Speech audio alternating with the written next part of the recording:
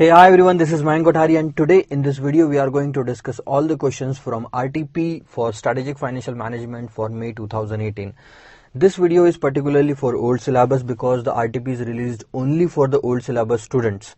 But I will also mention कि कौन कौन से क्वेश्चंस इसमें से न्यू सिलेबस वाले स्टूडेंट्स को भी अप्लीकेबल है so the timing of each video and whether it is applicable to new syllabus or not will be written in the description part. So if you want to directly jump over to a particular question कि हाँ बस इतना ही question मैंने मैंने देखना है सारे questions में से so you can directly jump on that uh, particular time and then uh, use that video for your knowledge. So let's start uh, without wasting our time uh, with the first question of uh, revision test paper for strategic financial management May 2018.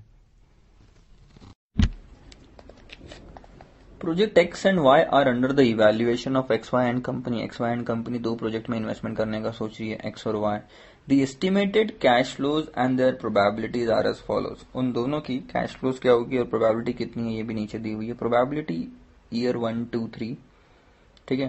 Probability में भी sorry project x देखो पहले तो investment है सत्तर लाख का। फिर तीन प्रोबेबिलिटी हो सकती है। तीन साल है। तो पहले साल तीस लाख। होने के चांसेस तीस परसेंट, पचास लाख होने के चांसेस चालीस परसेंट और पैंसठ लाख होने के चांसेस तीस परसेंट। सेकेंड ईयर में तीस, चालीस, पचपन होने के चांसेस तीस, चालीस और तीस। थर्ड ईयर में तीस, चालीस, पैंतालीस कैश फ्लो होने के चांसेस तीस, चालीस और तीस। प्रोजेक्ट वाई में इन्वेस्टमेंट लगेगा अस्सी लाख का और उसकी भी प्रोबेबिलिटी दी है और एनुअल कैश फ्लोज दी है throughout the life in lakhs annual है। तो एनुअल वर्ड को अंडरलाइन कर लेना यहाँ पे। Required which project is better based on NPV at discount rate of 10% and compute the standard deviation of present value distribution and analyze the inherent risk of the project. अच्छा तो important चीज़ें देखो पहले तो क्या है? प्रोजेक्ट एक्स का investment है सत्तर लाख जबकि वाई का इन्वेस्टमेंट है अस्सी लाख। उसके बाद दोनों प्रोजेक्ट की लाइफ तीन तीन साल ही है। पहले प्रोजेक्ट में हर साल में अलग अलग कैश फ्लोज दिए, लेकिन दूसरे प्रोजेक्ट में कैश फ्लोज एनुअल है। इसलिए आपको कॉलम छोटे दिखेंगे। यानी कि अगर 40 लाख होना है तो तीनों साल 40 लाख होगा। 45 लाख होना है तो तीनों साल 45 और 50 होना है तो तीनों साल 50 ये चीज़ें ध्यान रखना। रिक्वायर्ड क्या है देखो?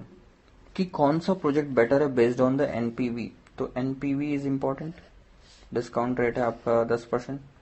उसके बाद आपको स्टैंडर्ड डेविएशन भी निकालना है और बताना है कि कौन सा प्रोजेक्ट ज़्यादा रिस्की है. आइए देखते हैं कैसे क्वेश्चन को सॉल्व कर सकते हैं.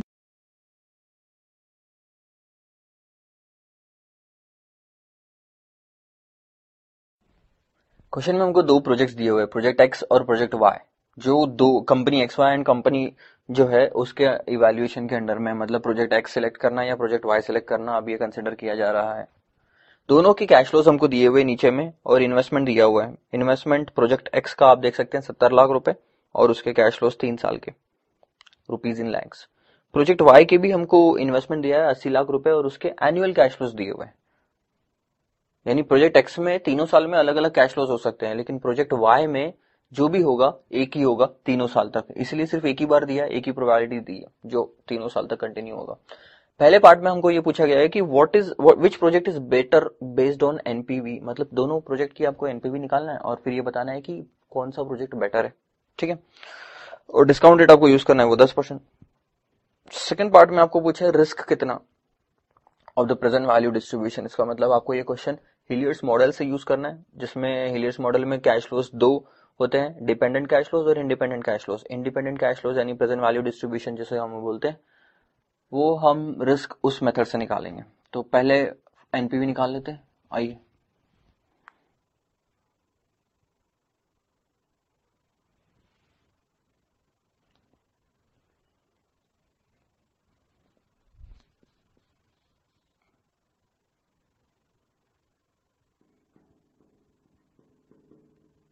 Project X, year, cash flow, present value factor, present value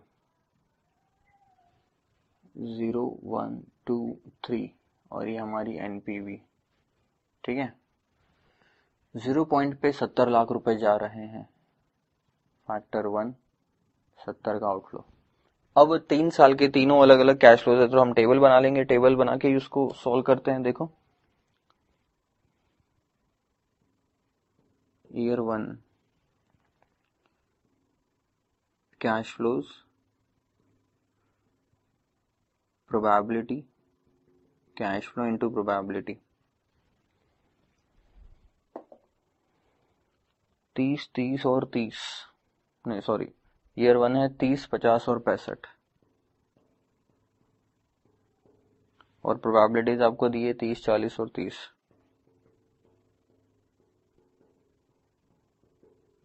तो ये हो जाएगा नौ, बीस 19.5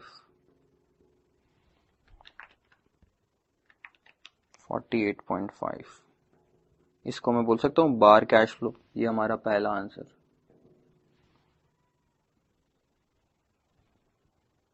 सेकंड ले लेते हैं ईयर टू।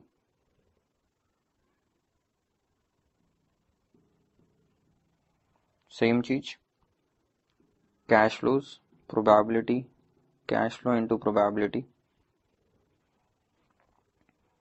और उसके कैश फ्लोज है हमारे तीस, चालीस और पचपन। प्रोबेबिलिटीज भी तीस, चालीस, तीस। प्रोबेबिलिटीज तो सेम दी है आपको तो कोई दिक्कत नहीं। तो ये हो गया नौ, सोलह और सोलह पॉइंट पाँच। फोर्टी वन पॉइंट फाइव ठीक है? तो ये आ गया फोर्टी वन पॉइंट फाइव अब ईयर थ्री ले लेते हैं यहाँ पे।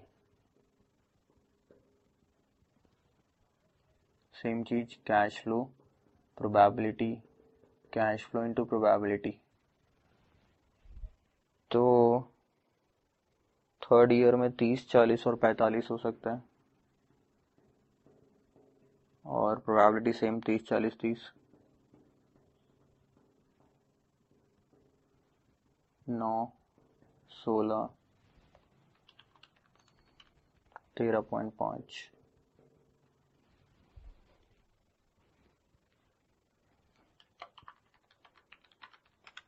थर्टी एट पॉइंट फाइव, इसकी टोटल आ गई? ये यहाँ आ जाएगी। अब आपकी फैक्टर्स ले लो। दस परसेंट से पहले साल point nine zero nine, eight two six और seven five one. Forty four point zero nine.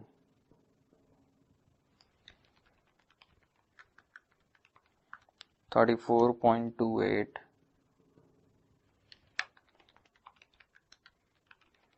twenty eight point nine one. और टोटल देखो।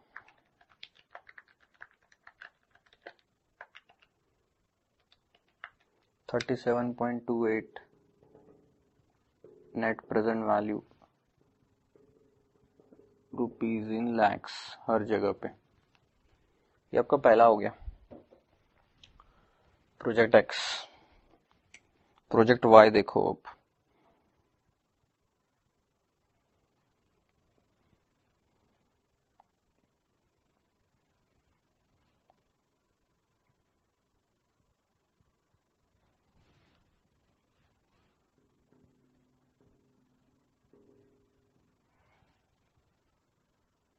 year, cash flows, present value factor या present value, annuity factor, और ये present value आ जाएगी आपकी, ठीक है? ज़ीरो और मैं लिखूँगा एक से तीन, क्योंकि तीनों साल में कैश फ्लो सेम है। जो भी होगी सेम होगी। और ये हमारी एनपीवी आ जाएगी यहाँ पे। स्टार्टिंग में पैसा कितना लग रहा है? अस्सी वन तो अस्सी ही रहेगा। अब देखो। एनुअल कैश फ्लोज हमको निकालनी है।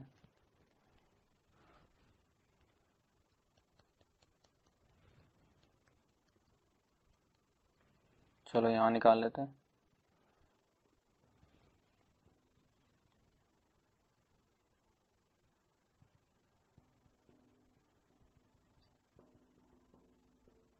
हर साल के लिए अप्लीकेबल रहेगा ये। Cash flow probability cash flow into probability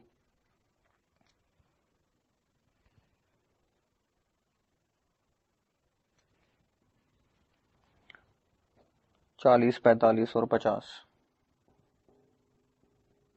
probability बीस, पचास और तीस। तो ये आ जाएगा आठ, साढ़े बाईस और पंद्रह।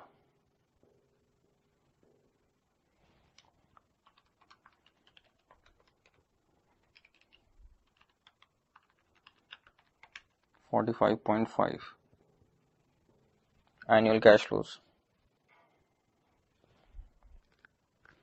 तो ये आपकी हर साल की कैश फ्लोज है, मैं यहाँ ले लेता हूँ फोर्टी फाइव पॉइंट फाइव कोई दिक्कत नहीं है, ठीक है? अब देखो। एनिटी फैक्टर दस परसेंट से। तीन साल का two point four eight six nine, या two point four eight seven ले लो। तीन डिजिट में ही रखना है तो।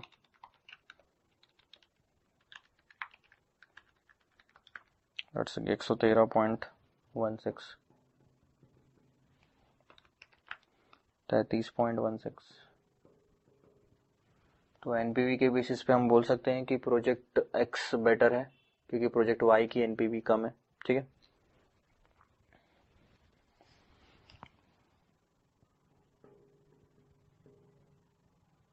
Based on net present value project x should be selected दूसरे पार्ट में हमको रिस्क निकालने बोला है, ठीक है। प्रोजेक्ट का रिस्क निकालने बोला है। अब प्रोजेक्ट का रिस्क डिपेंड करता है उसमें होने वाले हर साल के कैश फ्लोज पे। अब उसमें क्या क्या कैश फ्लोज होने वाले हैं? ये रहे। तो इन तीनों साल का आपको रिस्क निकालना पड़ेगा पहले। रिस्क यानी स्टैंडर्ड डिविएशन जो हमने पहले भी देखा स्टैंडर्ड डिविएशन कैसे निकालते हैं? तो देखो, हमारे को हमको एक्सपेक्टेड है 48.5 पहले साल के कैश फ्लोज होंगे, लेकिन इन तीनों में से एग्जैक्टली exactly कुछ तो एक होगा। तो हर एक पॉसिबल ऑब्जर्वेशन आपके मीन से कितना डेविएट हो रहा है। ये तीस इससे कितना दूर जा रहा है, या दूर है, ये हमको निकालना है। तो मैं यहाँ पे ले लेता हूँ। हम सेकंड पार्ट का आंसर निकाल रहे हैं कि मैं क्या करूँगा अब? डेविएशन निकालूँगा। तो cash flow minus bar cash flow आ जाएगा यहाँ पे। तीस minus forty eight point five तो ये माइनस एटीन पॉइंट फाइव पचास minus forty eight point five one point five sixty five minus forty eight point five आपका हो गया सिक्सटीन पॉइंट फाइव आ गया डेविएशन आ गया। अब क्योंकि कुछ ना कुछ फिगर्स यहाँ पे निगेटिव आती है, इसलिए हम अब इसको स्क्वायर करते हैं, ठीक है? ताकि निगेटिविटी हटा सके। और फिर प्रोबेबिलिटी से मल्टीप्लाई कर दो। तो किसको स्क्वायर करेंगे? 18.50 को स्क्वायर करेंगे। और प्रोबेबिलिटी से मल्टीप्लाई करो। 102.68 आएगा।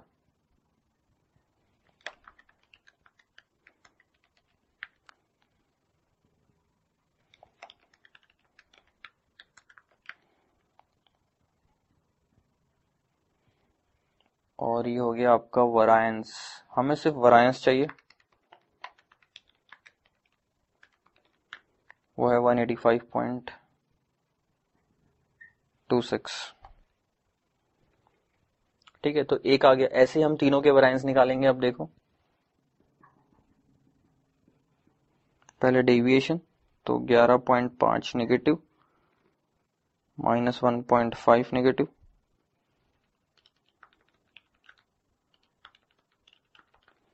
तेरह पॉइंट पाँच पॉजिटिव। अब इसी को आप स्क्वायर करो वापस से और प्रोबेबिलिटी से मल्टीप्लाई कर दो। ग्यारह पॉइंट पाँच का square into point thirty thirty nine point six eight.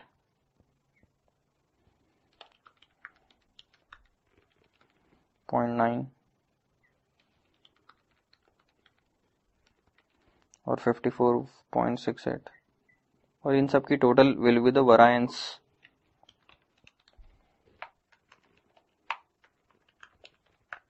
ninety five point two six. ये दूसरा भी आ गया। अब ऐसे ही हमको तीसरे साल का भी निकालना है।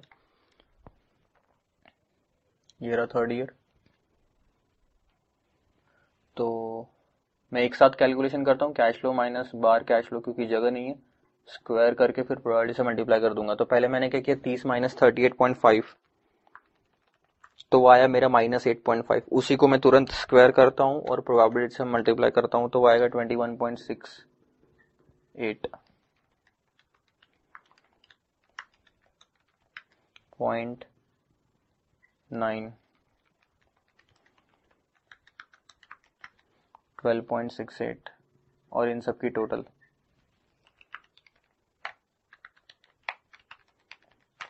thirty five point two six ये जो हमने वरायंस निकाला है, ये सिर्फ़ रिस्क है उन पर्टिकुलर ईयर का। अभी तक प्रोजेक्ट का रिस्क नहीं आया, ठीक है? हमने उस पर्टिकुलर ईयर का रिस्क निकाल लिया। सेम टू सेम हम प्रोजेक्ट वाई में भी करते हैं प्रोजेक्ट वाई के भी उस पर्टिकुलर ईयर का रिस्क निकाल लेते हैं। देखो कैसे। Cash flows minus bar cash flows square और प्रोबेबिलिटी से मल्टीप्लाई ठीक है? तो let's do it cash flow minus bar cash flow चालीस माइनस पैंतालीस पॉइंट पचास इंटू इक्वल टू करूँगा तो स्क्वायर इंटू पॉइंट ट्वेंटी आएगा six point zero five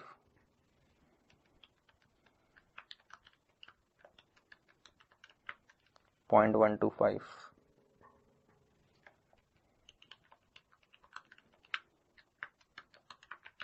और six point zero eight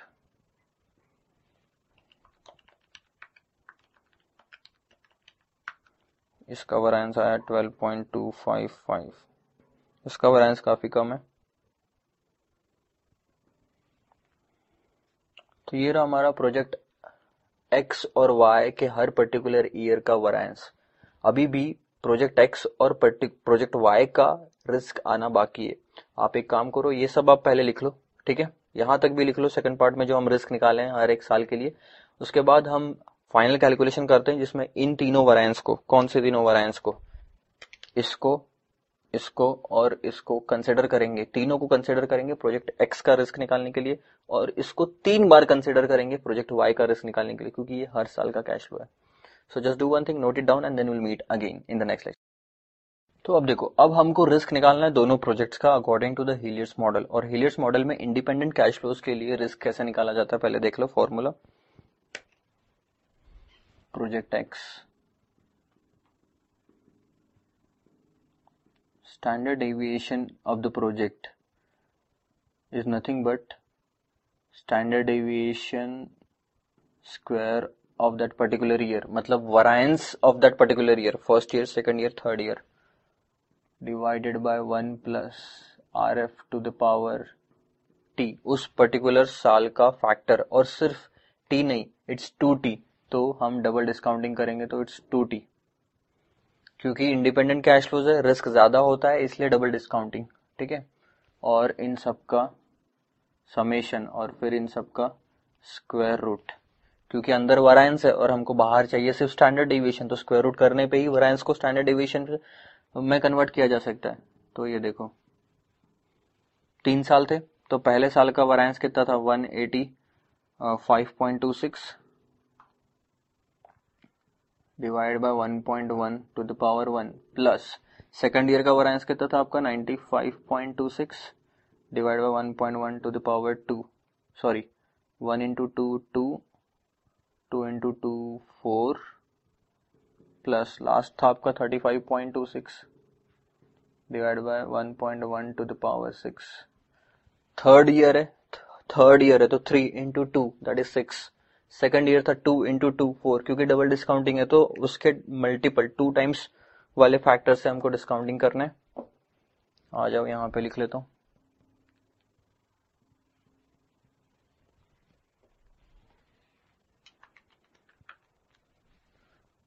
One eighty five point two six divide by one point two one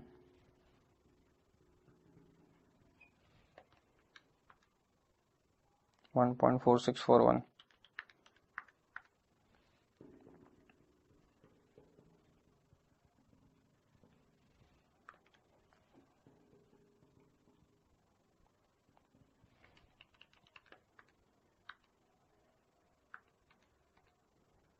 seven seven one six ठीक है।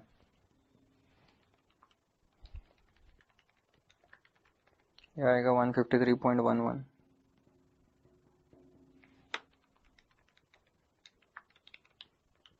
यह आएगा sixty five point zero six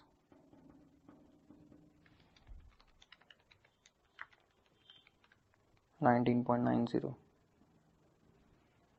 और इसका square root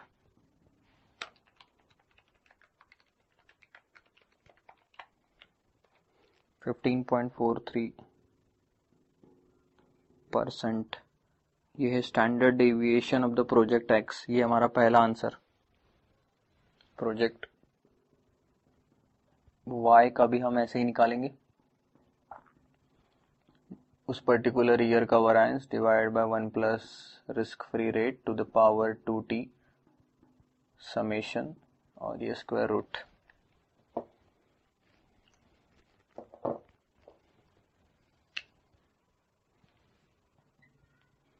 तो हमारा कितना था? हर साल सेम ही था उसके लिए? बारह पॉइंट छब्बीस, one point one to the power two plus बारह पॉइंट छब्बीस, one point one to the power four और बारह पॉइंट छब्बीस, one point one to the power six और इन सब का स्क्वायर रूट ठीक है?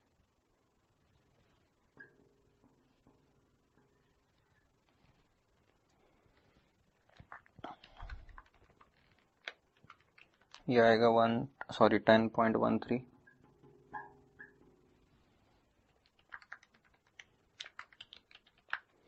eight point three seven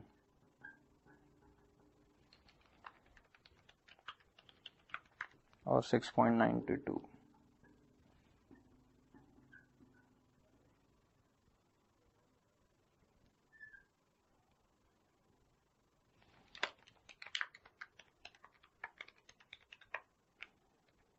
five point zero four आप देख सकते हो प्रोजेक्ट वाई का रिस्क काफ़ी कम है as compared to project X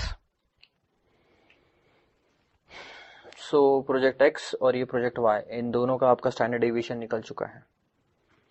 so so, आप एक काम करो नोट डाउन कर लो इन आंसर्स को फिर हम अगले क्वेश्चन पे मूव ऑन करते हैं। Bye bye So hi everyone, this is the second question for revision test paper and this question is from the leasing decision chapter. So let's have a look on this question. We will discuss it and then I will tell you किस तरह से इस question को solve करना है काफ़ी सारी चीज़ें इसमें ऐसी है जो जहाँ पे गलती होने के चांसेस है तो जहाँ जहाँ मौके आएँगे मैं आपको बताता जाऊँगा कि क्या लॉजिक है उसके पीछे and then we are going to solve it so let's read the question first messrs ABC limited is to acquire a personal computer with modem and a printer एक कंप्यूटर मॉडम और printer ये चीज़ें वो खरीदना चाहते हैं और उसकी कॉस्टिंग आ रही है साठ हज़ार रुपए. ABC limited can borrow rupees sixty thousand from a commercial bank ध्यान देंगे ABC limited can borrow this amount from a bank साठ हज़ार रुपए भी नहीं है मेरे पास में, लेकिन ये मुझे अपने ऑफ़िस में लेके आना है अपने काम के लिए. तो मैं कहीं से लोन लेके आऊँगा, फिर पार्टी को दूँगा, जो मेरे को ये बेचेगा, और ये मैं ऑफ़िस लेके आके यूज़ करूँगा।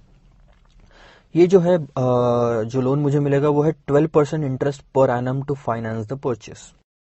The principal sum is to be repaid. अब पहली चीज़ जो आपको ध्यान देनी है, वो ये है कि यहाँ पे क्लियरली मेंशन किया गया है कि principal sum is to be repaid in equal year end installment. तो सिर्फ़ इक्वल इंस्टॉलमेंट जो जाएगी हर साल, वो प्रिंसिपल अमाउंट की होगी, सिर्फ़। सो इक्वेटेड एनुअल इंस्टॉलमेंट नहीं है, सारी की सारी। प्रिंसिपल प्लस इंटरेस्ट मिक्स नहीं है उसमें, बहुत ही सिंपल सा कैलकुलेशन है।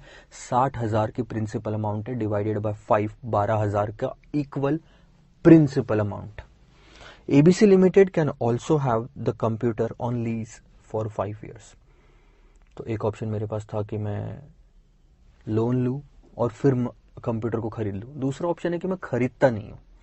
मैं लीज पे ले लेता हूँ। ठीक है? The firm seeks your advice to know the maximum lease rent payable at each year and consider the following additional information क्या कैलकुलेट करना है? कि अगर आपने लीज वाला ऑप्शन चूज़ किया तो उसमें मैक्सिमम लीज रेंट आप कितना पे करना चाहोगे? मैक्सिमम तो सीधी सी बात है अगर मैं एक नॉर्मल सा लॉजिक लगाऊँ कि आपको मान लो आ, एक मोबाइल खरीदना है ठीक है? आईफोन खरीदना है आपको टेन अब वो आ रहा है एक लाख रुपए का। कहीं देखा आपने, एक लाख रुपए का पड़ रहा है। और दूसरी जगह वो मिल रहा है नाइन्टी एट थाउज़ेंड का। ठीक है? तो आप कहाँ से खरीदोगे? वहाँ से खरीदोगे। अच्छा एक सोर्स है जहाँ पे आपको एक लाख रुपए में मिल रहा है। दूसरे सोर्स में ये क्वेश्चन रेज हो गया कि यहाँ मैक्सिमम आप कितना पे करोगे। अगर इस सोर्स के थ्रू खरीदने जाए एग्ज़ाम्पल अमेजोन पे एक लाख रुपए का मिल रहा है। मैं आपको बोल रहा हूँ कि भैया आपको फ्लिपकार्ट से ही खरीदना है। तो बताओ मैक्सिमम आप पेमेंट कितना करोगे फ्लिपकार्ट से? आप सीधा सीधा कंपैरिजन करोगे इस एक लाख से कि भैया यहाँ पे एक लाख पे मिल रही ना चीज़। ठीक है? तो वहाँ से भी खरीदू तो मैक्सिमम मेरा एक लाख रुपए जाना चाहिए, उससे ज़्यादा नहीं जाना चाहिए। कम हुआ तो बहुत अच्छी बात है। लेकिन क्वेश्चन ये नहीं है कि कितना कम। क्वेश्चन ये है कि कितना ज़्यादा से ज़्यादा वहाँ पे आप पेमेंट कर सकते हो, वो है एक लाख रुपए। ठीक है? सेम चीज़ हम इस क्वेश्चन में करेंगे। बोरोविंग ऑप्शन जो है इसकी सारी डिटेल दी हुई है। तो बोरोविंग ऑप्शन में निकाल लो कि अगर आप बोरो करके ये मशीन या ये कंप्यूटर अपने घर पे या ऑफ़िस में लेके आते हो तो इसमें प्रेजेंट वैल्यू के टर्म्स में कितनी कॉस्टिंग लग रही है। बस वो ही मैक्सिमम कॉस्टिंग होगी लीजिंग में भी। तो जब लीजिंग का ऑप्शन हम इवेल्युएट करेंगे तो उसको कंपेयर करेंगे इस वैल्यू से बोरोविंग वाली। आई बात समझ में? आगे ध्यान दो। The firm seeks your advice to know the maximum lease rent payable at each year and consider the following additional information ठीक है? Interest on bank loan is payable at each year end अब ये particular sentence नहीं भी होता इस question में तो भी जनरल एजम्पन यही होता है कि साल के अंत में हम इंटरेस्ट या कर्ज जो है, जो भी इंटरेस्ट जो है हम पे करते हैं। अनलेस अदरवाइज़ गिवन सो नहीं भी होता तो भी हम यही मानते second the full cost of the computer will be written off ध्यान देंगे वर्डिंग्स पे उन्होंने बोला है फुल कॉस्ट राइट ऑफ़ होगा। Over the effective life of the computer on a straight line basis straight line basis साठ हज़ार का असेट है, पाँच साल है, साठ हज़ार डिवाइडेड बाय पाँच, बारह हज़ार का आपका डेप्रिशिएशन आ रहा है। अच्छा normal straight line method of depreciation में क्या करते हैं हम? फॉर्मूला क्या लेते हैं? Cost minus salvage value divided by life लेकिन अब यहाँ माइनस सैलवेज वैल्यू नहीं करनी क्योंकि क्वेश्चन ये बोल रहा है फुल कॉस्ट आपको राइट ऑफ़ करनी है। तो साठ हज़ार डिवाइडेड बाय फाइव बारह हज़ार का आपका डिप्रिशिएशन आएगा, लेकिन ये कुछ काम का है क्या आपके? नहीं, क्योंकि depreciation is a non cash item तो सर, हम क्यों कैलकुलेट कर रहे हैं? क्योंकि इस बारह हज़ार पे टैक्स सेविंग होगी और वो हम कैश इनफ्लो कंसिडर करते हैं।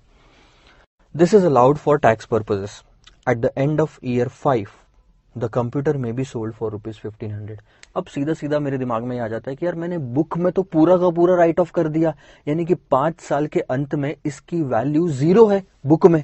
जिस बुक, जिस मशीन की वैल्यू, जिस कंप्यूटर की वैल्यू ज़ीरो है, उसको मैं पंद्रह सौ रुपए में बेच रहा हूँ तो मुझे कैपिटल गेन हुआ। ठीक है? कैपिटल गेन कैसा हुआ? Salvage value minus book value पंद्रह सो माइनस ज़ीरो तो पूरा का पूरा सैलवेज वैल्यू आपका यहाँ पे शॉर्ट टर्म कैपिटल गेन है जिसपे short term capital gain tax पे करना पड़ेगा। लेकिन 1500 through a second hand dealer who will charge 8 percent commission on the sale proceeds so सीधी सी बात है 1500 पूरी अमाउंट पे थोड़ा खर्चा भी लग रहा है। सो so, 1500 में से वो 8 परसेंट खर्चा माइनस करेंगे फिर कैपिटल गेन लगाएँगे। आगे देखो The company's effective tax rate is 30% and the cost of capital is 11%. Suggest the maximum annual lease rental. क्या कैलकुलेट करना है सर हमको? Maximum annual lease rental for ABC limited और नीचे प्रेजेंट वैल्यू फैक्टर आपको दिए हुए ग्यारह परसेंट से। मैक्सिमम चीज़ें तो आपको समझ गई। एक और चीज़ है डिस्काउंटिंग फैक्टर जो कि एक कन्फ्लिक्टिंग पार्ट है सिलेबस में ओल्ड कोर्स के सिलेबस में। लीजिंग डिसीज़न के अगर आप प्रैक्टिस मैनुअल देखो तो कभी discounting rate cost of debt को यूज़ किया गया after tax cost of debt कभी कॉस्ट ऑफ़ कैपिटल को यूज़ किया हुआ है।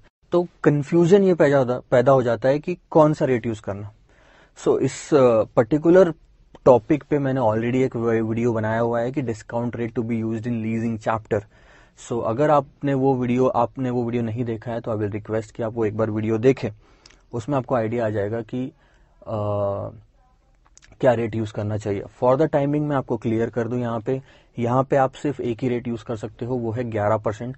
क्यों? सर क्योंकि डायरेक्टली क्वेश्चन में प्रेजेंट वैल्यू फैक्टर्स दिए हुए एट द एंड ये फैक्टर्स इसलिए दिए जाते हैं कि इंस्टीट्यूट चाहता है सारे बच्चों के आंसर सेम आए। ठीक है? तो उन्होंने डिजिट भी मेंशन किए तीन digit already present value factor दी, निकाल के दिया, इसका मतलब वो चाहता है कि आप कॉस्ट ऑफ़ कैपिटल को ही डिस्काउंटिंग रेट यूज़ करो। ठीक है?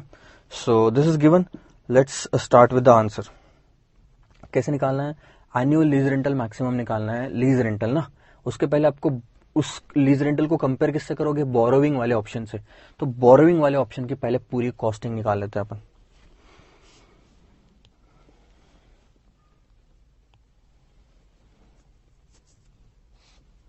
सो मैं यहाँ ले लेता हूँ year one two three four five five ठीक है? अच्छा सबसे पहले तो अपन को वो लेना पड़ेगा ना? हाँ. मैं ओपनिंग अमाउंट ले लेता हूँ. वो है साठ हज़ार. फिर इस पे इंटरेस्ट क्या रेट से इंटरेस्ट बारह परसेंट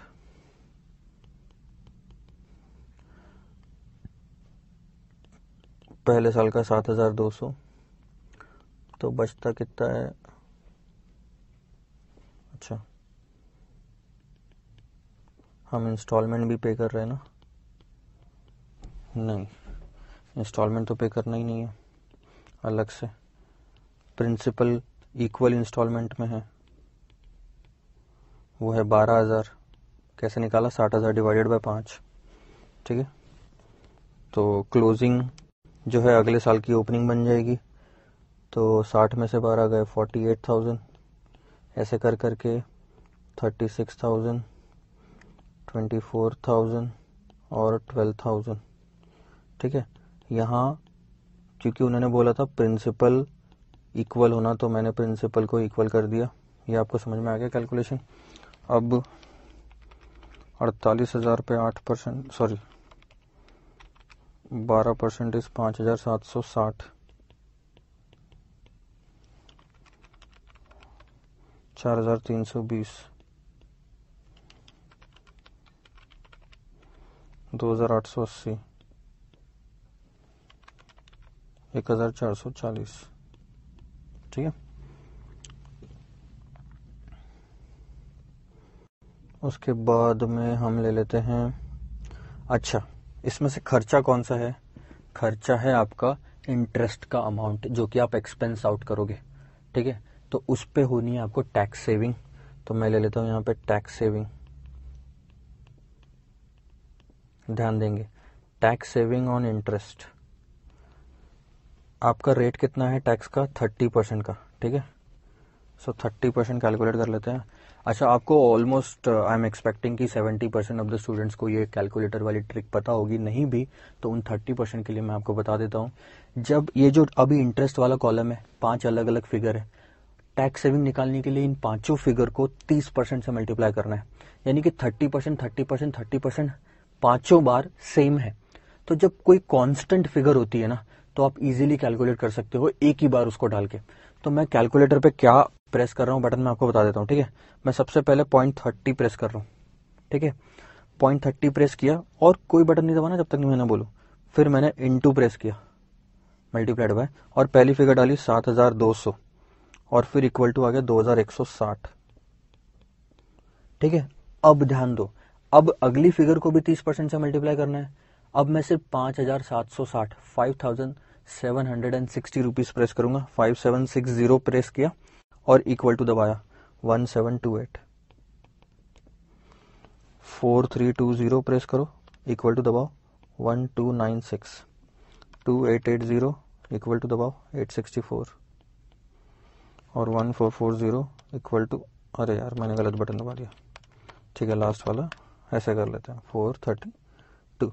तो वो थर्टी परसेंट आपको सिर्फ़ एक ही बार कैलकुलेटर में दबाना है, फिर बस वो फिगर डालो इक्वल टू दबाओ फिगर डालो इक्वल टू दबाओ फिगर डालो इक्वल टू दबाओ। तो ये तो हो गया टैक्स सेविंग ऑन इंटरेस्ट अब बाकी है टैक्स सेविंग ऑन डेप्रिशिएशन अब डेप्रिशिएशन कितना है वो, दो चीज़ ध्यान रखना, उन्होंने बोला था फुल कॉस्ट डेप्रिशिएट करनी है राइट ऑफ़ करनी है। तो साठ हज़ार डिवाइडेड बाय पाँच अगेन बारह हज़ार आपका डेप्रिशिएशन आता है, ठीक है?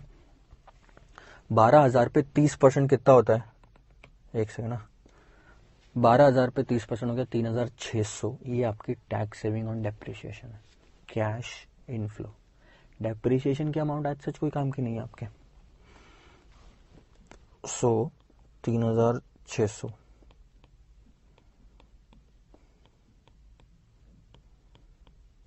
ले लिया।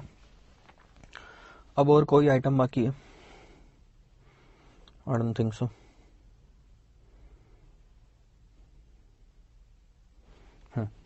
एक चीज़ बाकी है, वो है सालवेज वैल्यू तो उसको भी मैं ले ही लेता हूँ यहाँ पे। सालवेज वैल्यू का कैलकुलेशन देखो कैसे हो रहा है। बुक वैल्यू है ज़ीरो सैलवेज वैल्यू है पंद्रह सौ। देख लेता हूँ एक बार। ठीक है। और उस पर आठ परसेंट का आपका खर्चा है। सो पहले तो पंद्रह सौ में से आठ परसेंट में माइनस कर दूँगा। जितना भी बचा है, वो पूरा कैपिटल गेन है। और उस पूरे पे टैक्स का पेमेंट करना है। तो थर्टी परसेंट उसमें से भी माइनस कर देना है मैंने। तो क्या आना है देखो। After tax salvage value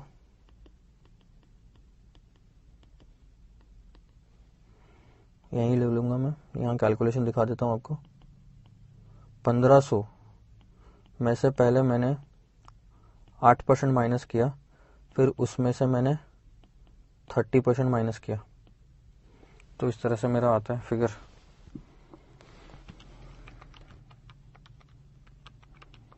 so ये आता है nine sixty six.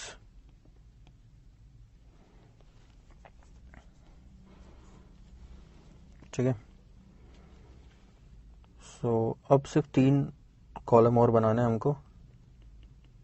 Net cash flow present value factor और प्रेजेंट वैल्यू अच्छा नेट कैश फ्लो आप जितना भी कैश आउटफ्लो इनफ्लो है टोटल कर लो। सबसे पहले तो आपका ये हो गया एक, दो, ये दोनों आउटफ्लो है। फिर आपका ये तीन और चार, ये दोनों इनफ्लो है और ये पांचवा भी इनफ्लो है। ठीक है? So one plus two minus three four five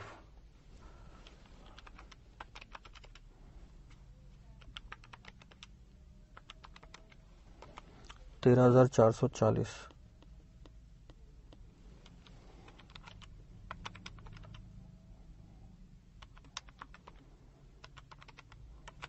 बारह हज़ार चार सौ बत्तीस।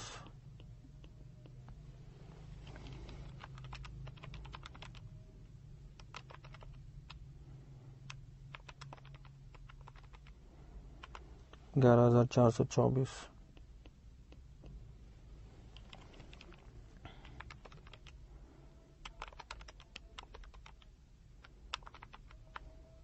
दस हज़ार चार सौ सोलह।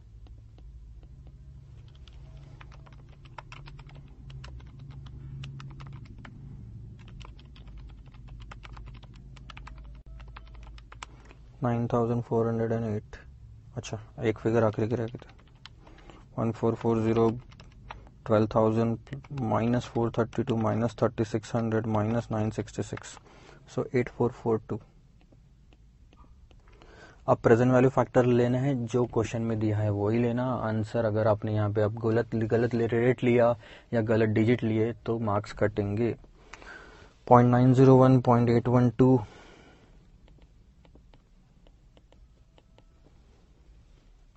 point seven thirty one point six five nine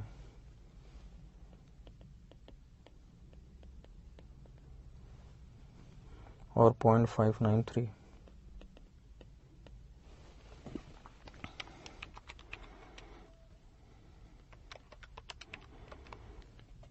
twelve one zero nine rupees को डेसिमल्स में मत लिखना कभी भी। फ़र्क नहीं पड़ता उतने से।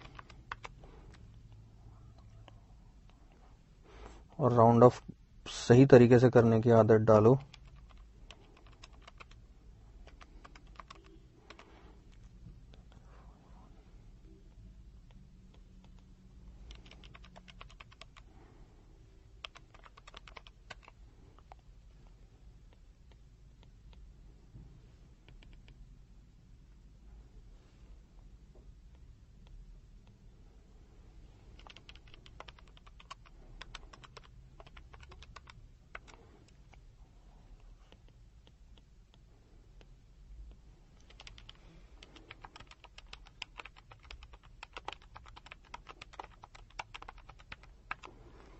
Forty four twenty five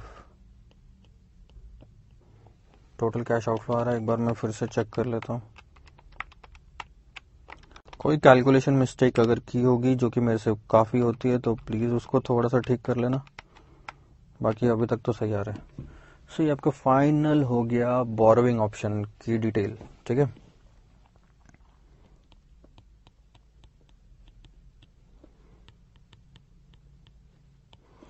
लेकिन हमारा पर्पज़ ये था क्या? हमको इसका क्या करना है? ये तो सिर्फ़ कंपैरिजन के पर्पज़ के लिए। असली कहानी तो यहाँ आती है लीजिंग वाले ऑप्शन में। और लीज ऑप्शन में बहुत ही कहानी सिंपल है आपकी कि लीज ऑप्शन लीज ऑप्शन नहीं होता ऑप्शन होता है, ठीक है? लीज ऑप्शन की present value should be lease rental जो आप पे करना चाहते हो one minus tax into present value annuity factor अब आप ये कैलकुलेशन समझ लो, क्या है? लीज रेंटल आप जितना भी पे करोगे, वो आपको पूरा खर्चा है। तो खर्चे में आप डालोगे तो उस पर टैक्स सेविंग लोगे, इसलिए मैंने वन माइनस टैक्स किया। और ये अमाउंट जो है, हर साल होगी, पाँच सालों तक, इसलिए मैंने प्रेजेंट वैल्यू एन्युटी फैक्टर से मल्टीप्लाई किया। अब ये जो टोटल है, इसकी प्रेजेंट वैल्यू है, ये मैक्सिमम कितनी आनी चाहिए, जितनी बोरोइंग की है? जो कंपैरिजन मैंने एक लाख का स्टार्टिंग में बताया था तो ये कैलकुलेशन में ऐसा रखूँगा forty two four twenty five maximum इतनी होनी चाहिए। लीज रेंटल मुझे निकालना है one minus point thirty tax है, और एन्युटी फैक्टर यानी कि इन पाँचों फैक्टर्स का टोटल ले लो।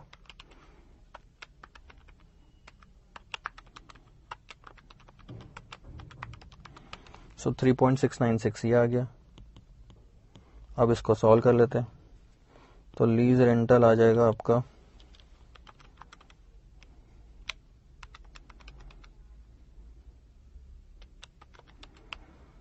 Sixteen three ninety eight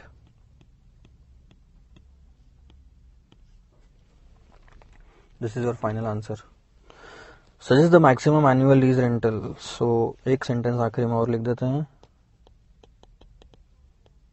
Maximum annual lease rental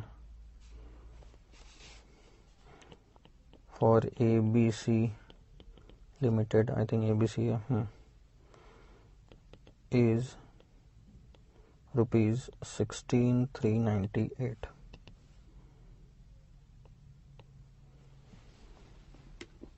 So this is how you are going to solve the question देखो, मैंने समझाने में काफ़ी ज़्यादा टाइम लगाया, इसीलिए इसको टाइम लगा सॉल्व होने को। अदरवाइज़ ये दो वर्किंग में कहानी पूरी खत्म हो चुकी है।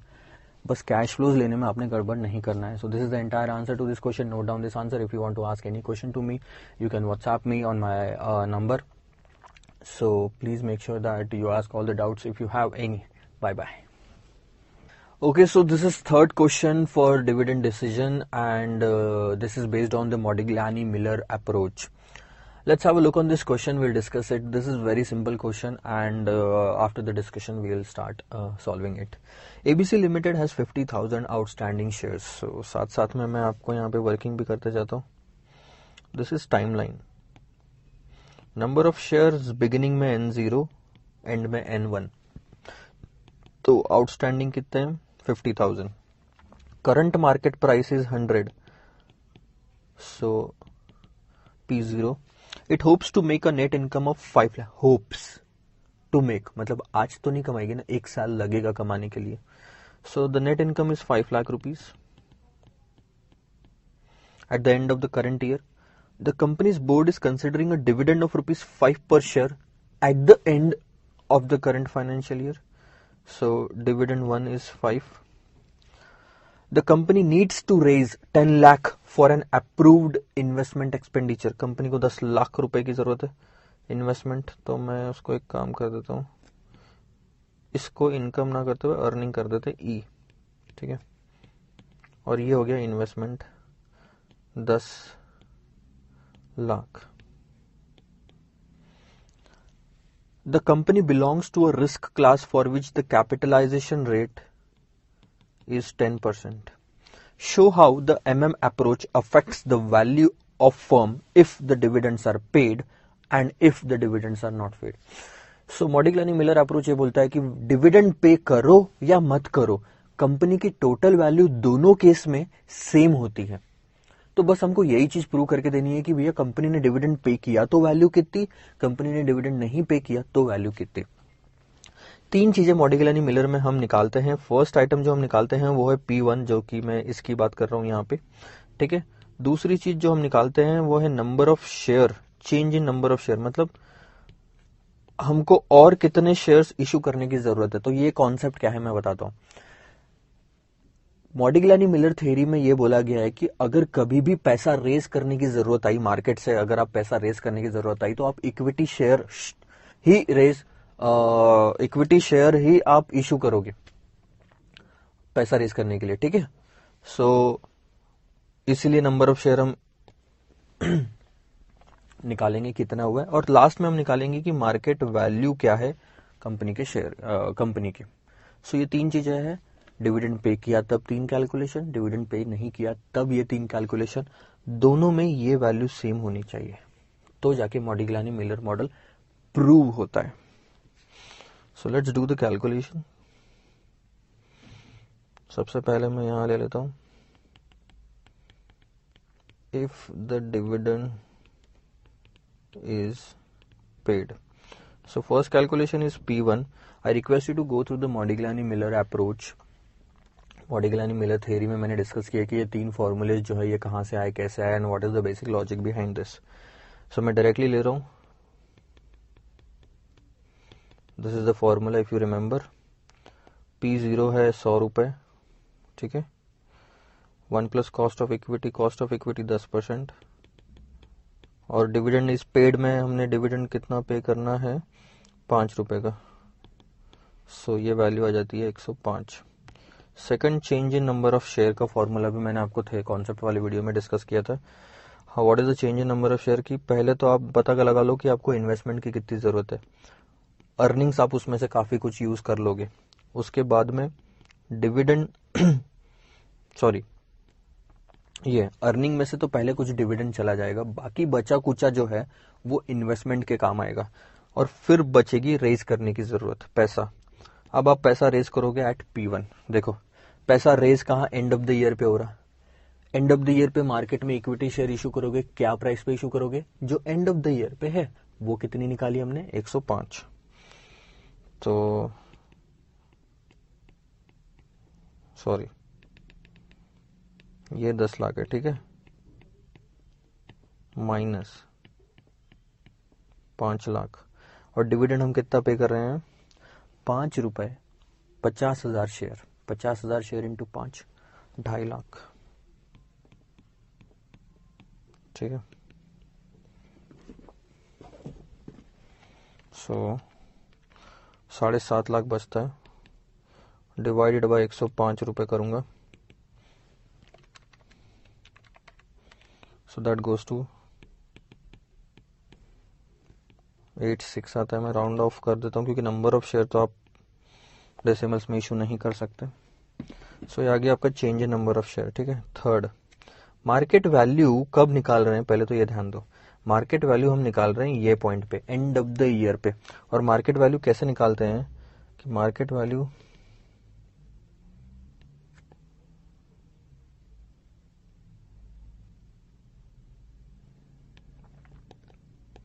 is equal to total number of share उस दिन कितने होंगे? अरे सॉरी उस दिन नंबर ऑफ़ शेयर कितने होंगे? आखिरी में दो चीज़ों की टोटल एक तो जो शुरुआत में पचास हज़ार थे प्लस जो आपने बीच में और इशू किया मतलब एंड में जो इशू किए, ये दो चीज़ों की टोटल आपकी आएगी, ठीक है? So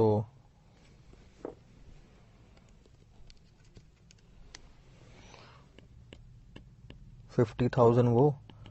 अच्छा मैं पहले फॉर्मूला लिख लेता हूँ, ठीक है? N one into P one बहुत ही सिंपल सी चीज़। So fifty thousand plus seven one four three into एक सौ पाँच।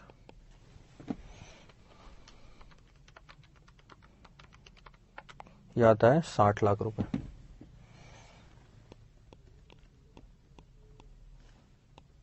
राउंड ऑफ़ कर दिया मैंने, ठीक है? क्योंकि साठ लाख पंद्रह आ रहा है मेरा आंसर। पंद्रह रुपए इसलिए डिफरेंस आ रहा है क्योंकि आपने नंबर ऑफ़ शेयर जो है ना ऊपर कैलकुलेट किए थे, वो राउंड ऑफ़ कर दी तो ये एक कैलकुलेशन हो गया जब आपने डिविडेंड पे किया। अब दूसरा।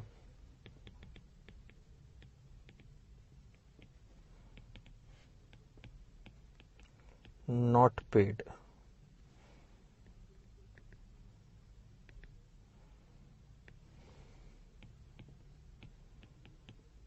ठीक है? तो पहली चीज़, अगर हम डिविडेंड पे नहीं करें तो फॉर्मूला सिर्फ़ इतना रह जाएगा। ठीक है? डी वन तो ज़ीरो आएगा। तो आप साइड वाले से कंपेयर कर सकते हैं। यहाँ प्राइस कितने आई? 110 change in number of share अब इन्वेस्टमेंट की ज़रूरत कितनी है आपको? 10 लाख। अर्निंग्स पूरा का पूरा आप यूज़ कर सकते हो, क्योंकि डिविडेंड आपने कुछ भी पे नहीं किया। 110 की प्राइस पे। तो नंबर ऑफ़ शेयर कितने इशू कर रहे हो? पाँच लाख और 110 फोर फाइव फोर फाइव। ठीक है? अब आ जाते हैं मार्केट वैल्यू पे। N one into P one starting में कितने शेयर थे आपके पास? सर, पचास हज़ार। Plus four five four five और पी वन कितनी एक सौ दस।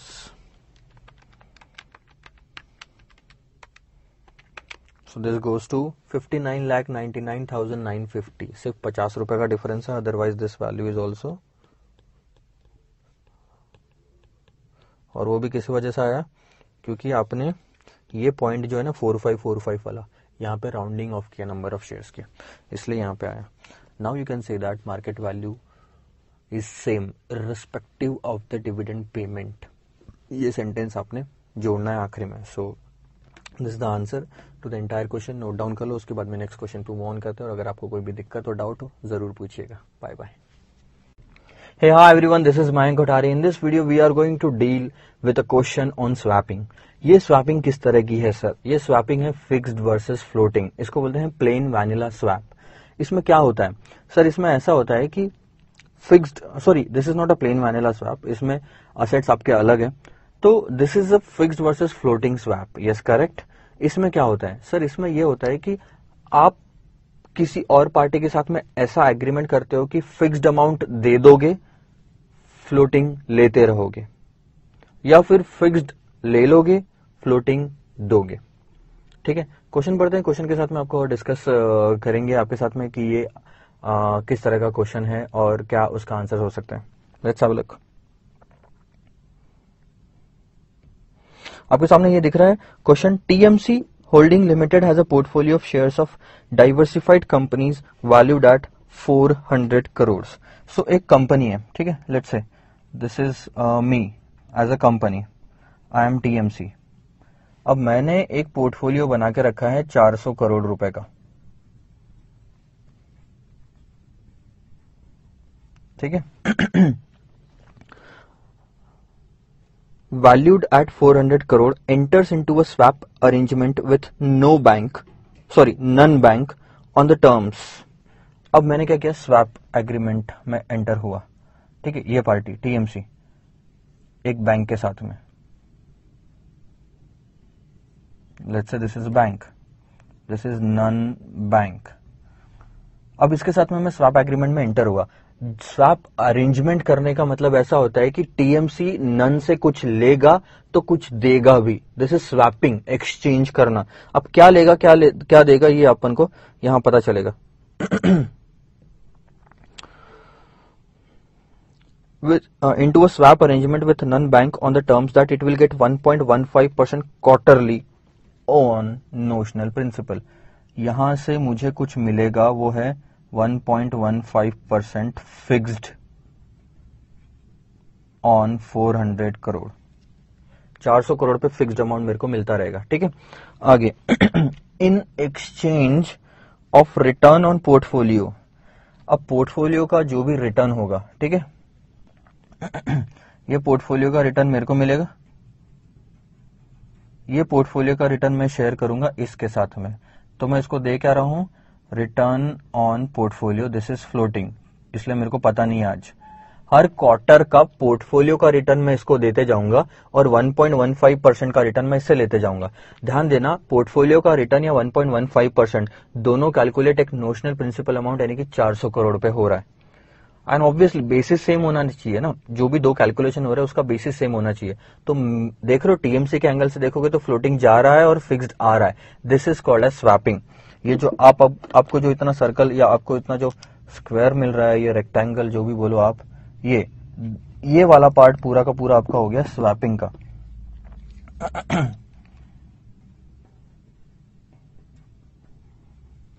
ठीक है? अब आगे देखो और क्या हो रहा है। In exchange of the return on portfolio, which is exactly tracking the index, which is presently 21600 अब पोर्टफोलियो का रिटर्न डिपेंड करता है किसी और चीज़ पे, वो है सेंसेक्स ठीक है? अब यहाँ मार्केट का रिटर्न बोल देता हूँ मैं उसको। इंडेक्स का रिटर्न यानी मार्केट का रिटर्न मार्केट का जो भी रिटर्न होगा, वो ही रिटर्न एग्जैक्टली पोर्टफोलियो का होगा। अब इससे आपको एक चीज़ समझ में आ जानी चाहिए कि इन पोर्टफोलियो का बीटा जो है, वो है वन मार्केट रिटर्न 10 परसेंट दे रहा है और पोर्टफोलियो भी 10 परसेंट दे रहा है, इसका मतलब क्या हुआ? बीटा है वन। पोर्टफोलियो का return which is exactly tracking the index यानी कि इंडेक्स 10 परसेंट से गिरा तो पोर्टफोलियो का रिटर्न भी 10 परसेंट से गिरेगा। इसी का तो मतलब हुआ एग्जैक्टली ट्रैकिंग अब आगे। You are required to determine the net payment to be received और paid if Sensex turns out to be 21860, 21780, 22080 and 21960 at the end of each quarter. अब क्या हो रहा है? आपको पता करना है आपको क्या दिया हुआ है? सेंसेक्स की वैल्यूज़ दी हुई है हर क्वार्टर की और बताना क्या है? क्वेश्चन में आंसर पूछा गया है कि ये स्वैप अरेंजमेंट में लेना और देना कितना होगा नेट में। यहाँ से सब चीज़ें फ्लो होगी। तो सबसे पहले देखो क्या कैलकुलेट करोगे। सबसे पहले जो आप कैलकुलेट करोगे वो है सेंसेक्स का रिटर्न क्योंकि सेंसेक्स के रिटर्न पे डिपेंड करता है पोर्टफोलियो का रिटर्न क्या होगा? ठीक है? तो सबसे पहले आप ये चीज़ कैलकुलेट करोगे, सेंसेक्स का रिटर्न। वो ही बन जाएगा आपका पोर्टफोलियो का रिटर्न, दो नंबर। ठीक है? ये पोर्टफोलियो का रिटर्न जो है, आप इसको दे दोगे, तीन नंबर। आप 1.15 परसेंट उससे ले लोगे, चार नंबर। ठीक है? और तीन और चार का नेट जो होगा, ठीक है? तीन माइनस चार ले लो, ये पाँच नंबर, ये नेट। आपको पूछा क्या गया क्वेश्चन में? पांचवी फिगर। दिया क्या है क्वेश्चन में? पहली फिगर। अब फ्लो पता चल गया आपको क्या हो रहा पहले इंडेक्स का रिटर्न फिर वही पोर्टफोलियो का रिटर्न वो हमने इसको दे दिया और इससे हमने फिक्स ले लिया। अब तो कहानी आसान है। सर सेंसेक्स का रिटर्न कैसे निकालेंगे? हर साल का या हर क्वार्टर का रिटर्न निकालना तो ओपनिंग और क्लोजिंग प्राइसेस ले लो। दोनों में जो भी डिफरेंस है, वो आपका रिटर्न बन गया। समझ में आ रहा है?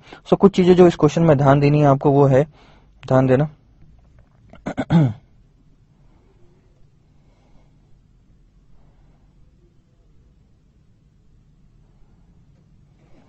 सबसे पहले जो करंट इंडेक्स आपको दिया हुआ है, वो है ट्वेंटी वन सिक्स हंड्रेड ठीक है? करंट ज़ीरो पॉइंट से जो स्टार्ट करना है। उसके बाद में चार इंडेक्स की फिगर आपको दी हुई है, एक यहाँ पे और ये तीन यहाँ पे। उसके बाद में जो हमने नन बैंक से लेना है, वो है 1.15 परसेंट और जो हमने देना है, वो है return on portfolio return on portfolio इतनी सारी चीज़ें। बस। इतना ही आपको ध्यान देना है। हमारी कंपनी कौन सी है, सर? हमारी कंपनी है टीएमसी होल्डिंग। TMC holding. और आखिरी में क्वेश्चन में निकालना क्या है? सर, क्वेश्चन में हमको निकालना है नेट पेमेंट कितना लेना और देना है। This is the entire question let solve it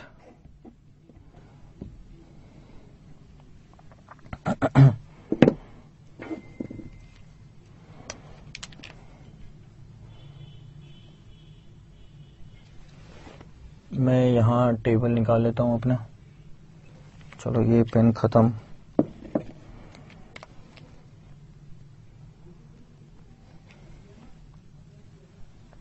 सबसे पहले मैं ले लूँगा यहाँ पे quarter zero one two three four यहाँ मैं ले लूँगा सेंसेक्स की values twenty one six hundred दी हुई है। twenty-one eight sixty, twenty-one seven eighty, twenty-two zero eighty, twenty-one nine sixty. Return.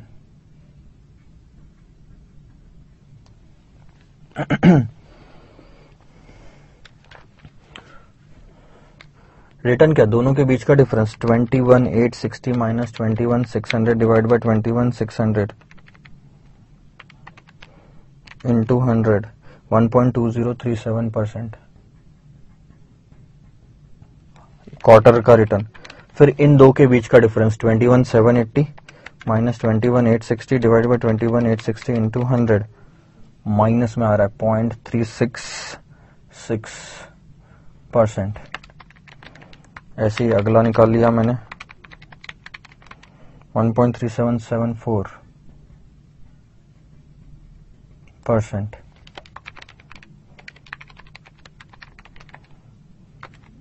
ये आ गया आपका sorry minus point five four three five percent यह है पेबल इतना फ्लोटिंग हमने पे करना है नन बैंक को, ठीक है? रिसीवेबल फिक्स्ड अमाउंट रिसीवेबल है 1.15 परसेंट 1.15 परसेंट 1.15 परसेंट 1.15 परसेंट अब आप यहाँ पे नेट निकाल सकते हो परसेंटेज में और अमाउंट में।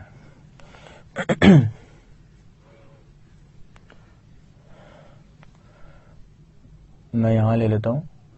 रिसीवेबल है तो पॉजिटिव दिखा दूँगा और पेबल है, आप ऊपर लिखना कॉलम के तो नेगेटिव दिखा दूँगा। तो आपका ये ए बी सी डी और ये ई e वाला कॉलम है। तो ई e वाला कॉलम कैसे डिसाइड हुआ? D minus C so 1.15 minus 1.2037 point two zero five three seven percentage चार सौ करोड़ पे point two one four eight देना बनता है। करोड़ में। ठीक है? यानी 1.15 आ रहा है 1.20 जा रहा है तो नेट में जा रहा है। 1.15 plus point three six six one point five one six positive six point zero six four लेना बनता है। अब ये कैसे कैलकुलेट किया? ध्यान देना। क्या लिखा था अपन ने?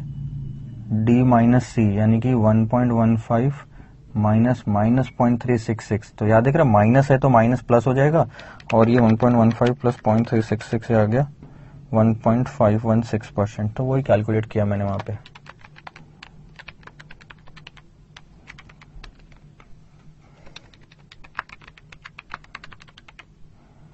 Minus point two two seven four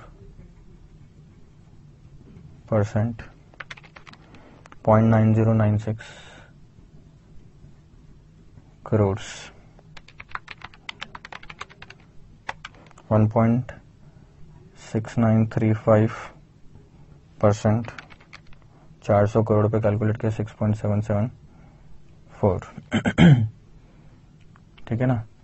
ये कैसे कैलकुलेट हुआ? ध्यान दे दो। One point six nine three five into चार सौ परसेंटेज इंटू चार सौ करोड़ तो ये वैल्यू वैल्यूज़ आती है। ये बस आपके रेफरेंस के लिए नीचे वाली फिगर्स बाकी तो आंसर आपका इसी में खत्म हो जाता पूरा। So this is the final answer to this question आप आई होप आपको समझ में आ गया हो। ये फ्लो ऐसा हो रहा है, ये भी मैंने डायग्राम आपको यहाँ पे निकाल के बता दी। आंसर्स नोट डाउन कर लो, अगर आपको कोई भी दिक्कत हो इस क्वेश्चन में तो you can always feel free to ask me bye bye Hey, hi everyone, this is Mayank Gotari and we are here to discuss a question on the payoffs of option position. So, investor इस question में option पे कुछ position लेता है it is a call option और a put option and then एक time के बाद में तीन महीने के बाद में मेच्योरिटी पे या फिर उसके पहले we have been asked to calculate a profit और loss to that investor on the position that has been taken previously so इस क्वेश्चन में आपको ये दिया हुआ है कि डेल्टा कॉरपोरेशन एक कंपनी है और इसके स्टॉक पे एक इन्वेस्टर ने पोजीशन लेके रखी है। क्या पोजीशन है? एक कॉल ऑप्शन लेके रखा है, एक पुट ऑप्शन लेके रखा है। मेच्योरिटी तीन महीने की। Call option right to buy data set at a strike price तो कॉल ऑप्शन जो लिया हुआ है, वो जैसे मैं आपको यहाँ से यहाँ पे डिस्कस करूँ तो? जो कॉल ऑप्शन लिया हुआ है क्वेश्चन में, वो तीन महीने की मेच्योरिटी वाला पुट ऑप्शन जो लिया हुआ है, वो भी तीन महीने की मेच्योरिटी वाला है, ठीक है? या फिर यहाँ ले लेते हैं।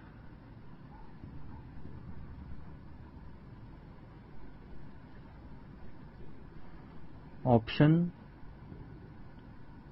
स्ट्राइक प्राइस प्रीमियम एक बेसिक डिटेल सो so, सबसे पहले हमने कॉल ऑप्शन लिया जिसकी मेचोरिटी आपको क्वेश्चन में दी हुई है अगर आपने सॉरी मेचोरिटी नहीं स्ट्राइक प्राइस आपको क्वेश्चन में दी हुई है 550 आपने पुट ऑप्शन लिया स्ट्राइक प्राइस दी हुई है 450 यानी कि वो असेट आप तीन महीने बाद 550 में खरीद सकते हैं या 450 में बेच सकते हैं अगर आपको चाहिए तो. और प्रीमियम भी दिया हुआ है कि क्योंकि आपने दोनों ऑप्शन खरीदा है कॉल भी खरीदा पुट भी खरीदा तो प्रीमियम आपको पे करना पड़ेगा। That is thirty rupees for this and five rupees for this ठीक है? अब आगे वो आपको तीन सिचुएशन दे रहा है। एक, दो और ये तीन। और वो तीनों सिचुएशन में आपको पूछ रहा है कि बताओ प्रॉफिट और लॉस कितना। यानी तीन महीने बाद, ये टाइम ज़ीरो पे ली हुई सिचुएशन पोजीशन है। और अब तीन महीने बाद में टाइम थ्री मंथ्स बाद अगर स्पॉट प्राइस मार्केट में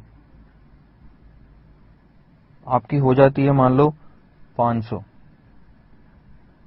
तो बताओ क्या प्रॉफिट और लॉस होगा। सबसे पहले आप एक्शन क्या लेंगे? ये हम डिसाइड करेंगे। फिर पे ऑफ़ क्या होगा? और फिर प्रॉफिट कितना होगा? या लॉस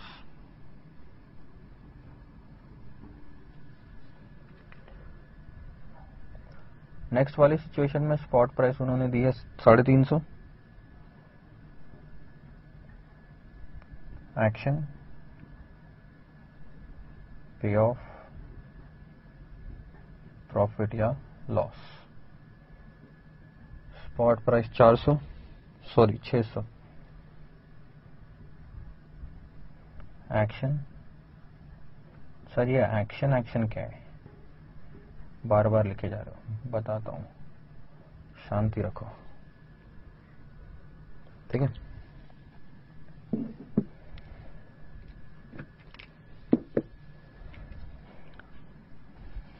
asset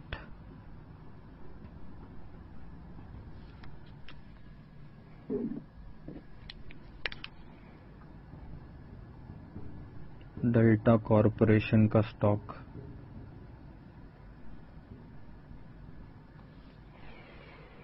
आपने इस स्टॉक पे कॉल ऑप्शन खरीदा। मतलब आप ये स्टॉक तीन महीने बाद 550 में खरीद सकते हो, लगा तो। पुट ऑप्शन खरीदा। आप ये स्टॉक तीन महीने बाद साढ़े चार सौ में बेच सकते हो, लगा तो। पहली पोजीशन लेते। इन तीनों में से कोई एक चीज़ होगी। मान लो उस दिन तीन महीने बाद मार्केट में प्राइस हो गई उस स्टॉक की पाँच सौ रुपए। अब आप बताओ, जब मार्केट में स्टॉक 500 का मिल रहा तो साढ़े पाँच सौ में खरीदना बेनिफिशियल है? नहीं। तो क्या ये कॉल ऑप्शन में स्टॉक खरीदोगे साढ़े पाँच सौ में? नहीं। तो क्या ये ऑप्शन एक्सरसाइज हुआ? नहीं, क्योंकि आपने उसमें कुछ भी नहीं किया। This is called as not exercise lapse lapse हो गया तो उस ऑप्शन में कुछ पे ऑफ़ हुआ? नहीं। तो ये जो तीस रुपए का प्रीमियम दिया था, नुकसान है पूरा का पूरा। पुट ऑप्शन की बात करते हैं। मार्केट में प्राइस कितनी चल रही? पाँच सौ रुपए। आज, तीन महीने बाद। आपने तीन महीने पहले इसी असेट पे ऑप्शन खरीद लिया था कि अगर आपको लगा तो आप साढ़े चार सौ में वो असेट बेच दोगे। मार्केट में आज पाँच सौ में बिक रहा है। क्या साढ़े चार सौ में बेचोगे? सस्ते में क्यों बेचू सर? पाँच सौ में बिक रहा मार्केट में तो। मैं पाँच सौ में बेचूँगा। तो क्या पुट ऑप्शन एक्सरसाइज हो रहा? लैप्स ज़ीरो पाँच रुपए का नुकसान।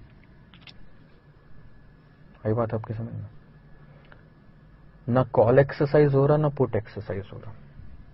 टोटल नुकसान पैंतीस का। और आपने कितने ऑप्शन खरीदे? सौ ऑप्शन खरीदे। टोटल प्रॉफिट और लॉस पैंतीस सौ। सर ऑप्शन में तो प्रॉफिट लॉस होता ही नहीं। नहीं होता। पे ऑफ़ में प्रॉफिट लॉस सॉरी ऑप्शन में तो सर लॉस होता ही नहीं है। नहीं होता। Maximum loss in option is the amount of premium that you paid thirty plus five thirty five into number of option that is hundred thirty five hundred तो sir आपने ये तो बता दिया दोनों केस में कि लैप्स लैप्स हो गया। कॉल एक्सरसाइज कब होता है? सर ये बताओ। सर पुट एक्सरसाइज कब होता है ये बताओ। सीधी सी बात है। टाइमलाइन लेता हूँ। कॉल यानी राइट टू बाय ठीक है? कॉल एक्सरसाइज कब होता है पता है? जब मार्केट में स्पॉट प्राइस ज़्यादा होती है स्ट्राइक प्राइस पे। स्ट्राइक प्राइस से। तब कॉल एक्सरसाइज होगा। पुट एक्सरसाइज कब होता है पता है? जब मार्केट में स्पॉट प्राइस कम होती है स्ट्राइक प्राइस से। तब पुट एक्सरसाइज होता है। बहुत ही सिंपल सी चीज़ है, मैं आपको फंडा भी बताता हूँ। कॉल यानी खरीदना। कॉल हो या पुट हो, खरीदते हो स्ट्राइक प्राइस पे के पे। ठीक है? अब कॉल में आप क्या चाहोगे कि स्ट्राइक प्राइस कम से कम हो? क्योंकि आपको खरीदना है। कोई भी खरीदना सस्ते में चाहता है तो खरीदना, खरीदने की प्राइस कम होनी चाहिए, तब जाके ये ऑप्शन एक्सरसाइज होगा। तो दिख रहा है मार्केट में ज़्यादा प्राइस है तो मैं कम में खरीद सकता हूँ। पुट ऑप्शन आपको बेचना है तो आप ज़्यादा में बेचना चाहोगे तो स्ट्राइक प्राइस आप चाहोगे कि ज़्यादा हो मार्केट रेट से ज़्यादा हो, ये K should be greater than S तब ऑप्शन एक्सरसाइज होगा। अब आपको थम रूल बनाना है थम रूल बना लो, हर जगह पे आपका आंसर सही आएगा। Call should be exercise when S is greater than K put should be exercise when S is less than K spot price in the market strike price of the option otherwise option lapse हो जाएगा। Next वाला part लेते हैं, साढ़े तीन सौ। Sir market में rate कितना? साढ़े तीन सौ। मैं खरीद कितने में सकता हूँ? साढ़े पाँच सौ। खरीदूँगा? नहीं, क्योंकि सेकंड वाले केस में स्पॉट प्राइस कॉल वाली सिचुएशन लेता हूँ। कॉल में क्या है? Spot price is less than strike price इसके अपोजिट है तो ऑप्शन एक्सरसाइज नहीं होगा। लैप्स सर मैं बेचना चाहता हूँ ना। बेच सकता हूँ साढ़े तीन सौ में मार्केट में, या ऑप्शन के अंडर में साढ़े चार सौ में बेच सकता हूँ। दिस इज़ द सिचुएशन ये एस बाय के इस पे क्या एक्सरसाइज होगा? इस पे पुट ऑप्शन एक्सरसाइज होगा। एस बाय के ये साढ़े चार सौ। So S is less than K साढ़े चार सौ ज़्यादा है ना? अगर आपको बेचना है तो आप साढ़े तीन सौ पे बेचोगे कि साढ़े चार सौ पे बेचोगे? ध्यान दो, साढ़े चार सौ पे बेचोगे, यानी ऑप्शन में आ रहे हो, यानी ऑप्शन एक्सरसाइज हो रहा है। जैसे ही ऑप्शन एक्सरसाइज होगा, इसका मतलब स्टॉक एक्सचेंज क्या करेगा पता है? आप एक्चुअल में स्टॉक एक्सचेंज को नहीं बेचोगे नेट में सेटलमेंट होगा। क्या सेटलमेंट होगा? साढ़े चार सौ, साढ़े तीन सौ का डिफरेंस स्टॉक एक्सचेंज आपको दे देगा। दैट इज़ हंड्रेड रुपीज़ बाकी आपका प्रॉफिट यहाँ पे नुकसान कितना? तीस का। प्रीमियम तीस रुपए का पे किया पे ऑफ़ ज़ीरो नुकसान तीस का। पाँच रुपए का प्रीमियम पे किया प्रॉफिट हंड्रेड का तो नेट प्रॉफिट नाइन्टी फाइव का आया। ये पे माइनस हो गया ना सौ में से। सौ प्रॉफिट है, पाँच लॉस है। Net sixty five hundred sixty five hundred वही बात आपको ये समझ में। लास्ट वाला पार्ट लेते कॉल बोले तो खरीदना। 600 में खरीदना पसंद करोगे कि साढ़े पाँच सौ में खरीदना पसंद करोगे? सर साढ़े पाँच सौ। यानी आया ना मैं ऑप्शन में। ऑप्शन की प्राइस पे खरीद रहा हूँ। यानी कि ऑप्शन एक्सरसाइज हो रहा है। तो क्या सर मैं स्टॉक एक्सचेंज से खरीदूँगा? नहीं नेट में सेटलमेंट होगा। स्टॉक एक्सचेंज क्या करेगा? स्टॉक एक्सचेंज बोलेगा, मार्केट में जाके 600 में खरीदो। आप बोलोगे, हमारा तो साढ़े पाँच सौ में डिसाइड हुआ था। ठीक है स्टॉक एक्सचेंज बोलेगा, ये ले पचास रुपए। साढ़े पाँच सौ और छह सौ का डिफरेंस ये ले पचास रुपए, तेरे को साढ़े पाँच सौ में खरीदने का था, तू तेरे साढ़े पाँच सौ लगा, मेरे से पचास रुपए ले मार्केट से छह सौ में खरीद।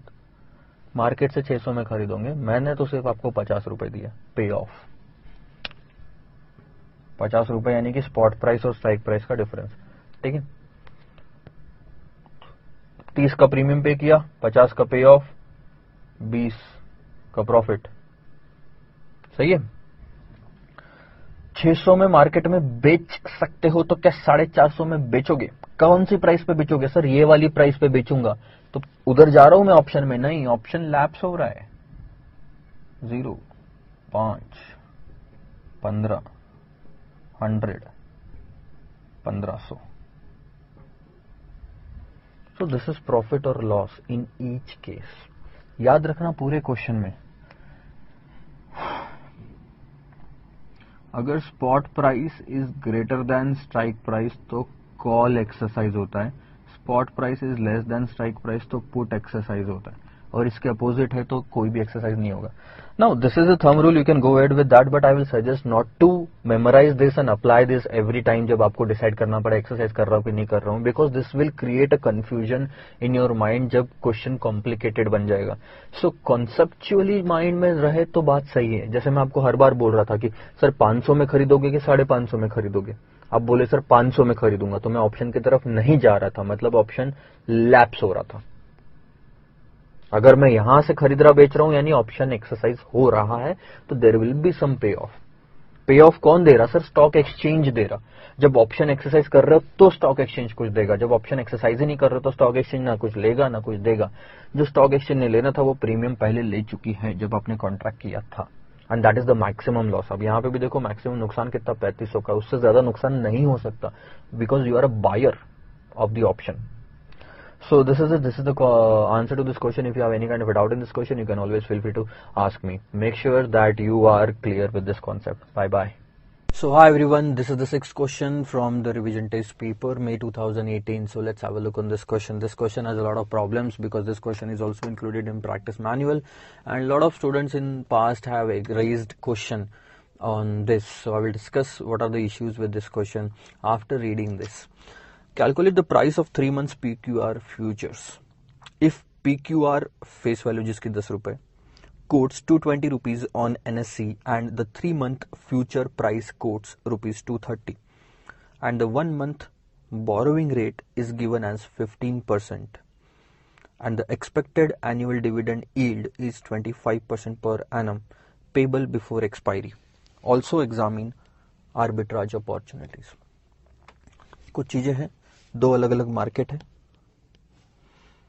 स्पॉट मार्केट, ये डेरिवेटिव मार्केट यानी कि फ्यूचर्स मार्केट।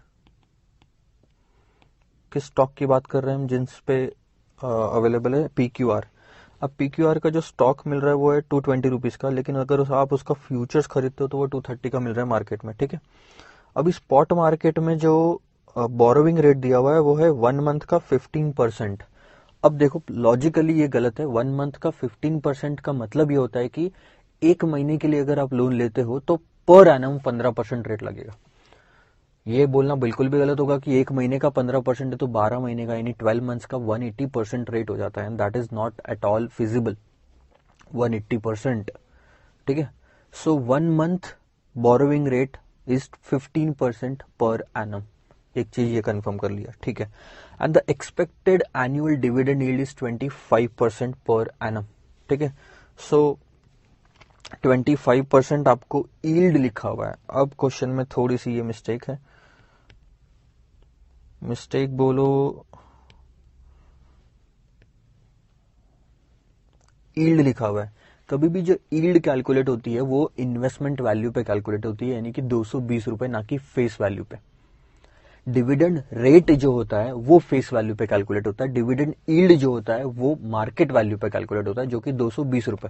प्रैक्टिस मैनुअल में ये पच्चीस परसेंट फेस वैल्यू पे कैलकुलेट किया हुआ है।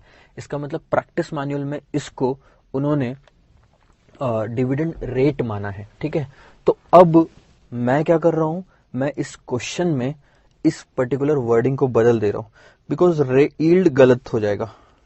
सो डिविडेंड रेट है ये पच्चीस परसेंट। ठीक है? अब मैं इसको फेस वैल्यू पे लगा सकता हूँ जैसे प्रैक्टिस मैनुअल में दिया हुआ है। सो so, वो अमाउंट आ जाएगी दस रुपए पे पच्चीस परसेंट यानी टेन रुपीज़ पे twenty five percent is nothing but two point five two point five so this is spot rate this is dividend dividend को हम फ्यूचर्स में एज ए वाई या इनकम के रूप में देखते हैं टू पॉइंट फाइव रुपीज़ ठीक है? तो ये डिविडेंड की अमाउंट हो गई। और क्या दिया हुआ है? अब आपको बताना है कि क्या आर्बिट्राज अपॉर्चुनिटीज़ है क्या? प्रैक्टिस मैनुअल में इस क्वेश्चन को carry cost sorry carry cost model से सॉल्व किया हुआ है। फ्यूचर्स की प्राइस निकालनी है तो आप continuous compounded rate of return वाला मेथड जो है वो भी यूज़ कर सकते हो। That is what exactly is being used at almost all the places ठीक है?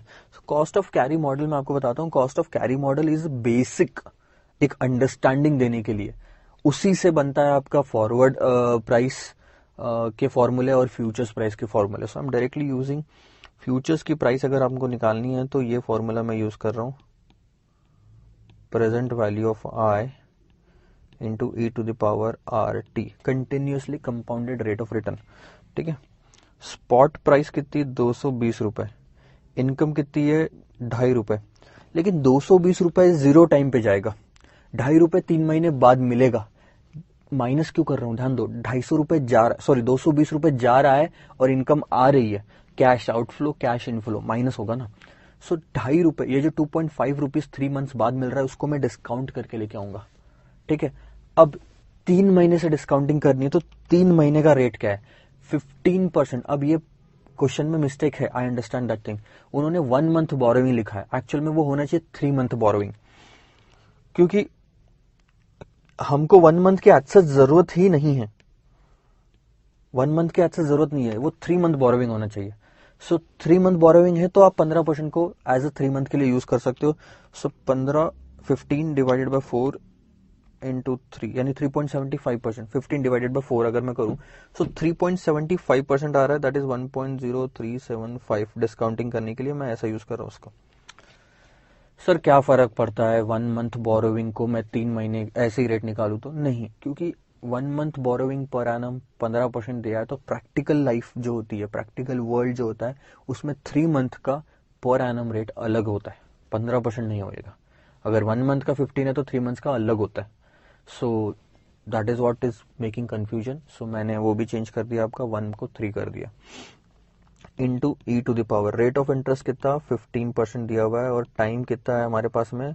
सिर्फ़ वन फोर्थ थ्री मंथ्स है ना? बारह बाय तीन. सॉरी तीन बाय बारह करूँगा मैं। तो ये पॉइंट टू फाइव आएगा। अब इस क्वेश्चन को सॉल्व करते हैं।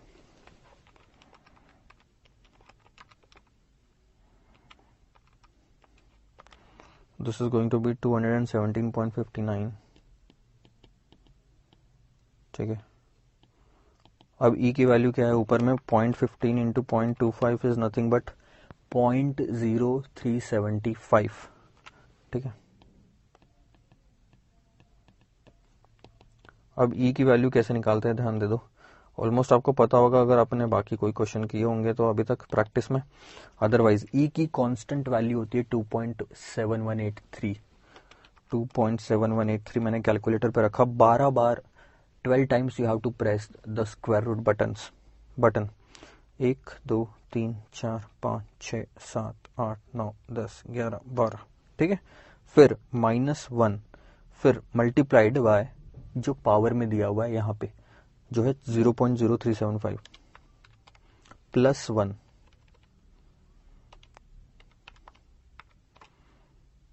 और फिर मल्टीप्लाइड बाय और इक्वल टू मल्टीप्लाइड बाय और इक्वल टू ऐसे बारह बार बटन दबाना है आपको। एक, दो, तीन, चार, पाँच, सात, आठ, नौ, दस, ग्यारह, बारह। मैं एक बार फिर से चेक कर लेता हूँ, कहीं गलत तो नहीं हो रहा है। One point zero three eighty two आ रहा है, वैसे सही होगा। फिर भी।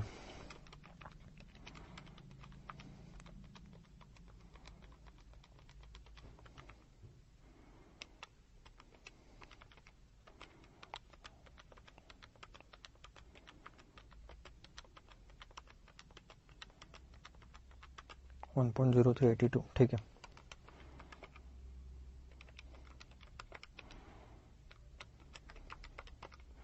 So this goes to 225.90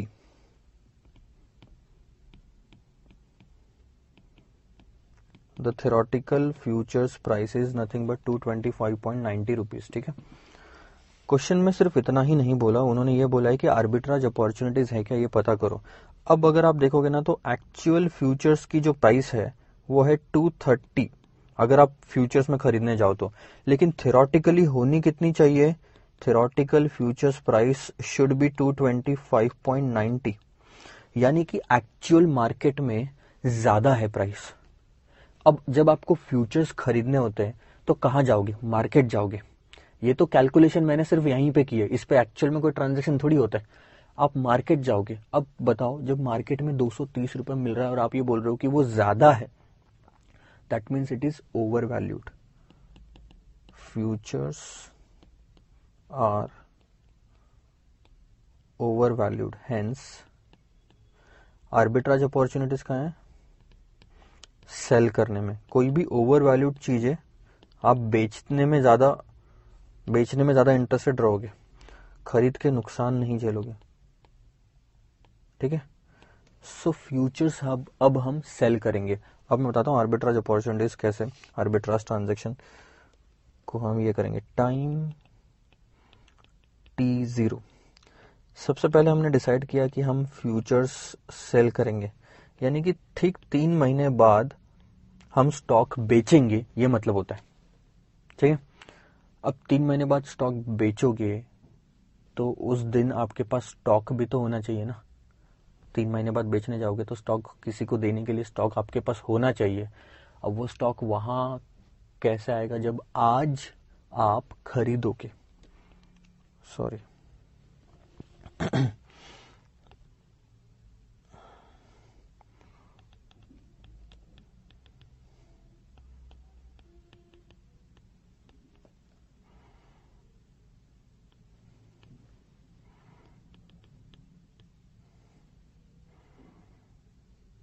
ठीक है तो आज हम खरीदेंगे। बाय स्पॉट अच्छा फ्यूचर्स जब आप सेल करते हो ना, या बाय करते हो तो आपको सिर्फ़ इनिशियल मार्जिन जमा कराना पड़ता है डिपॉजिट कराना पड़ता है। क्वेश्चन में इनिशियल मार्जिन की कोई कैलकुलेशन नहीं दी है, या कोई वर्किंग नहीं, या कोई फिगर नहीं दी है इन्फॉर्मेशन नहीं दी है, इसलिए मैं उसको ज़ीरो मान के चल रहा हूँ। There is no cash flows spot में जब आप स्टॉक खरीदोगे तो दो सौ जाएँगे।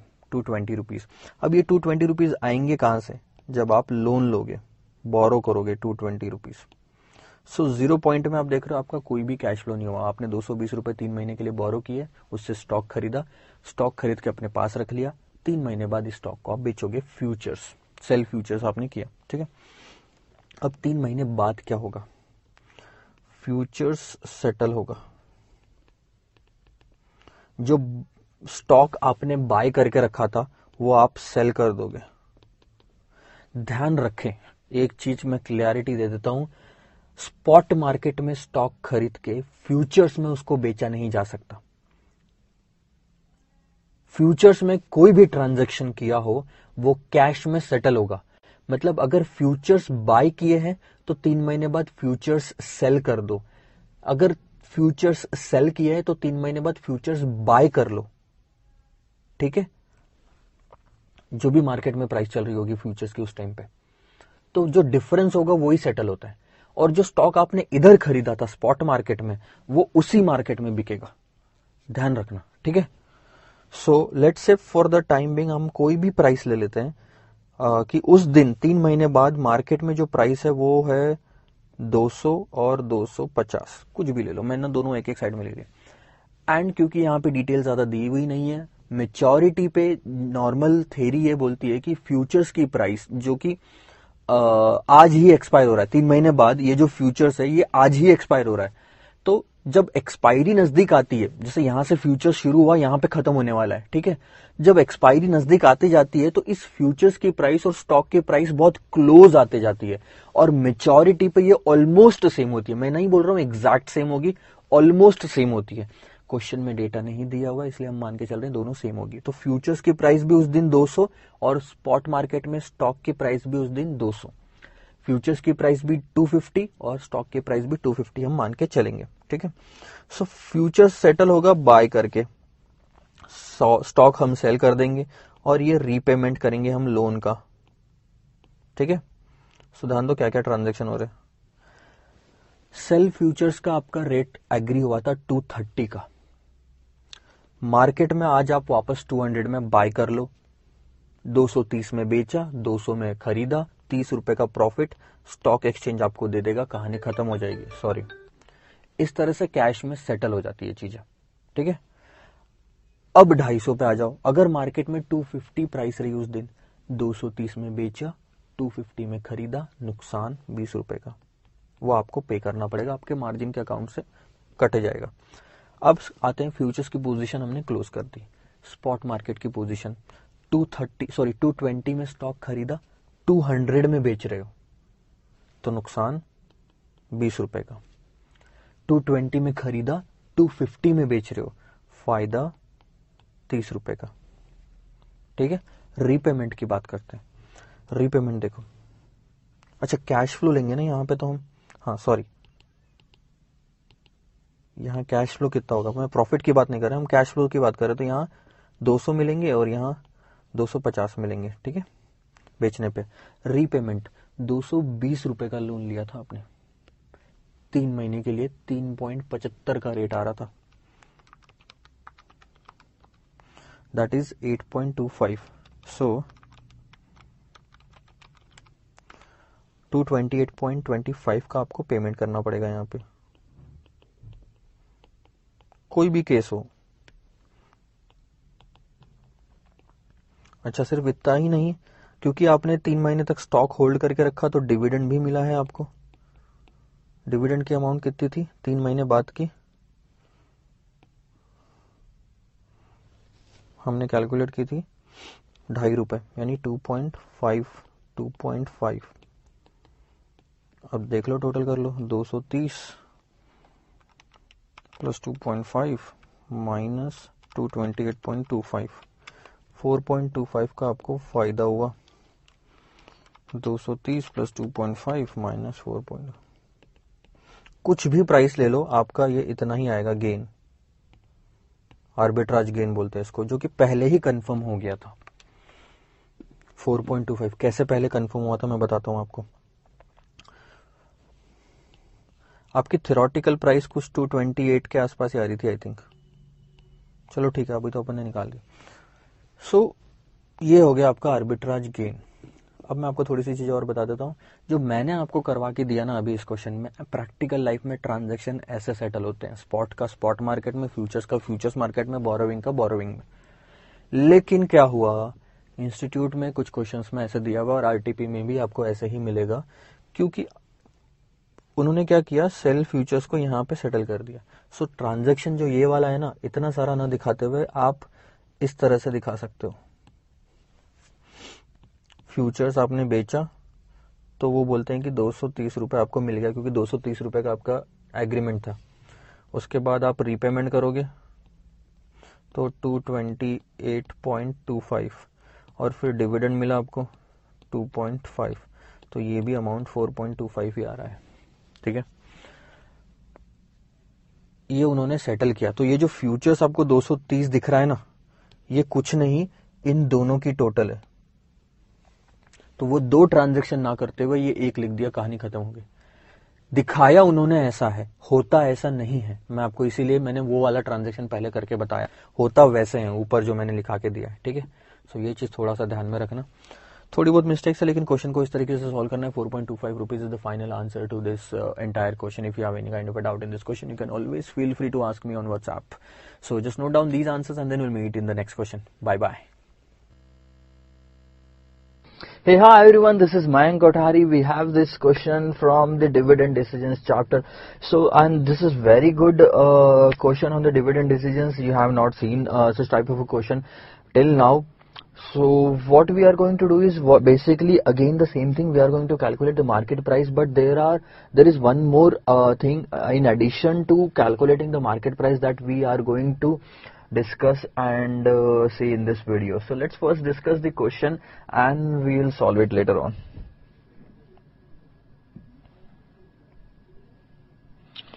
So so, आपको दिख रहा होगा देखना क्वेश्चन जो है आपकी स्क्रीन पे Sam limited has just paid a dividend of rupees two per share Sam limited एक पार्टी है जिसने डिविडेंड पे किया है दो रुपए का per share just paid dividend of two rupees per share it is expected to grow at six percent per annum ठीक है ध्यान दो।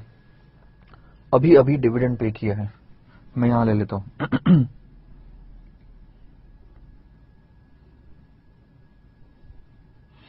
जीरोथ पॉइंट है, ठीक है? दो रुपए का डिविडेंड पे किया है। And this is expected to grow at a rate of six percent per annum after paying dividend अब ये डिविडेंड का पेमेंट हो चुका है, उसके बाद the board declare to take up a project the board declared to take up a project by retaining the next three annual dividends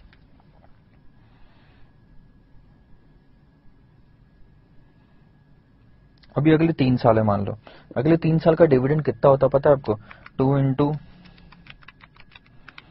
two point one two two point two five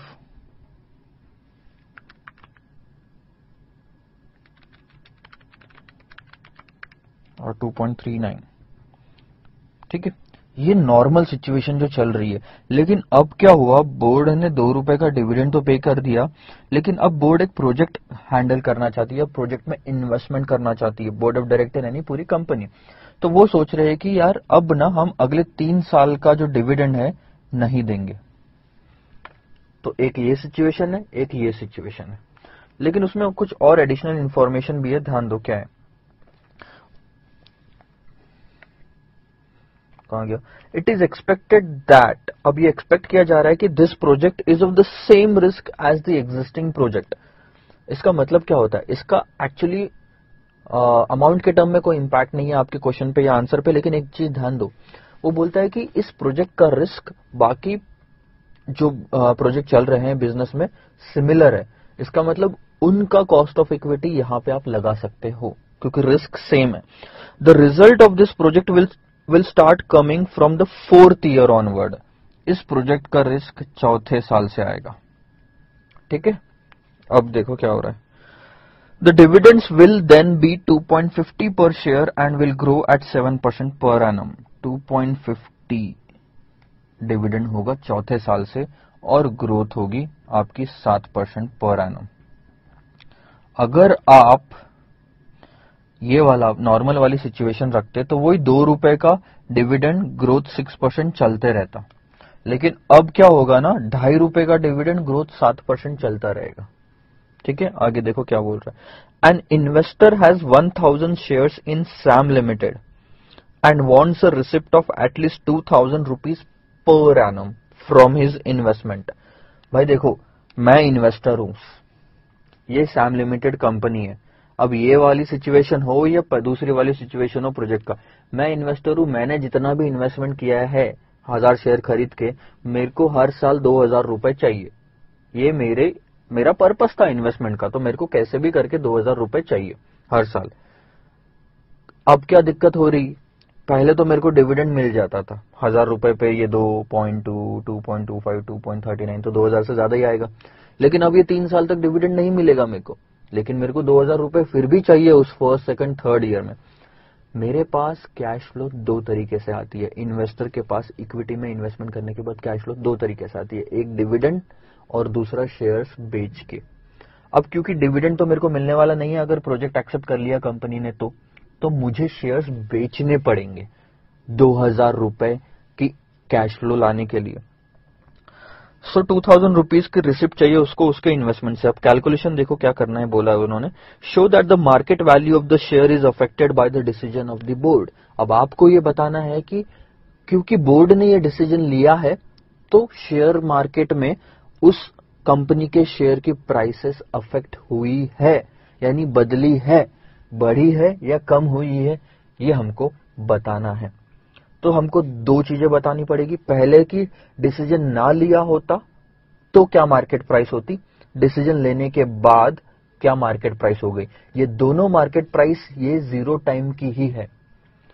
तो पहले वाली situation में before decision क्या situation थी कि दो रुपए का डिविडेंड बांटेगा ग्रोथ रेट छह परसेंट रहेगी। तब मार्केट प्राइस क्या? नए वाले बोर्ड ने जैसी डिसीज़न ले लिया, सबकी एक्सपेक्टेशन घूम गई। और सबने कैलकुलेट किया कि भाई पहले तीन साल तो कुछ नहीं मिलेगा और चौथे साल से अपनी फिगर्स बदल दो। तो ये दोनों केस में मार्केट प्राइस क्या आती है, वो हमको फ़र्स्ट कैलकुलेट करना है। So let's take up the project पहले तो हम ये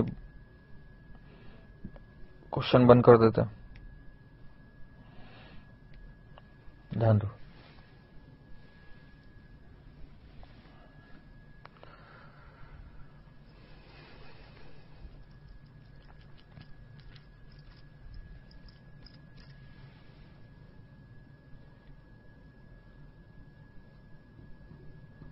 Market price before board's decision. Decision के पहले मार्केट प्राइस क्या होगी? सिंपल सी बात है, दोनों केस में गॉर्डन्स ग्रोथ मॉडल यूज़ करना है आपको, ठीक है? Market price is equal to D zero, one plus growth, cost of equity minus growth. ये पहले वाली सिचुएशन।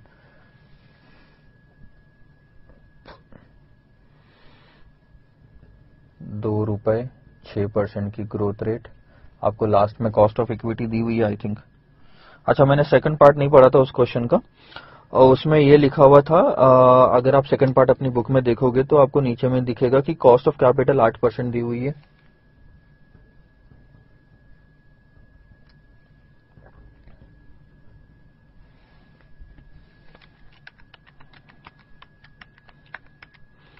एक सौ छह रुपए। ठीक है? Market price after board's decision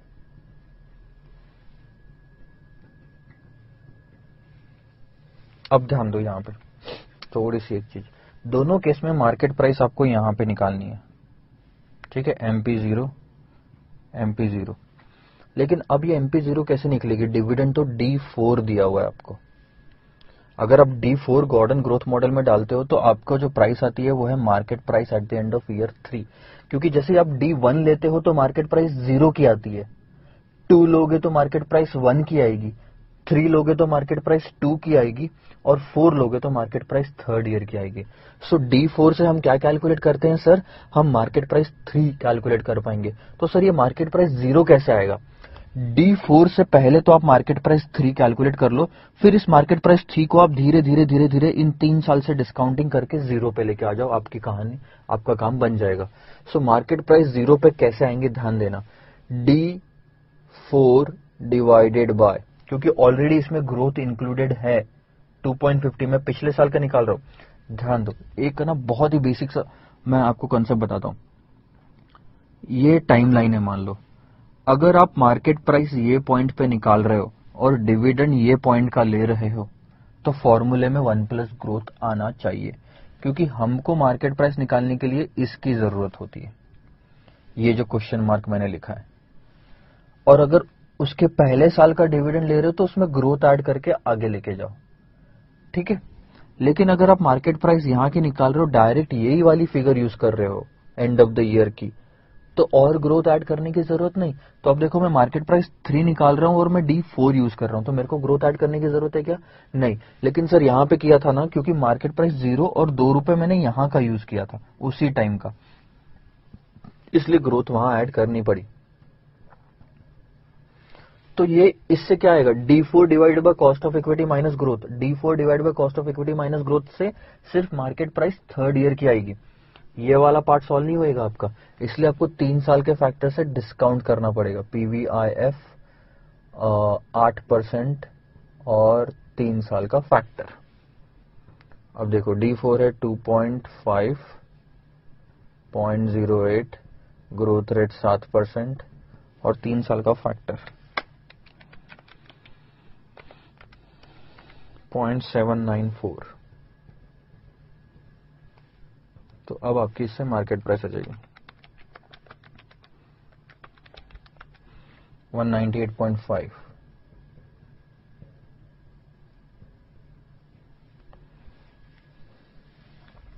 तो हम यहाँ पे लिख सकते हैं।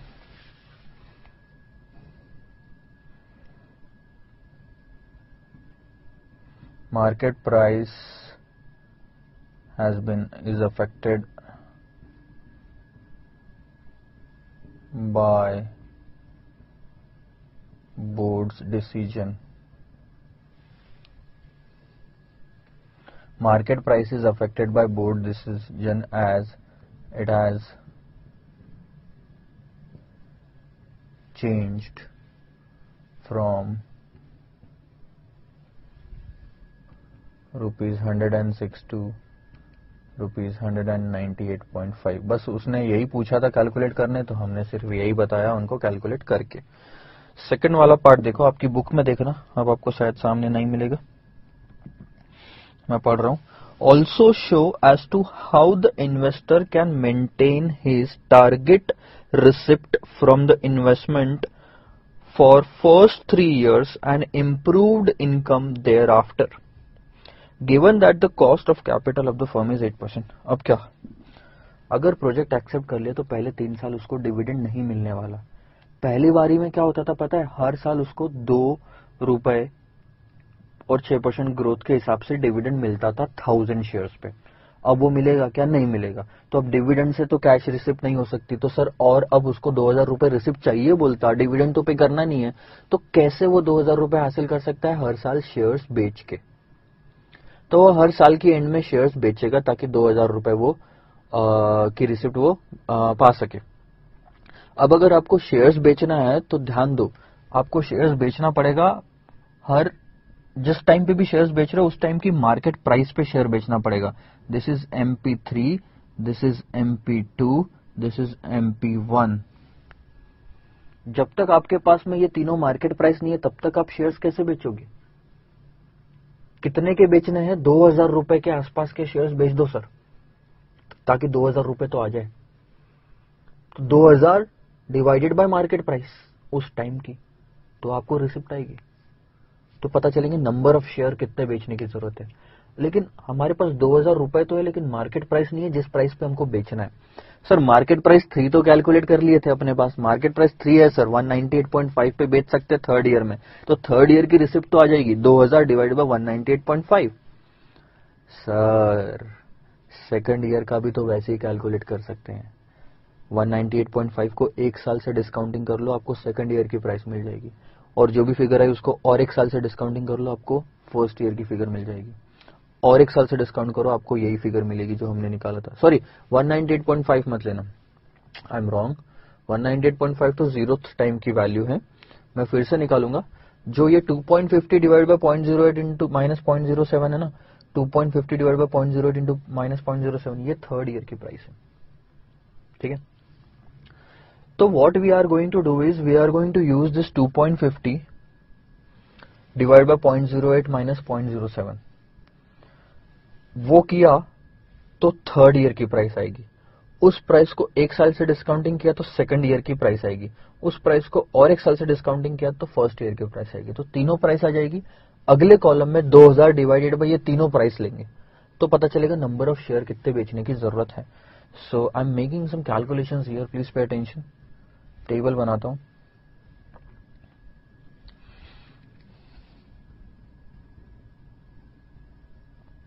In order to get a receipt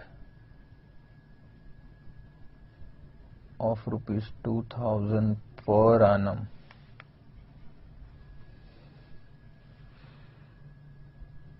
In absence of dividend.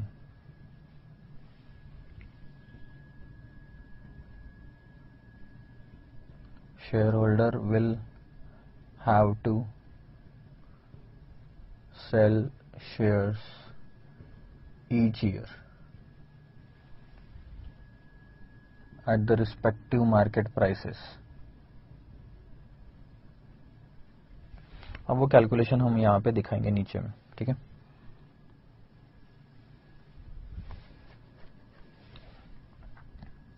उल्टे कैलकुलेशन कर रहा हूँ मैं ईयर थ्री थर्ड ईयर पे मार्केट प्राइस क्या होगी? Market price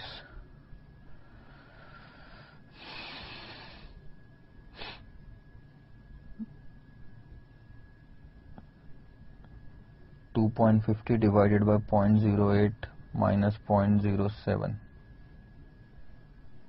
ठीक है?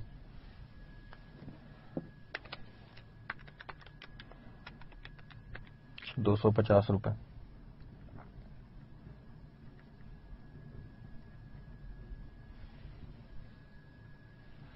ईयर टू बहुत ही सिंपल या तो 250 को एक साल से डिस्काउंटिंग कर लो, या तो ये जो भी वैल्यू आ रही है, उसको एक साल से डिस्काउंटिंग फैक्टर से मल्टीप्लाई कर लो. सो मैं सिंपली ले रहा हूँ.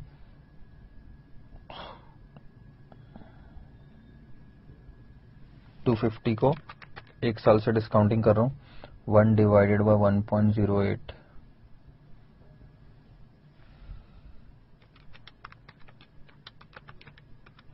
Eight percent discount two thirty one point forty eight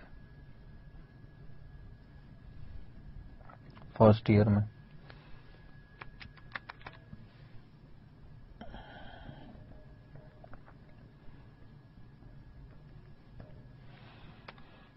Two hundred and fourteen point thirty three अब इसको और एक साल से डिस्काउंटिंग करके देखो, आपकी एग्जैक्ट प्राइस आएगी 198.45 या 50 के आसपास। तो वो एक एक साल से डिस्काउंटिंग होते जा रहा था तो एक एक साल पहले की प्राइस आती जा रही थी। अब आपको हर साल के एंड की प्राइस पता चल गई। थर्ड ईयर एक साल डिस्काउंटिंग किया सेकंड ईयर एक साल डिस्काउंटिंग किया फ़र्स्ट ईयर और एक साल डिस्काउंटिंग करोगे तो ये वाली प्राइस ठीक है? So number of shares to be sold out to sell कर दो। सो बहुत ही सिंपल सी चीज़ है कैलकुलेशन देखो।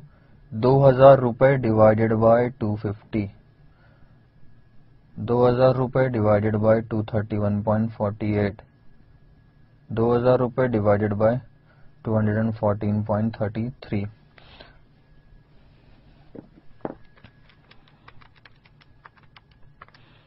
आठ।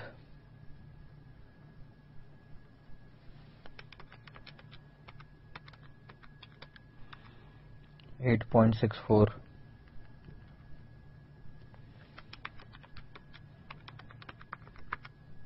Nine point three three.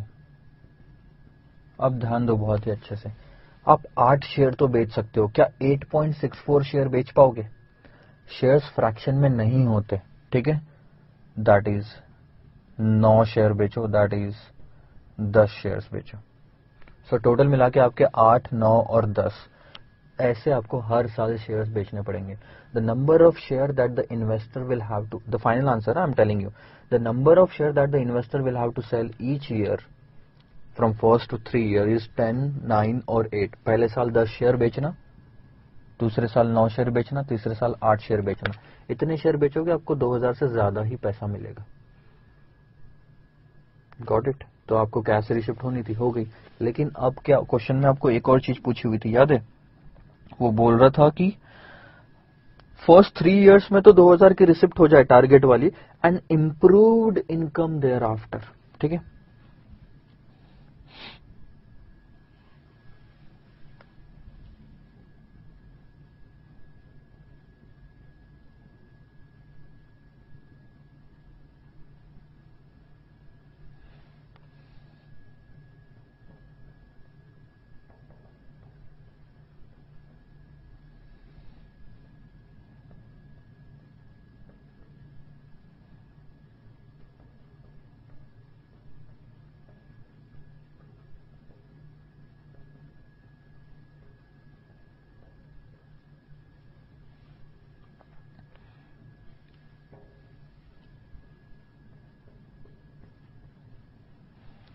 ठीक है?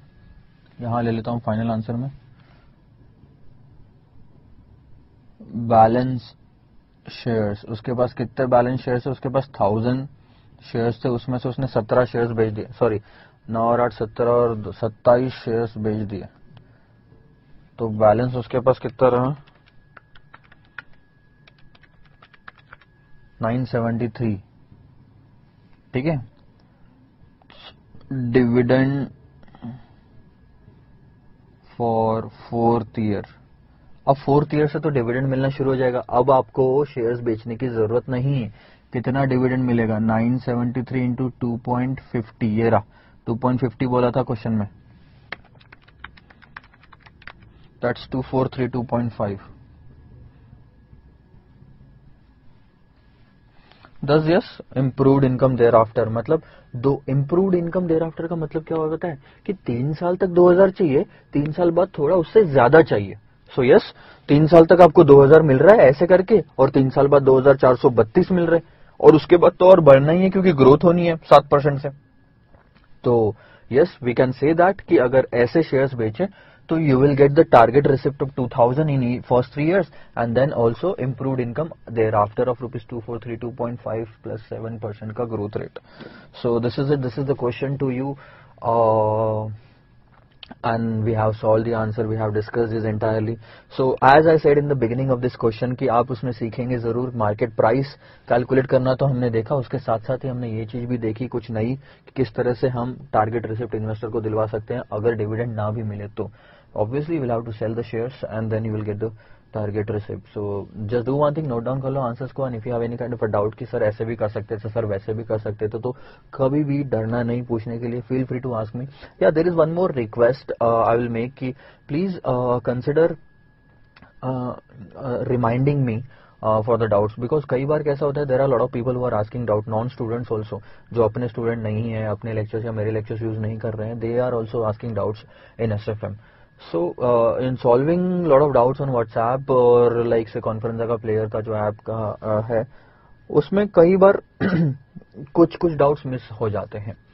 और वो भी अनइंटेंशनल होता है। एक चीज़ यहाँ आपको आंसर नहीं आया तो एक रीजन ये होता है। दूसरा रीजन मैं बताता हूँ। Like throughout the year I am doing S F M S F M S F M so what happens ना, कहीं बीच में एक ब्रेक आ जाता है। लाइक लाइक से I am on a vacation छह दिन, सात दिन के लिए वेकेशन फैमिली के साथ में भी टाइम स्पेंड करना ज़रूरी नहीं तो घर वाले मारेंगे अलग से। तो वो छह सात दिन के लिए मैं रिप्लाई नहीं कर पाता हूँ। तो बहुत बार ऐसा होता है कि सर रिप्लाई नहीं किया एंड ऑल दैट मैसेजेस वगैरह आते हैं। तो मोस्टली इट हैपन्स कि अगर मैं कोई एकदम बीच की छुट्टी पे जा रहा हूँ या वेकेशन पे जा रहा हूँ तो आई ड्रॉप अ मैसेज और email to your at your registered email address and mobile number admin staff को बोल देता हूँ। They will drop you message regardingly but yes mostly अगर आपका बिना किसी रिप्लाई के, बिना किसी मेरे इंटीमेशन के अगर मैं रिप्लाई नहीं कर पाता हूँ तो प्लीज़ मेक श्योर कि आप मेरे को रिमाइंड करें। This is very genuine request from my side don't feel ऐसे कि मैं इग्नोर कर रहा हूँ या ऐसा कुछ। This is social media please don't go about the sentiments of the social media stay firm work hard will make the best out of the available time bye bye Hi everyone, this is Mayank Kothari and in this video we are going to discuss a question on the bond valuation, a question on the duration and a question on the volatility. All these three concepts will be discussed in one question itself. So let's discuss the question. The following data is available for a bond.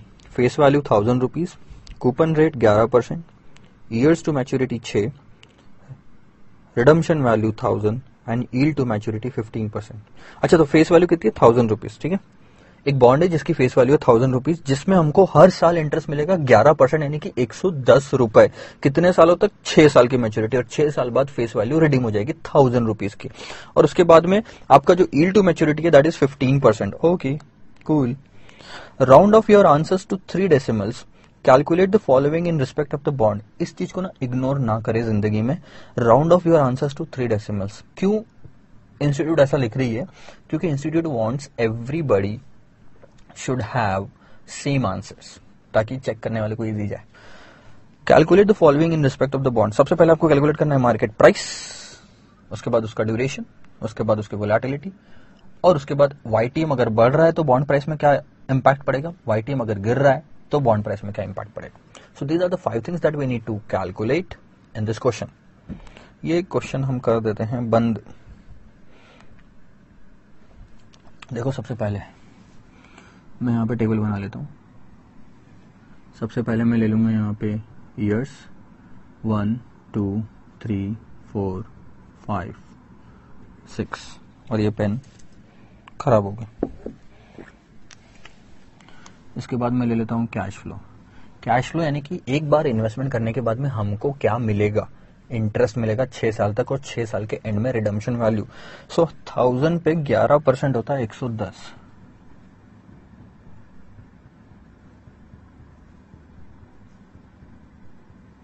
एक हज़ार एक सौ दस आखिरी में, ठीक है? अब हम लेंगे present value factor discounting factor जिसको हम बोलते हैं, क्या रेट से? पंद्रह परसेंट से। ध्यान रखें। कूपन रेट ग्यारह परसेंट था। वाईटीएम उससे ज़्यादा है।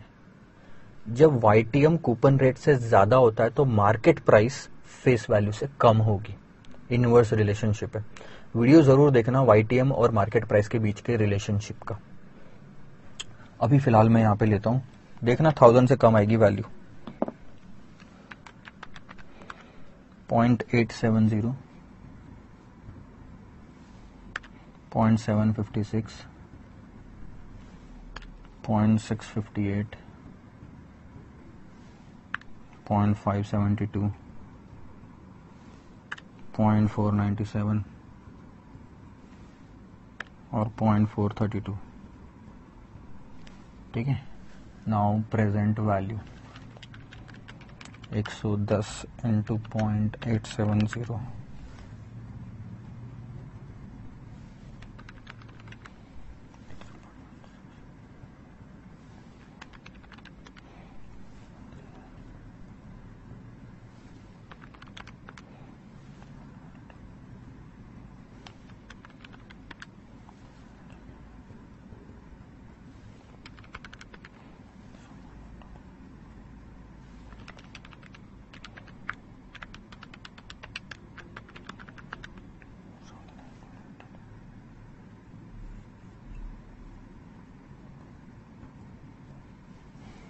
ठीक है और ये total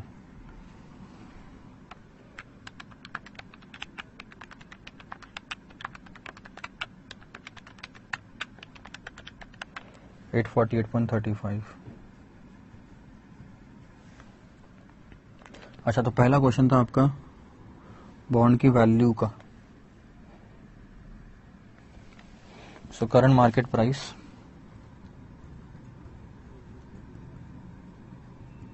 sir, ये बोलोगे, ये तो करंट मार्केट प्राइस पूछ रहा। तो आप थेरोटिकल प्राइस निकाल रहे हो। अरे भाई, मुझे ये बताओ। करंट मार्केट प्राइस क्या मार्केट में जाके थोड़ी पता करूँगा। क्वेश्चन में और कोई ऑप्शन नहीं है। तो करंट मार्केट प्राइस यानी वो जानना चाहते हैं प्रेजेंट वैल्यू कितनी। Eight forty eight point thirty five second duration उन्होंने पूछा है। ड्यूरेशन ड्यूरेशन का फॉर्मूला क्या है? हमने कंसेप्ट वाले वीडियो में देखा था duration is equal to summation of present value into year divided by summation of present value देखो, दो तरीके हैं ड्यूरेशन कैलकुलेट करने के। मैंने दूसरा जो तरीका बताया था, हम वो यूज़ कर रहे हैं तो यहाँ पे मैं लेता हूँ present value into year देखो डिनोमिनेटर वाला फैक्टर तो मेरे पास में अभी भी है। वो है 848.35 न्यूमरेटर में चाहिए मेरे को। 95.70 166.32 217.14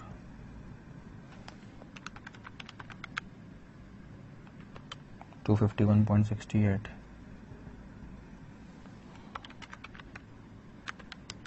273.35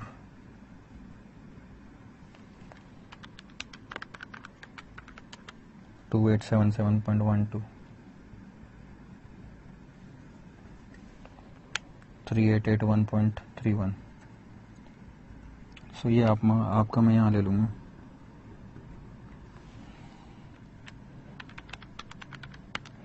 सो आंसर आता है 4.575 years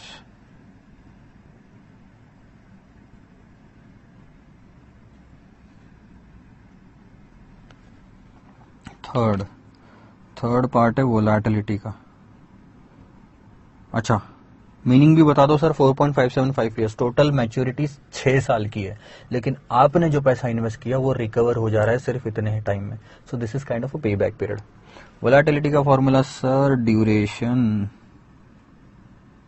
divided by one plus Y T M four point five seven five divided by one point one five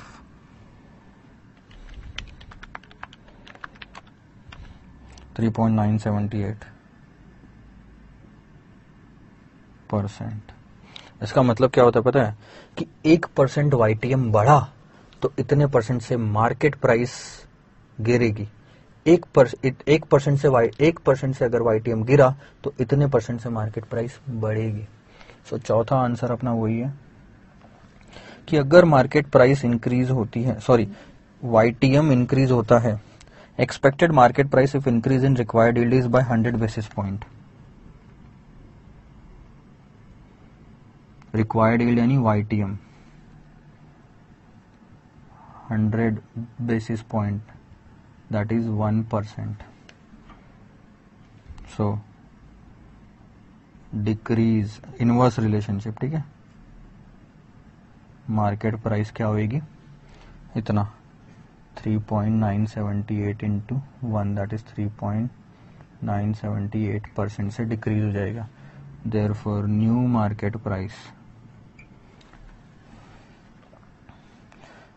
eight forty eight point three five one minus इतना परसेंटेज माइनस कर दो।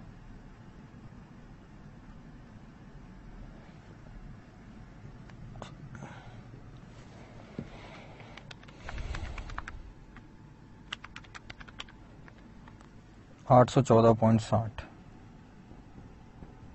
ठीक है? Fifth वाला part है। Decrease in Y T M by कितना basis point बोला उन्होंने वाई टी एम में डिक्रीज का? 75 basis point that is 0.75 percent so increase in market price will be three point nine seventy eight into point seventy five 2.9835 percent. So therefore new market price will be so 48.35 1 plus 0.02985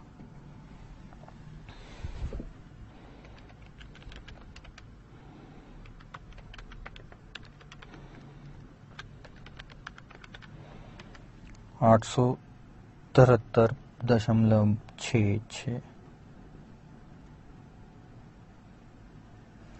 so these are the final answers to this question याद रखें YTM में increase यानी market price में decrease YTM में decrease यानी market price में increase so so, पहले वाले पॉइंट में क्या हुआ? मार्केट प्राइस एक परसेंट से बढ़ी एम एक परसेंट से बढ़ा तो मार्केट प्राइस गिरी। दूसरे में Y T M point seventy five percent से गिरा तो मार्केट प्राइस बढ़ी। ये है आपका रिलेशनशिप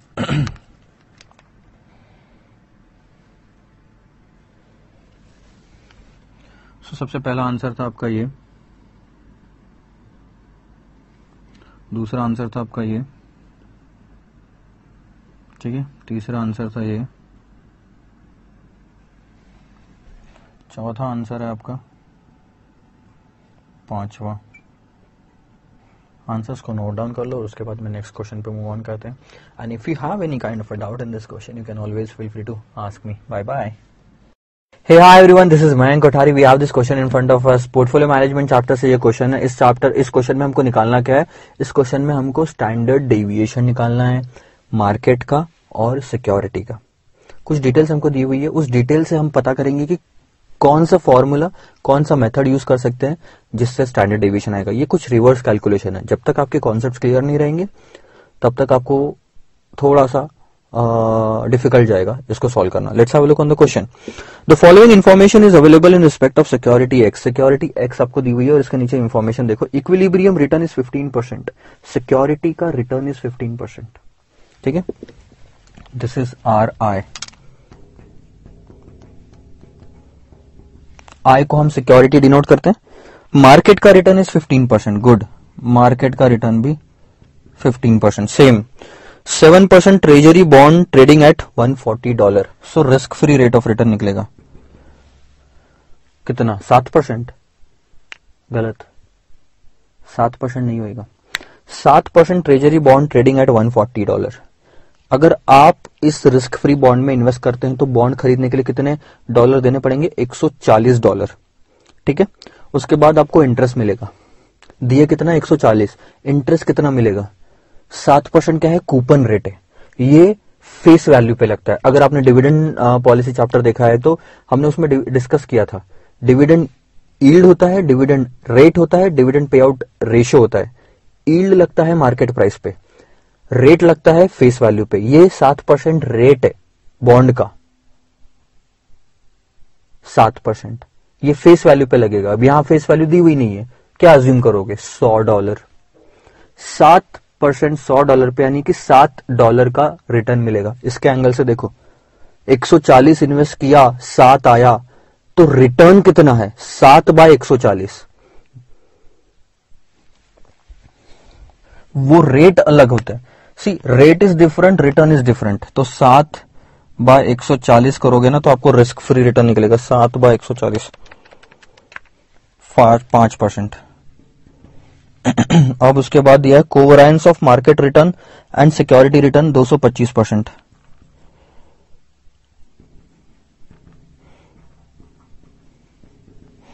और आपको दिया है कोरिलेशन कोएफिशिएंट 0.75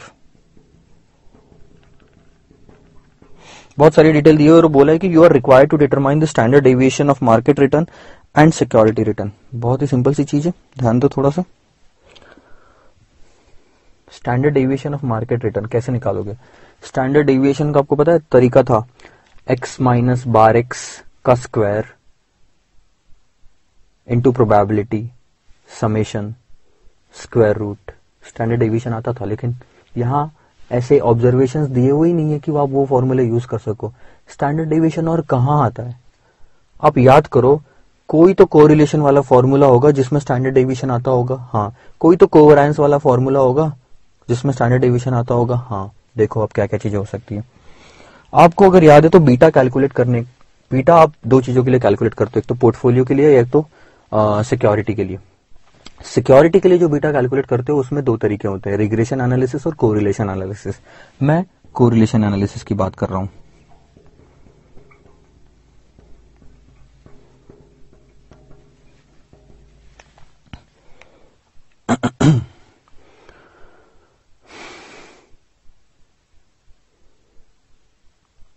ये देखो।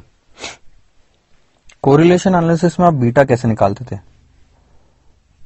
R I M standard deviation of I standard deviation of M divide by standard deviation of M square अगर आपको नहीं समझ में आया तो please go through the correlation analysis वाला वीडियो बीटा कैलकुलेट करने का आपको पता चल जाएगा।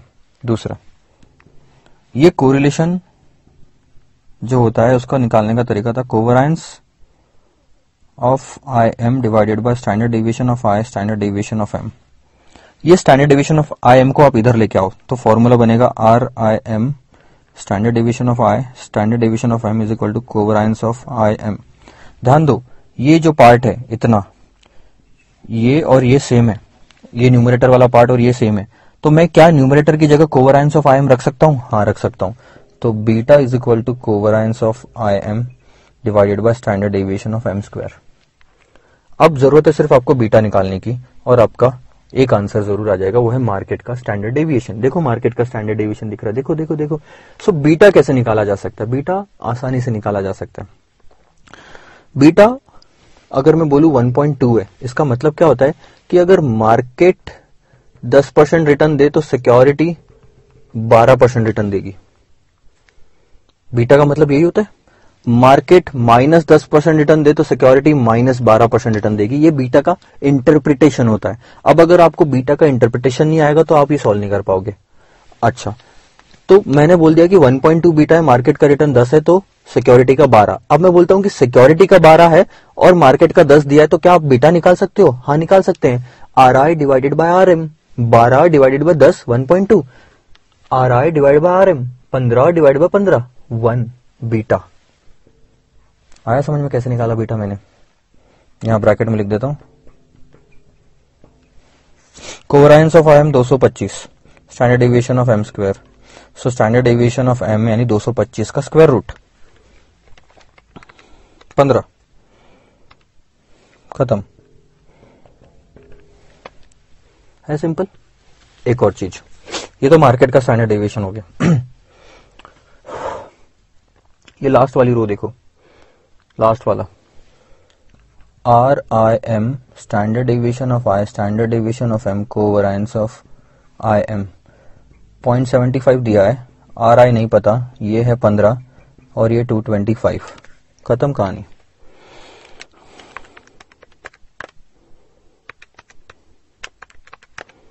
Twenty percent sorry standard deviation of I तो ये आपका दूसरा आंसर आ गया। Please make sure final answer को कभी भी हाईलाइट करें। हाईलाइट करोगे, सामने वाले को तुरंत दिखेगा मार्क्स जल्दी मिलेंगे। सामने वाले के पास पहले वैसे भी टाइम कम होता है। So this standard division of M standard division of five पंद्रह और बीस परसेंट आपका फाइनल आंसर आ गया। आप नोट डाउन कर लो आंसर को, अगर आपको कोई भी दिक्कत हो तो you can always feel free to ask me bye bye So hi everyone, this is Mayank Kothari. This is the 10th question from May 2018 revision test paper.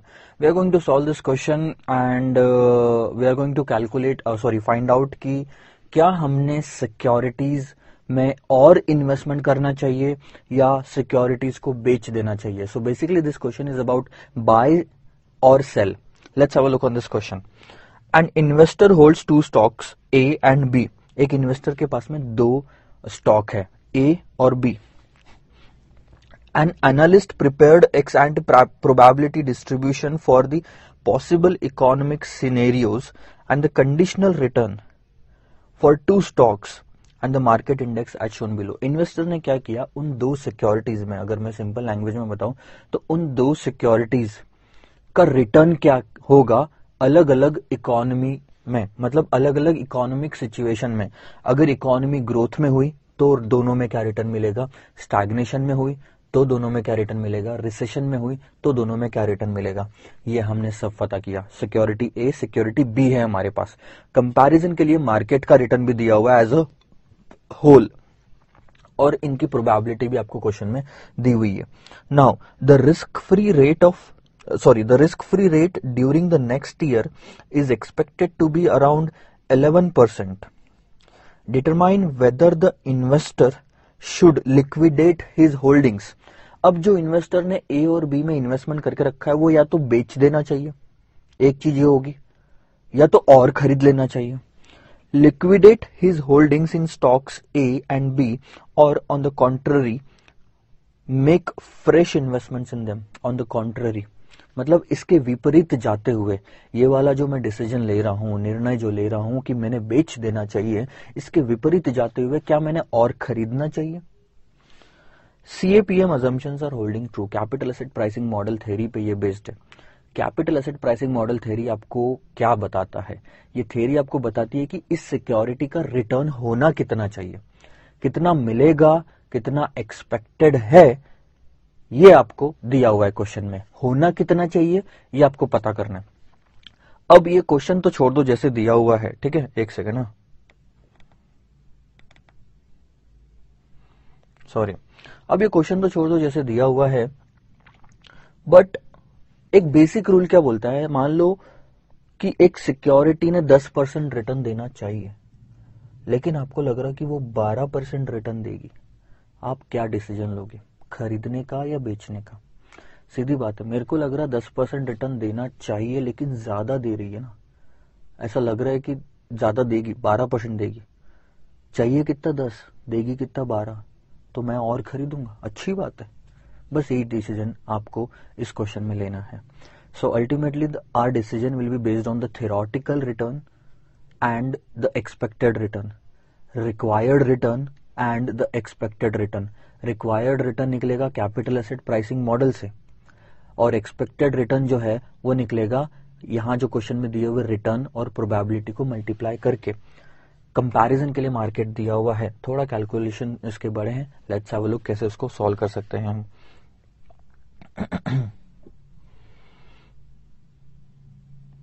सबसे पहले मैं सिक्योरिटी ए ले लेता हूँ, ठीक है?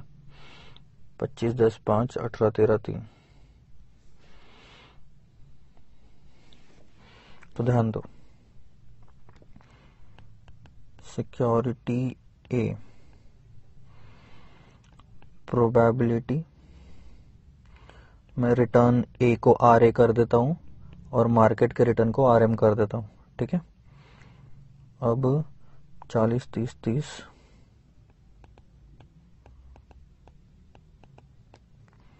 रिटर्न पच्चीस, दस, माइनस पाँच। और अठारह तेरह माइनस तीन। अठारह तेरह माइनस तीन। देखो मैं क्या करते जा रहा हूँ। सबसे पहले मैं रिटर्न को प्रोबेबिलिटी से मल्टीप्लाई कर लेता हूँ। पच्चीस इंटू पॉइंट फोर्टी दस। दस इंटू पॉइंट थर्टी तीन। और यह जाएगा minus one point five. Total आप करोगे इलेवन पॉइंट फाइव। ठीक है?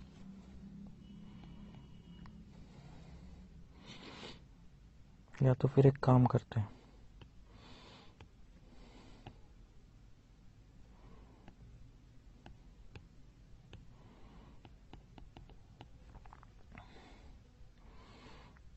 ये तो हो गया आपका expected return in the security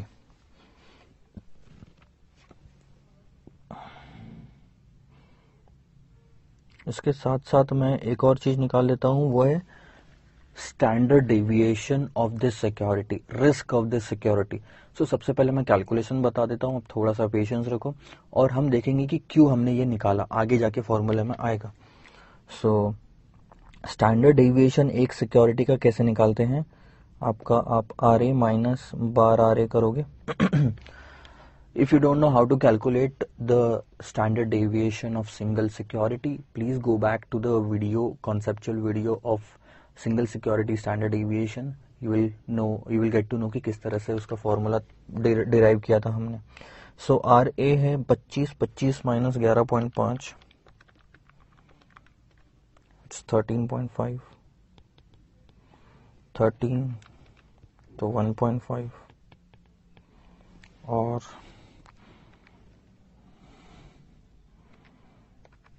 तो 14.5 अब होता है R A minus bar R A का स्क्वायर 182.25 देखो मैं आपको फॉर्मूला बता देता हूँ यहाँ पे क्या था। स्टैंडर्ड डेविएशन ऑफ़ ए अगर आपको निकालना है तो उसका फॉर्मूला है the deviation between the expected return and the return given का स्क्वायर को प्रोबेबिलिटी से मल्टीप्लाई करके आप स्क्वायर रूट कर दोगे। तो हमने पहले डेविएशन निकाला, अब उसके बाद स्क्वायर कर लिया, अब उसको प्रोबेबिलिटी से भी मल्टीप्लाई कर देते हैं, हाथों हाथ, ठीक है? तो मैं यहाँ पे थोड़े से कैलकुलेशन बदल दूँगा। 13.5 का square seventy two point nine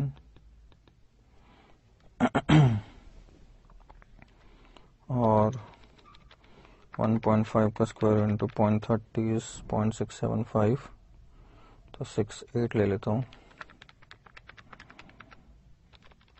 fourteen point five का square into point thirty is sixty three point zero eight total कर लेते हैं। अच्छा यहाँ पे मैंने ना समेशन नहीं लिया। फॉर्मूला वापस से लिख लेता हूँ, एक बार ध्यान दो। Standard deviation of A is nothing but पहले तो हमने डेविएशन निकाला इस तरह से, ठीक है?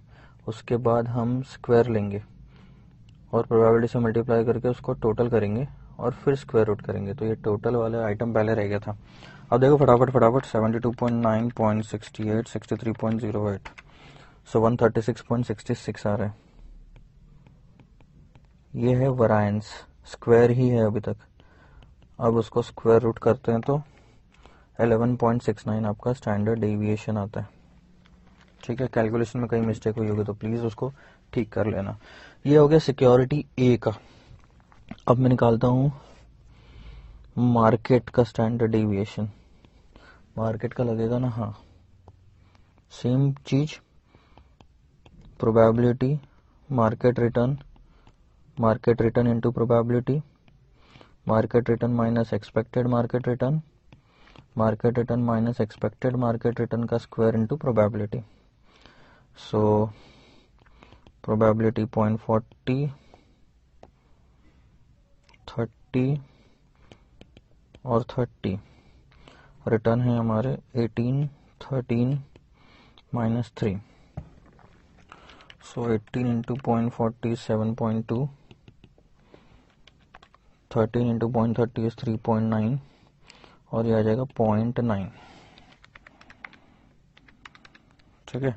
अब इस का कर लेते हैं टोटल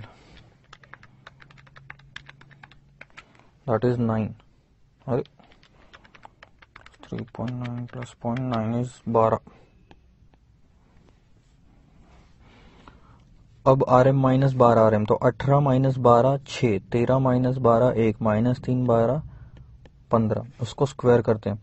सिक्स का square is thirty six into forty probability fourteen point four उसके बाद वन का square one is into point thirty and पंद्रह का square into point thirty sixty seven point five और इसका total eighty two point two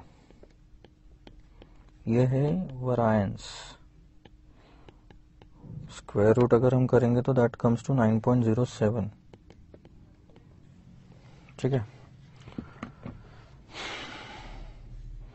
और एक चीज़ निकाल लेते हैं यहाँ पे। सिक्योरिटी ए का निकाल लिया मार्केट का निकाल लिया। Now we should calculate for the security B also ये सब वर्किंग है एक तरह से। इसका यूज़ होगा आगे।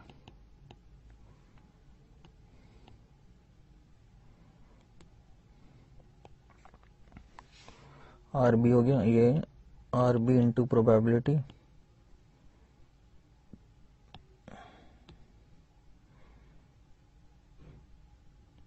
R B minus bar R B. R B minus bar R B का स्क्वायर इंटू प्रोबेबिलिटी ठीक है? अब यही चीज़ें हम कैलकुलेट कर लेते प्रोबेबिलिटी सबके लिए सेम थी। अब बार आर बी का रिटर्न देख लेते हैं। कहाँ गया?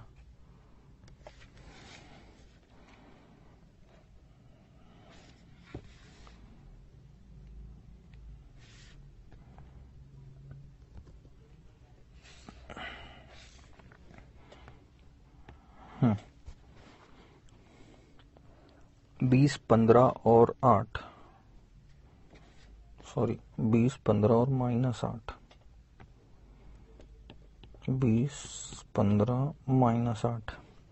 प्रोबेबिलिटी से मल्टीप्लाई करेंगे, ये आ जाएगा आठ, ये आ जाएगा फोर पॉइंट फाइव ये आ जाएगा टू पॉइंट फोर सही है ना? हम्म। साढ़े बारह में से टू पॉइंट फोर गए। टेन पॉइंट वन आपकी एक्सपेक्टेड ये था मार्केट ये था सिक्योरिटी बी अब डेविएशन 20 में से 10.1 गया 9.9 15 में से 10.1 गया 4.9 और ये हो गया आपका 18.1 अब इसी को स्क्वायर करके प्रोबेबिलिटी से मल्टीप्लाई कर लेते हैं।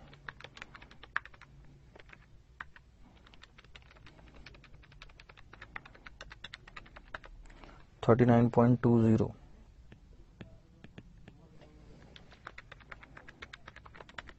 Seven point two zero, ninety eight point two eight,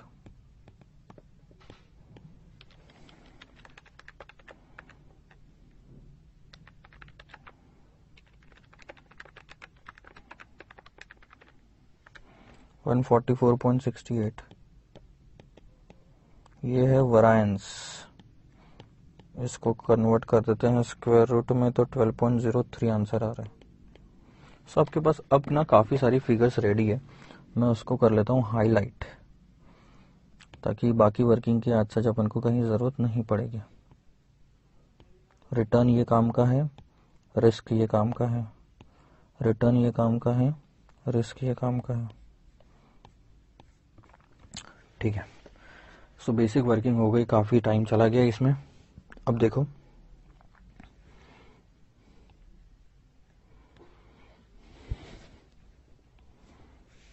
C A P M की बात करते हैं। C A P M returns उसके लिए लगेगा बीटा तो एक और काम करते हैं, ये बाद में निकालेंगे। C A P M return C A P M का फॉर्मूला क्या है? Risk free security plus beta उस सिक्योरिटी का और in bracket market return minus risk free return ठीक है? तो बीटा निकालने की ज़रूरत है अब हमको इस क्वेश्चन में। So we need to first calculate the beta अब बीटा निकालने के दो तरीके होते हैं। एक तो बीटा आप सिक्योरिटी के लिए निकाल रहे हो या तो पोर्टफोलियो के लिए निकाल रहे हो? हम बीटा एक एक सिक्योरिटी का निकालना चाहते हैं इस क्वेश्चन में। तो सिंगल सिक्योरिटी बीटा या सिंगल असेट बीटा निकालने के दो फॉर्मूले होते हैं रिग्रेशन एनालिसिस और कोरिलेशन एनालिसिस रिग्रेशन में प्रोबेबिलिटी यूज़ नहीं हो रही. कोरिलेशन एनालिसिस में प्रोबेबिलिटी यूज़ होती है, इस क्वेश्चन में प्रोबेबिलिटी है तो हम कोरिलेशन एनालिसिस वाली मेथड यूज़ करेंगे बीटा कैलकुलेट करने के लिए. अब कोरिलेशन एनालिसिस के हिसाब से बीटा कैसे कैलकुलेट होता है? बीटा का कोरिलेशन वाला फॉर्मूला क्या है? कि correlation between two security I और जे ले लेता हूँ मैं, ठीक है? और या तो चलो मार्केट ले लेते हैं। I M into standard deviation of i into standard deviation of m divided by standard deviation of m square ये बेसिक फॉर्मूला है। ऊपर से एक एक माइनस करेंगे तो फॉर्मूला ऐसा भी बन जाता है। R I M standard deviation of I standard deviation of M ठीक है? एक और फॉर्मूला है, वो है उसी का। Covariance of I M divided by standard deviation of M square हम ये वाला यूज़ करेंगे थर्ड वाला। सो so, इसके लिए हमको कोवरायंस निकालने की ज़रूरत है। अब कोवर कोवरायंस निकालने का फॉर्मूला क्या है? Sir covariance of I M is equal to summation of I minus bar I into M minus bar M या फिर मैं आपको रिटर्न्स के फॉर्म में लिखता हूँ, वो बेटर रहेगा। रिटर्न्स के फॉर्म में क्या आएगा? R I minus bar R I multiplied by R M minus bar R M का प्रोडक्ट सॉरी स्क्वायर नहीं है। इनटू प्रोबेबिलिटी तो ये है कोवरायंस का फॉर्मूला अगर प्रोबेबिलिटी नहीं होती तो डिनोमिनेटर में नंबर ऑफ़ ऑब्जर्वेशन से हम डिवाइड कर देते हैं। यहाँ नंबर ऑफ़ ऑब्जर्वेशन नहीं है प्रोबेबिलिटी तो प्रोबेबिलिटी से मल्टीप्लाई करेंगे। अब आय का मतलब क्या होता है? आय है सिक्योरिटी अब ए सिक्योरिटी में रखेंगे तो आर ए हो जाएगा आई की जगह और बी में यूज़ करेंगे तो आर बी हो जाएगा आई की जगह। सो so, सबसे पहले मैं सिक्योरिटी ए के कोवरायंस निकाल लेता हूँ। ठीक है? चलो।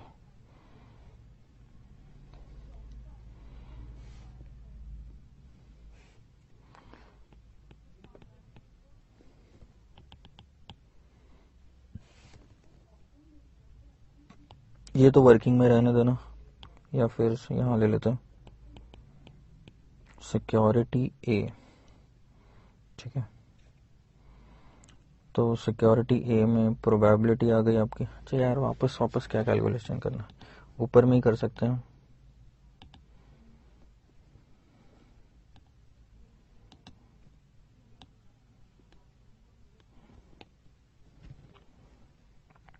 ध्यान दो।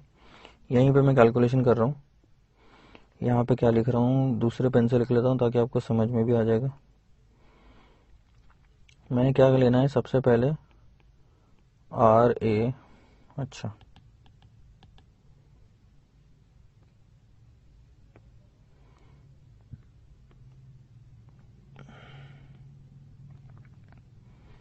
सिक्योरिटी ए का कोवराइंस निकालना है तो वो हो गया अच्छा इस पे तो चलेगा ही नहीं ना।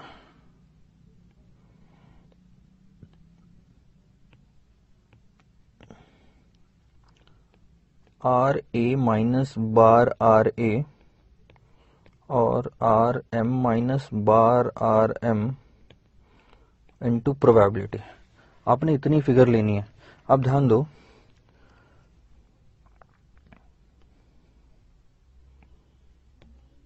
ये वाली जो फिगर है, ये आएगी यहाँ से, ठीक है?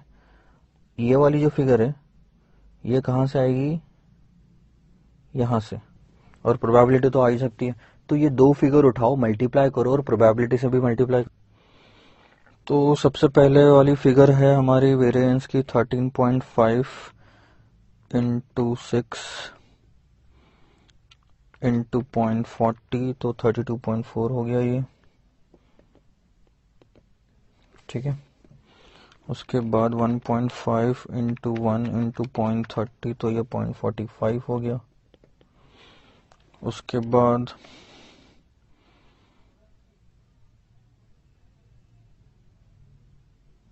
अच्छा एक गलती है, थोड़ा सा करेक्शन आपको करना है यहाँ पे। मेरे हाथ से गलती हुई है। ये जो रिटर्न है ना मार्केट के रिटर्न ये वाले, ये गलत है। क्योंकि मैंने यहाँ पे एक गड़बड़ कर दी। ये जो पॉइंट नाइन आया, ये माइनस में होना चाहिए। ठीक है? Minus three into point thirty तो माइनस में पॉइंट नाइन होना चाहिए। अब आपका आंसर थोड़े बदल जाएँगे। Seven point two plus three point nine minus point nine तो ये टेन पॉइंट टू आएगा। ठीक है? उसके हिसाब से ये आगे के आंसर भी बदल जाएँगे और ये वरायंस भी बदल जाएगा। तो ये इसको मैं ठीक कर लेता हूँ। ओके। तो आपकी बुक में भी अगर आपने लिख लिया होगा तो प्लीज़ मेक श्योर कि आप ये चेंजेस कर ले। अठारह minus ten point two is seven point eight. तेरह minus ten point two is two point eight. और ये हो गया thirteen minus thirteen point two. Twenty four point three four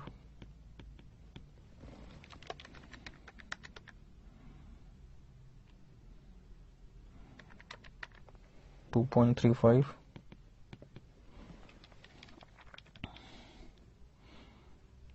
और fifty two point two seven so total करते हैं। Seventy eight point ninety six ये हो गया variance of market standard deviation चाहिए तो वो आता है एट पॉइंट स्क्वायर रूट करने के बाद। ठीक है तो अब मैं वापस से कैलकुलेशन करता हूँ कोवरेंस का ऊपर में, जो हम डिफरेंस निकाल रहे थे। 13.5 into 7.8 into probability is for 42.12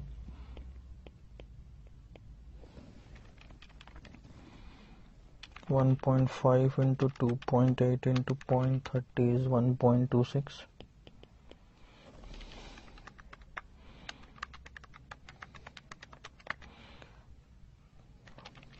14.5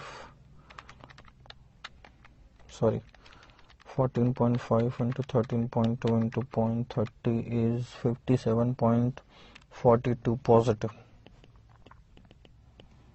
so total आता है 100.8 एक बार फिर से चेक कर लेता हूँ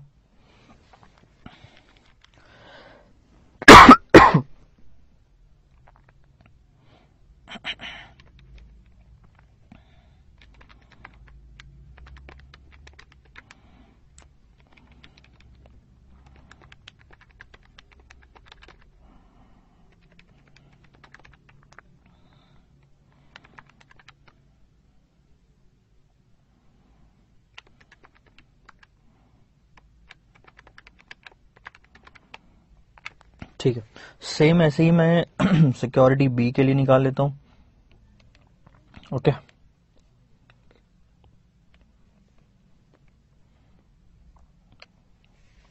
so this is going to be R B minus bar R B R M minus bar R M into probability so seven point eight into nine point nine into 0.40 is 30.89 2.8 into 4.9 into 0.30 4.1 18.1 into 13.2 into sorry. 71.67 sorry 71.68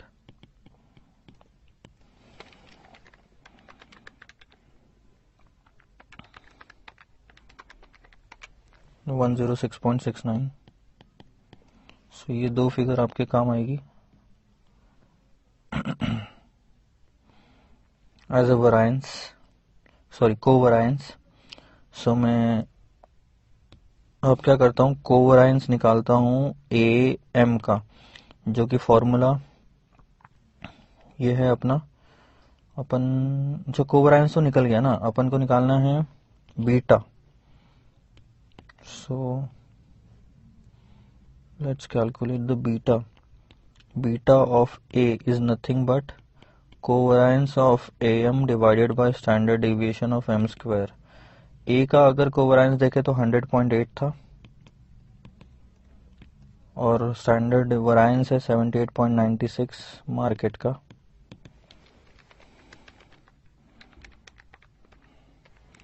one point two eight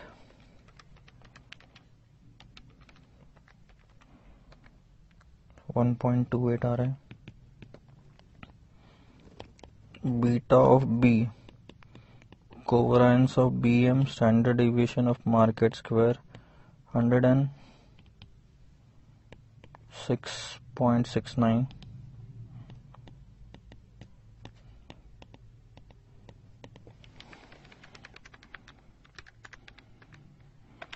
1.35 ये आपके beta हो गया। अब calculate करते हैं C A P M का return जो कि है आर आई ध्यान दो, ठीक है? लास्ट में पहुँच गए। अब हम कैलकुलेट करेंगे कि रिक्वायर्ड रिटर्न कितना है। सी ए पी एम का return is nothing but R F plus beta I R M minus R F अब आर एफ़ ग्यारह, बीटा है पहले वाले का one point two eight.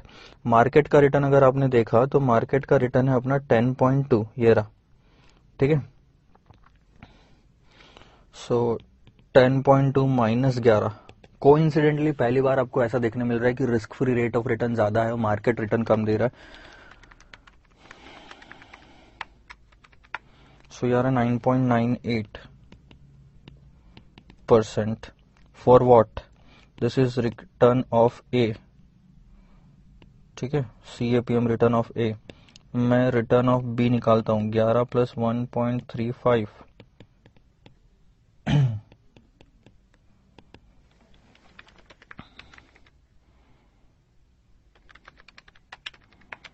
nine point nine two percent and now the last step बहुत ही simple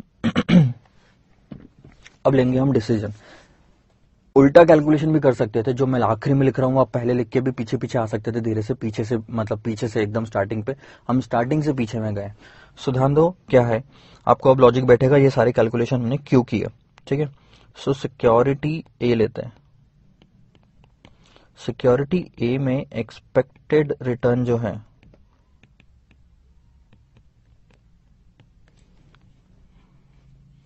वो कितना आ रहा था आपका? 11.5 परसेंट। क्या आपको लग रहा है कि 11.5 परसेंट मिलेगा। ठीक है? Which is greater than required return लेकिन आपको रिक्वायर्ड कितना है? सिर्फ़ 9.98 परसेंट। आपको चाहिए सिर्फ़ 9.98 लेकिन लग रहा है कि साढ़े ग्यारह, यानी 11.5 परसेंट रिटर्न मिलेगा। यानी कि ज़्यादा रिटर्न मिलेगा। कोई भी सिक्योरिटी में ज़्यादा रिटर्न तब मिलता है जब आप उसको सस्ते में खरीदते हो। सस्ता खरीदोगे तो रिटर्न बढ़ेगा। सस्ता खरीदोगे तो रिटर्न बढ़ेगा। सस्ता खरीदा यानी कि अंडर वैल्यूड है।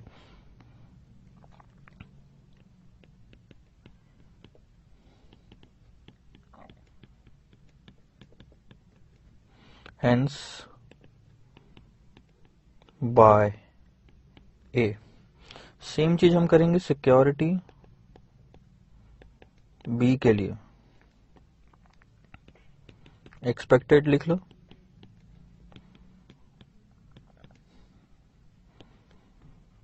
एक्सपेक्टेड दस पॉइंट एक मिलेगा। Which is again greater than required return of 9.92 percent so same चीज़ इसमें 9.92 ही चाहिए 10.1 मिलेगा, ज़्यादा मिलेगा, क्योंकि चीज़ सस्ती खरीद रहे हो।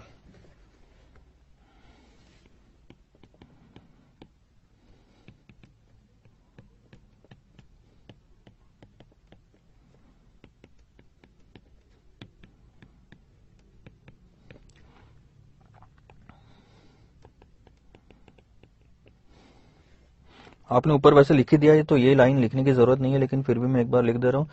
Investor should invest in security A and B. आई बात आपके समझ में। So this is the entire thing the crux of the entire thing so note down कर लो इतनी सारी चीज़ें और उसके बाद हम अगले वीडियो पे मूव ऑन करते हैं अगर आपको इस क्वेश्चन में कोई दिक्कत हो तो ज़रूर पूछेगा bye bye Hey, hi everyone, this is Mayank Kothari. In this video, we are going to discuss about factoring questions. So, factoring एक ऐसी सर्विस है जो एक कंपनी बाहर वालों से लेती है ताकि वो अपने अकाउंट्स रिसीवेबल को मैनेज करने की झंझट से मुक्ति पा सके अकाउंट्स रिसीवेबल यानी कि डेटर्स अब नॉर्मली कंपनी बिज़नेस क्यों करती है? पैसा कमाने के लिए। अब माल लेके आना, माल रखना, माल को प्रोड्यूस करना फिनिश गुड्स बनना और फिर डेटर को बेचना। यहाँ तक आपका सेल हो गया, पैसा प्रोड्यूस हो गया, आपका पर्पज सॉल्व हो जाता है। लेकिन इसके बाद वाली जो सर्विस होती है, जो डेटर से पैसा कलेक्ट करना डेटर्स को कॉल्स लगाना ये जो डेटर्स मैनेज करने की जो प्रोसेस है, ये आपको आपका सेल बढ़ाने में मदद नहीं करती। मतलब आप ऐसी चीज़ों पे ध्यान दे रहे हो जो आपके बिज़नेस को ग्रो नहीं करेगी। इसीलिए आप अपना ये टाइम बचा सकते हो, ये वाली सर्विस किसी और को देके ये वाला पार्ट ये वाला वर्क किसी और को देके तो वो जो बंदा है, वो अपने बिहाफ में उन कस्टमर से पैसा कलेक्ट करके हमको लाके देगा। करेक्ट तो ये जो बंदा है, उसको कहा जाता है फैक्टर इस बंदे से ये कंपनी सर्विस लेगी। तो सीधी सी बात है, इस कंपनी को उसे कुछ कमीशन भी देना पड़ेगा, देगा। फैक्टर को कमीशन दिया जाएगा। सेकंड थिंग डेटर से नॉर्मली तीस महीने, तीस दिन बाद पैसा आना था फैक्टर भी उससे तीस दिन बाद ही पैसा लाके हमको देगा। सिर्फ़ फ़र्क क्या पड़ा? हम कमीशन किस बात का दे रहे पता है? कि हम ना लाते हुए वो लाके दे रहा है। टाइमिंग सेम है। हम ना लाते हुए वो लाके दे रहा है। अब ध्यान दो एक चीज़। हम लाते तो यहाँ पैसा आता। वो लाएगा तो भी यहीं पे पैसा आएगा। लेकिन हम ना करते हुए वो कर रहा है, इसलिए उसको कमीशन जा रहा है। ठीक है? पहली चीज़। ये कंपनी ये फैक्टर दूसरी चीज़। कई बार कैसा होता है डेटर जो है, ये तो यहीं पे पैसा देगा। आ रही बात आपके समझ में? लेकिन ये भी हो सकता है कि फैक्टर हमें एडवांस में पैसा दे दे। ये भी बात हो सकती है कि फैक्टर हमें एडवांस में पैसा दे दे। तो हमेशा क्या हो रहा है? तीस दिन बाद डेटर पैसा देता है, लेकिन इसने तो हमको आज ही पैसा दे दिया। ये आज ही पैसा दे दिया। ये यहाँ दे रहा है, ये आज ही दे दिया। ये यहाँ दे रहा है, ये आज ही दे दिया। यानी कि पूरे साल भर हम एडवांस में पैसा यूज़ कर रहे हैं। हम एडवांस में पैसा यूज़ कर रहे हैं, इसलिए कंपनी फैक्टर को इंटरेस्ट भी देती है। कमीशन किस बात का? मैं क्या, मैं मैं सॉरी मैं रिकवर ना करते हुए आप रिकवर करो, इसलिए कमीशन यहाँ ना देते हुए, यहाँ दो, इसलिए इंटरेस्ट ये दो कॉस्ट कंपनी देती है फैक्टर को। आ रही बात आपके समझ में? तो अब देखते हैं हम इस पे एक क्वेश्चन अब नॉर्मली क्या होता है, पता है, ये इंटरेस्ट और ये कमीशन पहले ही काट लिया जाता है। This is called as advance में इंटरेस्ट और कमीशन चार्ज करना। ठीक है? This is at the beginning उसके बाद जो अमाउंट बचा होता है, वो एज एन एडवांस दिया जाता है। यहाँ पे। So let's have look on the question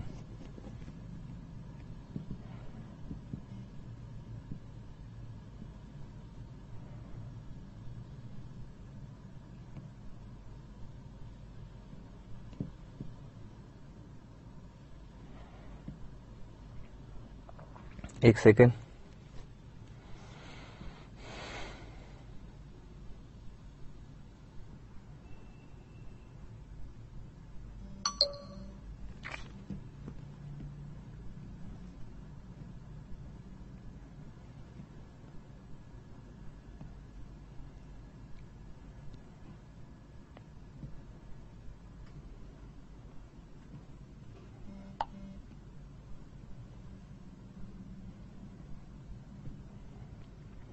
अब देखो।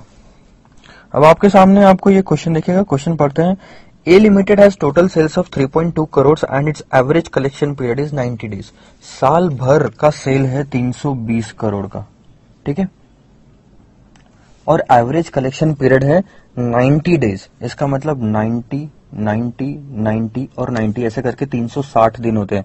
What we are assuming 360 days in a year तो इस तरह से चार बार आपके चार एवरेज कलेक्शन पीरियड निकलते हैं, ठीक है? तो अब अगर साल भर में 320 लाख का माल मैं बेच रहा हूँ 3.2 करोड़ यानी 320 लाख का माल अगर मैं बेच रहा हूँ, और 90 दिन का मेरा कलेक्शन पीरियड है तो इसका मतलब मेरे डेटर्स कितने बैलेंस रहते होंगे? मेरी बुक्स में 90 दिन के। आ रही बात आपके समझ में? और 90 दिन के डेटर्स कितने होंगे? 320 बाय 360 करोगे तो एक दिन का निकलेगा। मल्टीप्लाइड बाय 90 करोगे। तो आपको 90 दिन के डेटर्स मिलेंगे। तो अपन इधर बाद में सॉल्व करेंगे। आगे ध्यान दो। The past experience indicates that bad debt losses are 1.5 percent on sale आपका पुराना एक्सपीरियंस ये इंडिकेट करता है कि टोटल सेल्स का डेढ़ परसेंट तो आपका सिर्फ़ बैड डेप्स में चला जाता है।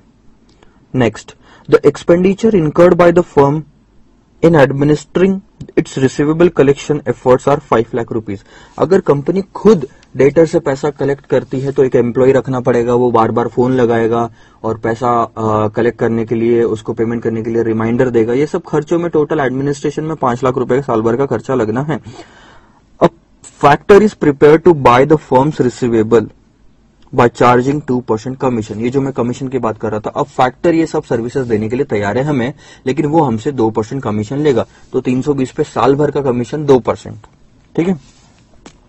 नाउ अच्छा मैं एक फिगर ये भी निकाल लेता हूँ। 320 डिवाइडेड बाय 360 इंटू नाइन्टी तो ये आता है 80 लाख रुपीस यानी 80 लाख आपका डेटर्स में बैलेंस है। ठीक है? और वो कमीशन कितना चार्ज करने की बात कर रहा है? कमीशन चार्ज करेगा two percent sir two percent commission किस पे चार्ज करेगा? जितना पैसा हमको कलेक्ट करके देगा। क्या वो सिर्फ़ नब्बे दिन तक हमको सर्विस दे रहा है और अस्सी लाख रुपए हमको कलेक्ट करके दे रहा है? नहीं। सर वो नब्बे नब्बे नब्बे नब्बे ऐसे करके चार बार साल भर सर्विस दे रहा है। तो वो अस्सी अस्सी अस्सी अस्सी ऐसे करके तीन सौ बीस लाख रुपए कलेक्ट करके दे रहा है। तो कमीशन किस पे चार्ज करोगे? तीन सौ बीस लाख पे। आप दो, अस्सी पे भी कर दो, अस्सी पे दो परसेंट लगाओ और मल्टीप्लाइड बाय फोर करो। तो अल्टीमेटली आया तो वही आंसर आगे। The factor will pay advance on receivables to the firm at an interest rate of 18 percent per annum अब ये 80 लाख रुपए ध्यान देना यहाँ पे आते हैं। एंड ऑफ़ द 90 डेज़ ये भी हमको एंड ऑफ़ द 90 डेज़ में ही लाके देगा नॉर्मल केस में। लेकिन अब क्वेश्चन बोल रहा है कि ये हमको एडवांस दे देगा। यानी एडवांस पैसा कब देगा? यहाँ पे देगा। यहाँ। बिगिनिंग में। अब कितना देगा? 80 लाख। नहीं। 80 लाख में से दो चीज़ें माइनस करेगा। एक उसका कमीशन क्योंकि ध्यान दो अस्सी लाख आना यहाँ बनता है। तो कमीशन भी यहाँ का अमाउंट है। ठीक है? और इंटरेस्ट भी चार्ज करेगा, क्योंकि वो एडवांस दे रहा तो इंटरेस्ट भी यहाँ का अमाउंट है। अब जो पैसा बचेगा, ये एडवांस में हमको दिया जाएगा। कहाँ पे? यहाँ पे। ध्यान दो अभी। After withholding ten percent as reserve तो मैंने एक गलती की यहाँ पे। पहले तो 80 में से 10 परसेंट रिज़र्व रख लिया जाएगा। मतलब दस, पूरा का पूरा वो एडवांस में नहीं दे रहा, सिर्फ़ नाइन्टी परसेंट एडवांस में दे रहा है। तो अस्सी का दस परसेंट रिज़र्व रख लिया। मतलब रिज़र्व है, बाद में मिलेगा आखिरी में, जब हम उसकी सर्विसेज़ क्लोज कर देंगे।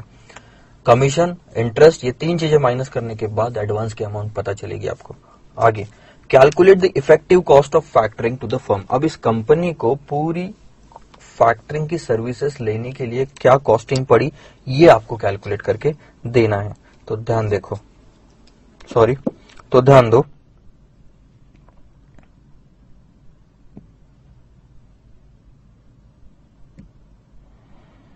क्वेश्चन को सॉल्व करते हैं अब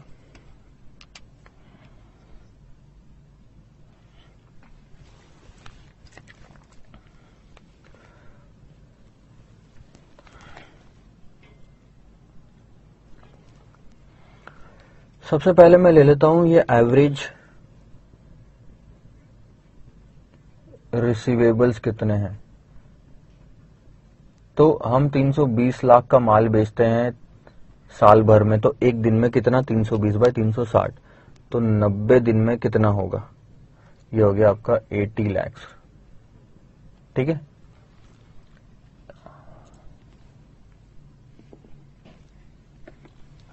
इसके बाद में कमीशन एट टू परसेंट अब दो परसेंट कमीशन अस्सी लाख पे होगा, होता है आपका कुछ one point six lakhs one point six lakhs उसके बाद आप रिज़र्व रख लोगे दस परसेंट यानी कि आठ लाख. ठीक है? तो ये हो गया सत्तर पॉइंट चार लाख. एडवांस अवेलेबल मतलब इतना अवेलेबल है हम, हमारे पास में एडवांस अब इतना एडवांस अगर दिया जाएगा तो उस पर इंटरेस्ट भी चार्ज किया जाएगा. इंटरेस्ट एट 18 परसेंट अब ध्यान देना, क्या दिक्कत है? 80 लाख आपका तीन महीने का 90 दिन का आइटम है कमीशन 90 दिन का आइटम है रिज़र्व भी उसी पे कैलकुलेट हुआ यानी 90 दिन का तो एडवांस भी जो मिल रहा है, हमको 90 दिन का मिल रहा है. तो अभी इसमें से जो हम माइनस करेंगे वो भी 90 दिन का ही इंटरेस्ट माइनस करेंगे, फ़िलहाल। तो ये आ गया आपका 18 परसेंट इंटू सत्तर पॉइंट चार into ninety by three sixty ठीक है? सत्तर पॉइंट चार, सत्तर पॉइंट चार into ninety by three sixty into eighteen percent आता है आपका पॉइंट थ्री थ्री थ्री बहुत ही कम आ रहा है ये।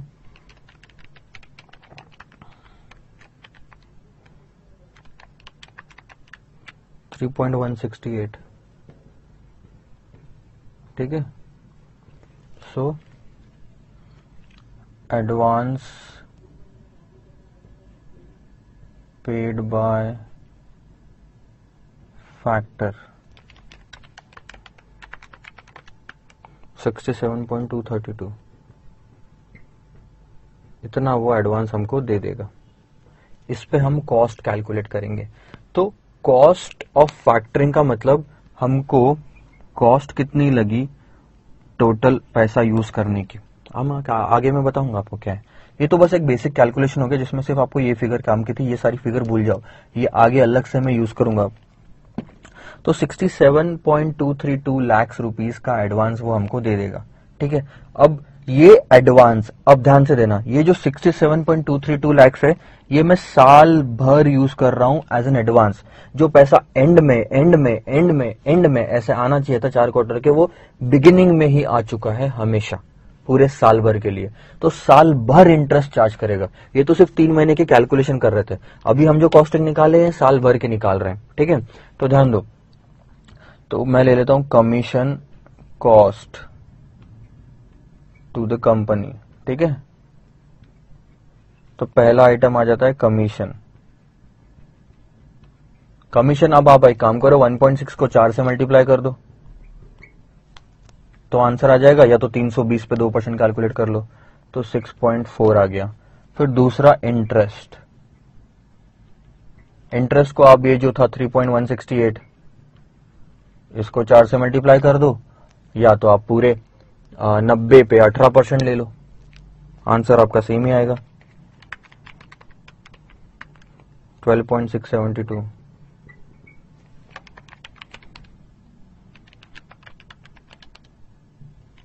कहीं गलत लिखा क्या मैंने?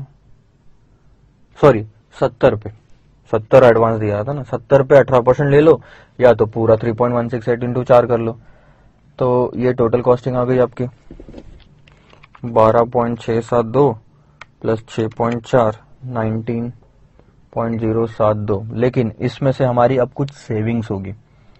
लेस, एडमिनिस्ट्रेशन कॉस्ट जो हमारी पहले लग रही थी, वो अब नहीं लगेगी क्योंकि हमने ये काम किसी और को सौंप दिया। तो अब हमें करने की ज़रूरत नहीं तो वो जो पाँच लाख रुपए आप इनकर कर रहे थे, ये आपको इनकर करने की ज़रूरत नहीं है। लेस अनलेस अदरवाइज़ गिवन हम ये मान के चलते हैं कि factoring is non recourse factoring अगर आपको क्वेश्चन में कहीं पे भी नहीं दिया हुआ है, अब आपको ये पता है फैक्टरिंग दो तरह की होती है। Sir recourse factoring sir non recourse factoring अब इसमें क्या होता है? बैड डेप्ट का जो रिस्क है, इस केस में कंपनी पे रहता है, इस केस में कंपनी पे नहीं रहता। ठीक है? कंपनी पे। बैड डेप्ट रिस्क कंपनी पे और फैक्टर पे, अगर मैं बोलूँ तो इस केस में फैक्टर पे नहीं रहता, इस केस में रहता है। रिकोर्स फैक्टरिंग यानी कंपनी पे बैड डेप्ट का रिस्क है। नॉन रिकोर्स फैक्टरिंग मतलब कंपनी पे बैड डेप्ट का रिस्क नहीं है। तो अगर कंपनी पे बैड डेप्ट का रिस्क नहीं है नॉन रिकोर्स में तो उतनी सेविंग्स हो जाएगी, क्योंकि अब उतना बैड डेप्ट होगा नहीं कंपनी का। और इस क्वेश्चन में अगर क्लैरिटी नहीं है कि वो रिकोर्स नॉन रिकोर्स है तो नॉर्मली मान के चलना कि वो नॉन रिकोर्स फैक्टरिंग है। मतलब पूरा रिस्क फैक्टरिंग का बैड डेप्ट का किस पे? फैक्टर पे। तो कंपनी की वो सेविंग कहलाएगी। है ना? यानी बैड डेप्ट 1.5 परसेंट था आपका बैड डेप्ट ध्यान देना। 1.5 परसेंट ऑन सेल्स तो तीन इंटू तीन सौ बीस लाख कर दो।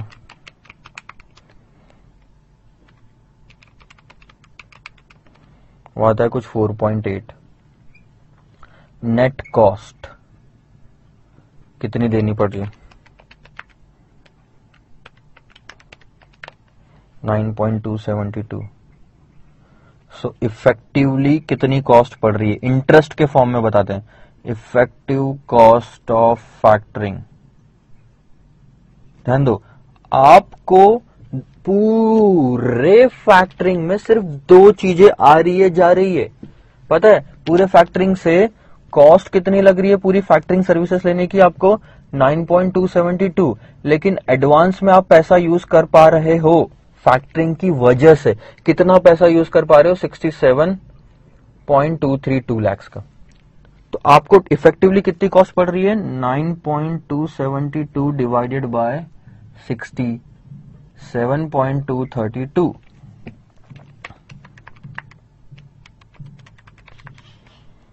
13.79 परसेंट ये आपका फाइनल आंसर है। 13.79 percent is the effective cost of factoring so this is the answer to you note down कर लो आंसर को अगर आपको कुछ भी दिक्कत हो तो obviously feel free to ask me all your doubt we have lot of questions on the factoring you can go through them and जैसे जैसे ज्यादा क्वेश्चंस करोगे तो वैसे वैसे आपको क्लैरिटी आती जाएगी bye bye Hey, hi everyone, this is Mayank Kothari and today we are going to start with this new question of the mutual fund. Let's have a look on the question. We are going to read this question, discuss it along with that and then solve it. On 1 4 2012, 1 4 2012 को ABC mutual fund issued twenty lakhs unit at rupees ten per unit एक mutual fund है जिसने 20 lakh unit issue किए। और बदले में हर unit के बदले में कितने रुपए कलेक्ट किए? दस रुपए। तो टोटल कितने? 200 लाख रुपए आ गए इसके कंपनी के पास या सॉरी म्यूचुअल फंड के पास। किससे आए? यूनिट होल्डर्स ने दिए। तो यहाँ यूनिट होल्डर्स है ये म्यूचुअल फंड है। इनसे मैंने पैसा लिया। और अब मैं मार्केट में पैसा दूँगा। मैं कौन? Mutual fund relevant initial expenses involve where rupees twelve lakhs बारह लाख रुपए के इनिशियल एक्सपेंसेस उसमें लगे। 200 लाख रुपए लाने के खर्चे। 12 लाख। बचे कितने आपके पास में? 188 it invested the fund so raised it invested the fund so raised in capital market instruments to build a portfolio of 185 lakh rupees invest किया मार्केट में एक लाख रुपए का पोर्टफोलियो बनाने के लिए। During the month of April 2012 it dispose of some of the instruments costing 60 lakhs for 63 lakhs and use the proceeds in purchasing securities for fifty six lakhs okay ध्यान दो सौ लाख रुपए पहले यहाँ से आए। ये लाने के लिए खर्चा लगा 12 लाख रुपए, गए। अब कुछ पैसा बाकी है। ये कितना? 188 लाख रुपीस बाकी है। 200 माइनस बारह। 188 इसमें से 185 लाख रुपीस का पोर्टफोलियो बना इधर इन्वेस्ट किया मार्केट में। तो हमारे पास कैश बैलेंस तीन 185 यहाँ पे। Total 188 now during the month of April पूरे महीने भर में it dispose of some of the instrument उसने डिस्पोज किए, यानी बेचे, जिसकी कॉस्टिंग थी साठ लाख रुपए, ये एक सौ पचासी में से साठ लाख रुपए का आइटम बेच दिया। कितने में? 63 में। तो ये 63 इधर आया वापस। सेल किया तो कैश आया होगा। Correct and the used, and used the proceeds in purchasing securities for 56 lakhs. छप्पन लाख रुपए की और सिक्योरिटीज खरीदी। यहाँ देखो, तीन में तिरसठ आया। छप्पन गया। Good fund management expenses for the month of April 2012 was 8 lakhs of which 10 percent was in arrears 10 percent arrear में थे। महीने भर के खर्चे कितने? आठ लाख रुपए। आठ लाख में से सात लाख बीस हज़ार तो पेमेंट हो गया मैनेजर्स को। मैं म्यूचुअल फंड जो चला रहा है। लेकिन 10 परसेंट, अस्सी हज़ार जो है, वो लाइबिलिटी में पड़ा हुआ है। यानी पेमेंट करना बाकी है। In April 2012 the fund earn dividends amounting to two lakhs 2012 में फंड ने दो लाख रुपए का डिविडेंड कमाया। ये फंड ने म्यूचुअल फंड ने, जिसमें इन्वेस्टमेंट किया था ना हमने, उन कंपनीज़ ने हमको डिविडेंड दिया दो लाख रुपए का। And it distributed 80 percent of the realized earning जितनी भी अर्निंग्स रियलाइज़ हुई है अर्निंग दो है इसमें। एक तो दो लाख रुपए डिविडेंड रियलाइज़ हुआ, उसका अस्सी परसेंट हम डिस्ट्रीब्यूट करेंगे यूनिट होल्डर्स में। उसके बाद आपने बीच में साठ लाख की सिक्योरिटी तिरसठ लाख में बेची थी। तो तीन लाख रुपए का कैपिटल गेन भी रियलाइज़ हुआ। कोई भी इनकम जब कैश में कन्वर्ट कर ली जाती दैट इज़ रियलाइज़ इनकम तो ये तीन लाख का भी एट्टी परसेंट आप इधर बांटोगे। टोटल दो लाख डिविडेंड का एटी परसेंट तीन लाख कैपिटल गेन का eighty percent okay On 34 2012, the market value of the portfolio was 198 lakhs और मंथ एंड जब हुआ तब जितना भी बैलेंस बचा था ना इधर पोर्टफोलियो का 198 लाख रुपीस उसकी वैल्यू थी। मिस्टर आकाश, अब ये है unit holder mister Akash. An investor subscribe to 100 units जब म्यूचुअल फंड ने 20 लाख यूनिट रेज किए थे, उसमें से 100 यूनिट मिस्टर आकाश ने लिए। On one four two thousand twelve and dispose of the same at closing NAV of thirty four two thousand twelve month end में उसने डिस्पोज कर दिया, बेच दिया। What was his annual rate of earning हमको mutual fund का कुछ नहीं निकालना। हमको निकालना है मिस्टर आकाश का annual rate of earning data दिया हुआ है एक महीने का। निकालने बोला एनुअल रेट ऑफ़ अर्निंग तो हम एक महीने की अर्निंग निकालेंगे। मल्टीप्लाइड बाय ट्वेल्व कर देंगे तो एनुअल रेट ऑफ़ अर्निंग आ जाएगी। ओके. इसके एंगल से देखो। This is holding period return इसको बोलते हैं होल्डिंग पीरियड रिटर्न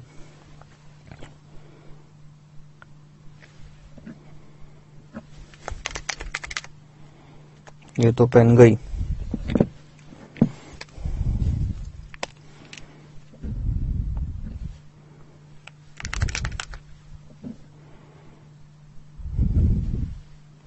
ये भी गई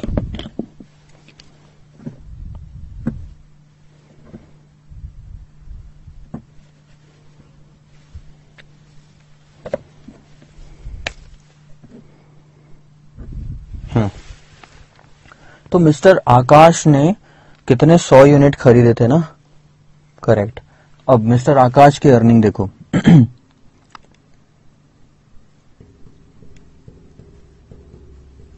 होल्डिंग पीरियड रिटर्न जब स्टार्टिंग में मिस्टर आकाश ने खरीदा, उसको बोलते हैं एनएवी ज़ीरो तो मैं यहाँ ले लेता हूँ होल्डिंग पीरियड रिटर्न का फॉर्मूला क्या है? इन्वेस्ट कितना किया?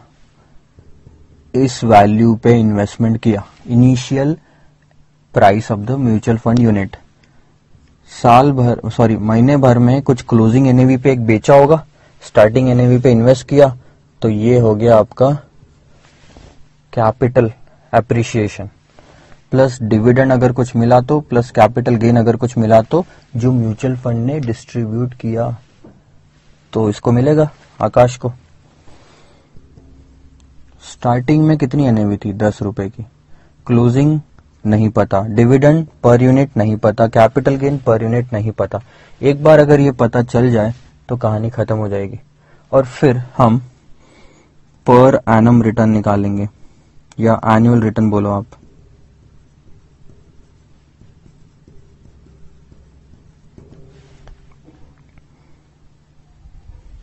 दैट विल बी जो भी आएगा रिटर्न इंटू बारह। चलो, इतना पार्ट तो फिर मैं अभी अलग निकाल लेता हूँ।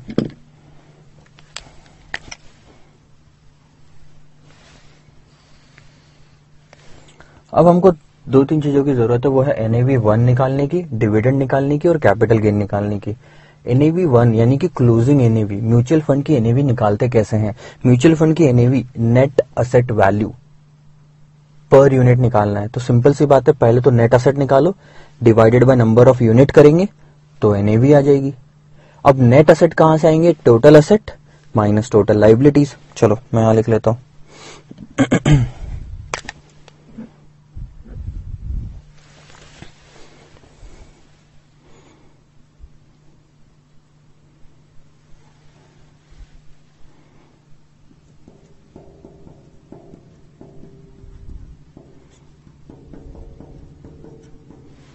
देखो।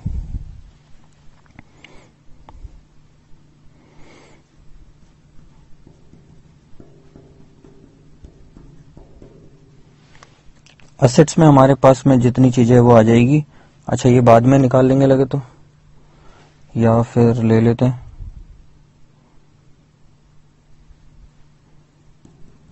इन्वेस्टमेंट एक असेट है। कैश का बैलेंस अगर रहा तो वो असेट दिख रहा है। उसके बाद लाइबिलिटीज हम माइनस करेंगे उसमें से। तो नेट असेट आएगा। अभी जगह कम पड़ेगी। चलो, बाद में, बाहर में निकाल लेंगे। ये नेट असेट यहाँ लिख लूँगा मैं।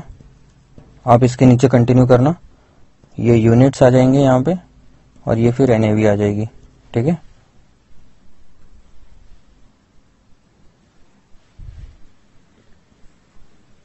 Good now this is all in rupees in lakhs okay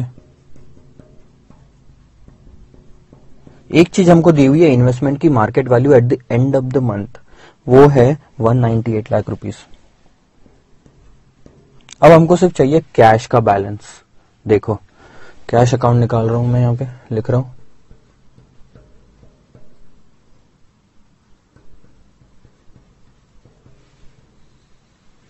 ध्यान दे रहा हूँ, कैसे सॉल्व कर रहा हूँ।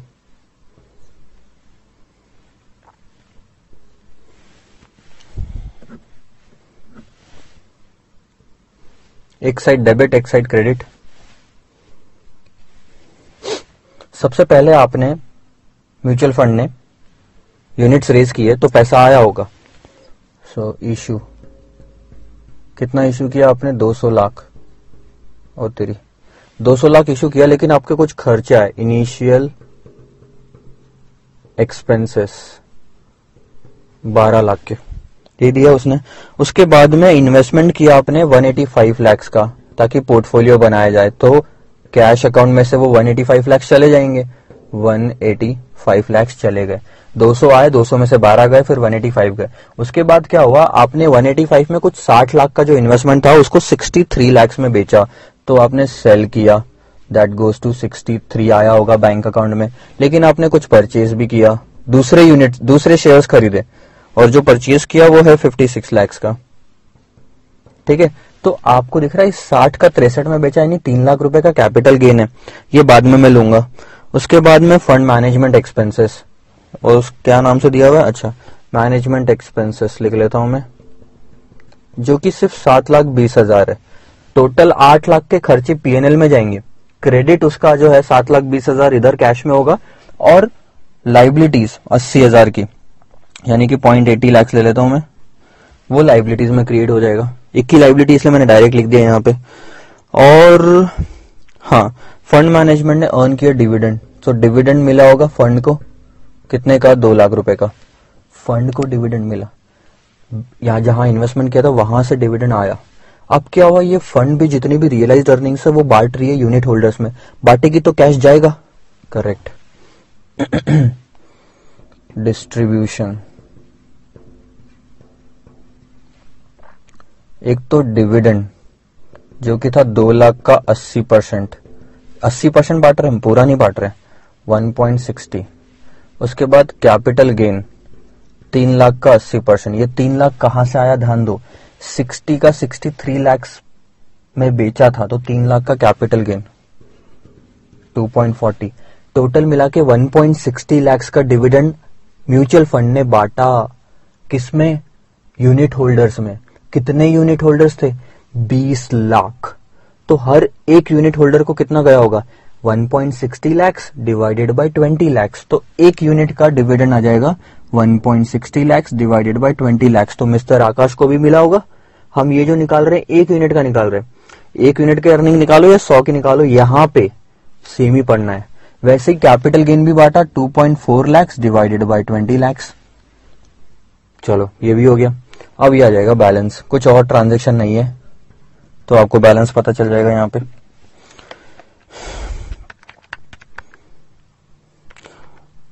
टू सिक्सटी फाइव ये साइड आ रहा है। ये साइड भी टू सिक्सटी फाइव आना चाहिए। बारह one eighty five fifty six seven point twenty one point sixty two point forty minus two sixty five goes to point eighty ध्यान दो। कैश का बैलेंस भी पॉइंट एटी है। तो टोटल हो गया वन नाइन्टी एट पॉइंट 80 और यहाँ आ गया वापस 198 ठीक है? ये 198 यहाँ आ जाएगा, जिसमें 20 लाख यूनिट है। यूनिट 20 लाख ही है म्यूचुअल फंड के।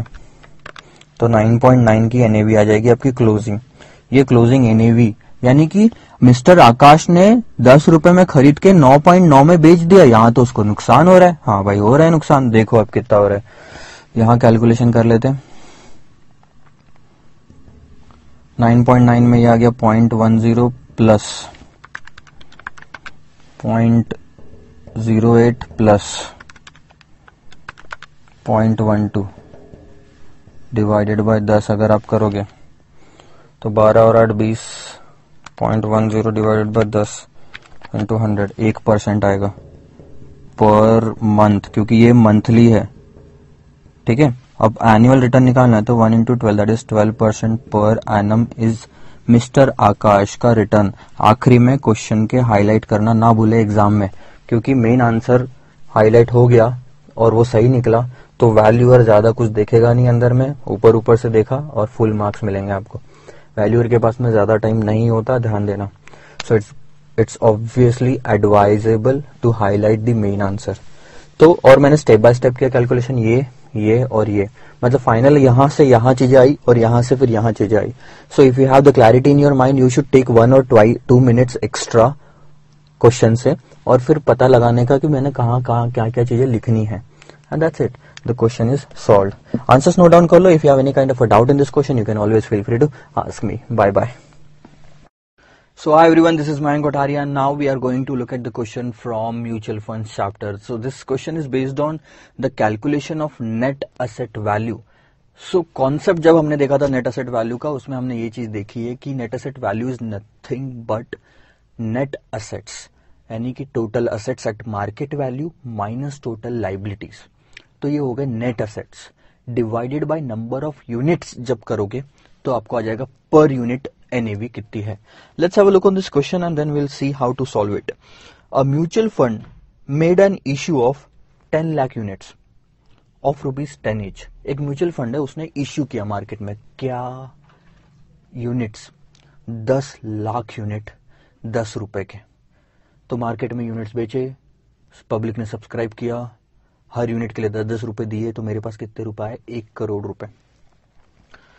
On January one two thousand eight no entry load was charge entry load यानी कि म्यूचुअल फंड यूनिट्स जब आप इशू करते हो तो mutual fund investors are basically investing और कमिंग या entering in the mutual fund ठीक है?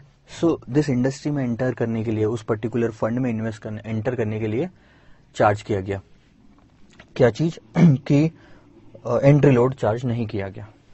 So it made the following investments particulars and rupees अब उस एक करोड़ रुपए का इन्वेस्टमेंट कहाँ किया गया, ये आपको दिया हुआ है।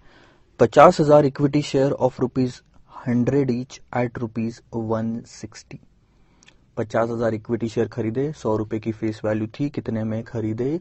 एक सौ साठ रुपए में। जिसकी value eighty lakhs seven percent government securities आठ लाख नाइन परसेंट डिवेंचर्स पाँच लाख, दस परसेंट डिवेंचर्स पाँच लाख। टोटल मिला के नाइन्टी एट लाख रुपीज़ का इन्वेस्टमेंट हो गया। यानी कि बाकी के दो लाख रुपए जो बचे हुए हैं, एक करोड़ रुपए आए थे, एक करोड़ में से नाइन्टी एट का तो इन्वेस्टमेंट कर दिया। दो लाख रुपए कैश में बैलेंस बाकी है, ठीक है? During the year dividend of rupees twelve lakhs were received on equity share ये cash flow interest on all types of debt securities was received as and when due. So, चार चीज़ों में investment किया। Equity में तो उस पर dividend मिल गया। बाकी डिबेंचर्स में इन्वेस्टमेंट किया तो उस पर भी इंटरेस्ट मिल गया आपको। At the end of the year equity shares and ten percent debentures ध्यान देंगे are quoted at hundred and seventy five percent and ninety percent respectively equity share देखोगे तो सौ रुपए का एक सौ साठ चल रहा है अभी, जब खरीदा था। ऑलरेडी 160 पे है, वो 175 परसेंट हो गया अब। तो ये 175 परसेंट किस पे लगेगा? सौ रुपए पे। फेस वैल्यू पे। फेस वैल्यू से 160 पे है फेस वैल्यू से 175 पे लेके जाना है।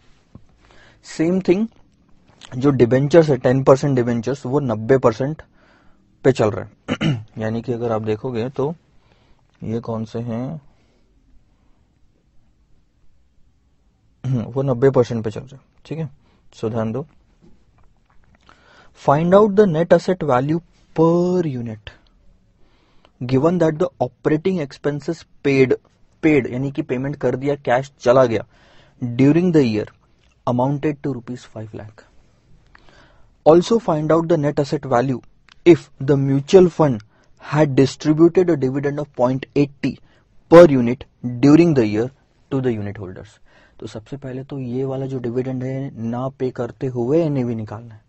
उसके बाद ये पे कर दिया तो एनएवी कितनी होगी, ये निकालना है। सो आइए कैलकुलेशन करते हैं। Again the concept is same कि नेट असेट वैल्यू कैसे निकालेंगे? Net asset value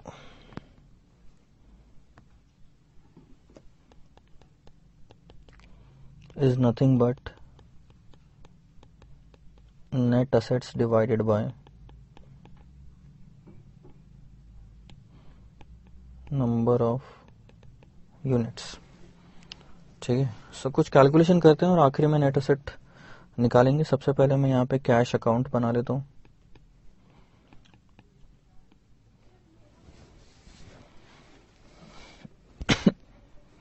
अच्छा कैश का तो दो लाख का बैलेंस है ही है। तो अलग से कुछ लिखने की ज़रूरत नहीं है।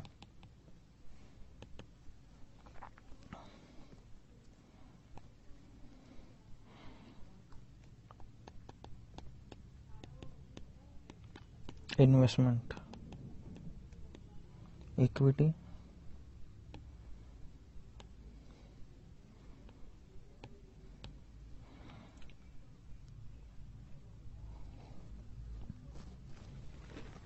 अस्सी लाख का था ना उसमें अपना। हम्म। सो अस्सी lakh divided by one sixty पे है। अब वो हो जाएँगे वन सेवेंटी फाइव पे। So eighty seven lakh fifty thousand ठीक है? बाकी के डिबेंचर्स की वैल्यू ले लेते हैं। सेवन परसेंट गवर्नमेंट सिक्योरिटी आठ लाख है। पाँच, ठीक है।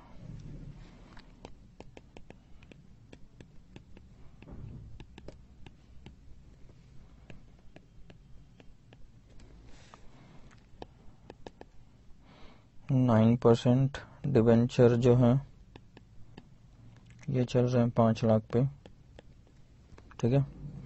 दस परसेंट डिवेंचर जो है, इसकी वैल्यू 10 परसेंट से गिर गई है, जो कि सिर्फ़ 90 परसेंट पे है।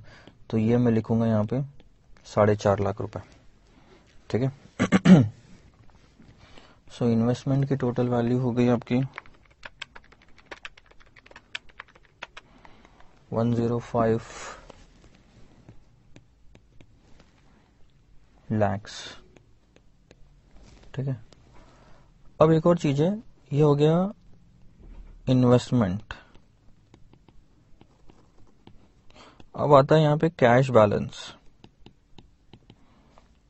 I think liability तो कुछ है नहीं तो ये आपका बन जाएगा नेट असेट इस क्वेश्चन में। लाइबिलिटी होती तो हम माइनस भी करते ठीक है? अब कैश बैलेंस देखो मैं लिख रहा हूँ यहाँ पे। नीचे मैं वर्किंग कर लेता हूँ।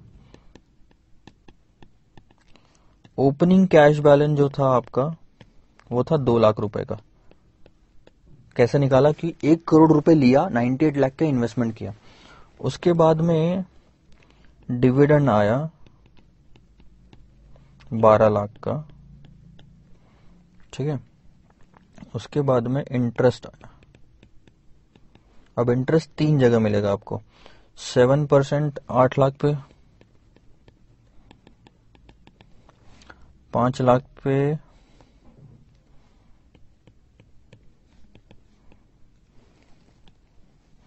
नौ परसेंट और पाँच लाख पे दस परसेंट। ध्यान रखे साढ़े चार लाख पे दस परसेंट नहीं मिलेगा। इंटरेस्ट जो मिलता है, वो फेस वैल्यू पे मिलता है। तो फेस वैल्यू अभी भी पाँच लाख है। उसकी मार्केट वैल्यू साढ़े चार हो चुकी है। सो so, हम जो यहाँ पे सब ले रहे हैं वो फेस वैल्यू ही है। So this is fifty six thousand forty five thousand and fifty thousand so total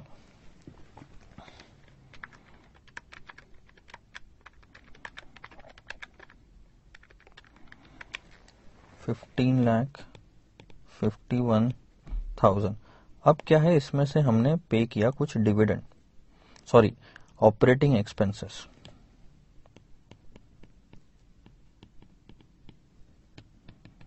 जो कि है पाँच लाख के।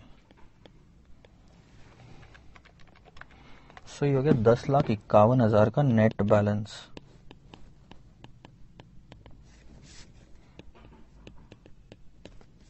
और ये मैं ले लूँगा ऊपर में। अब करो टोटल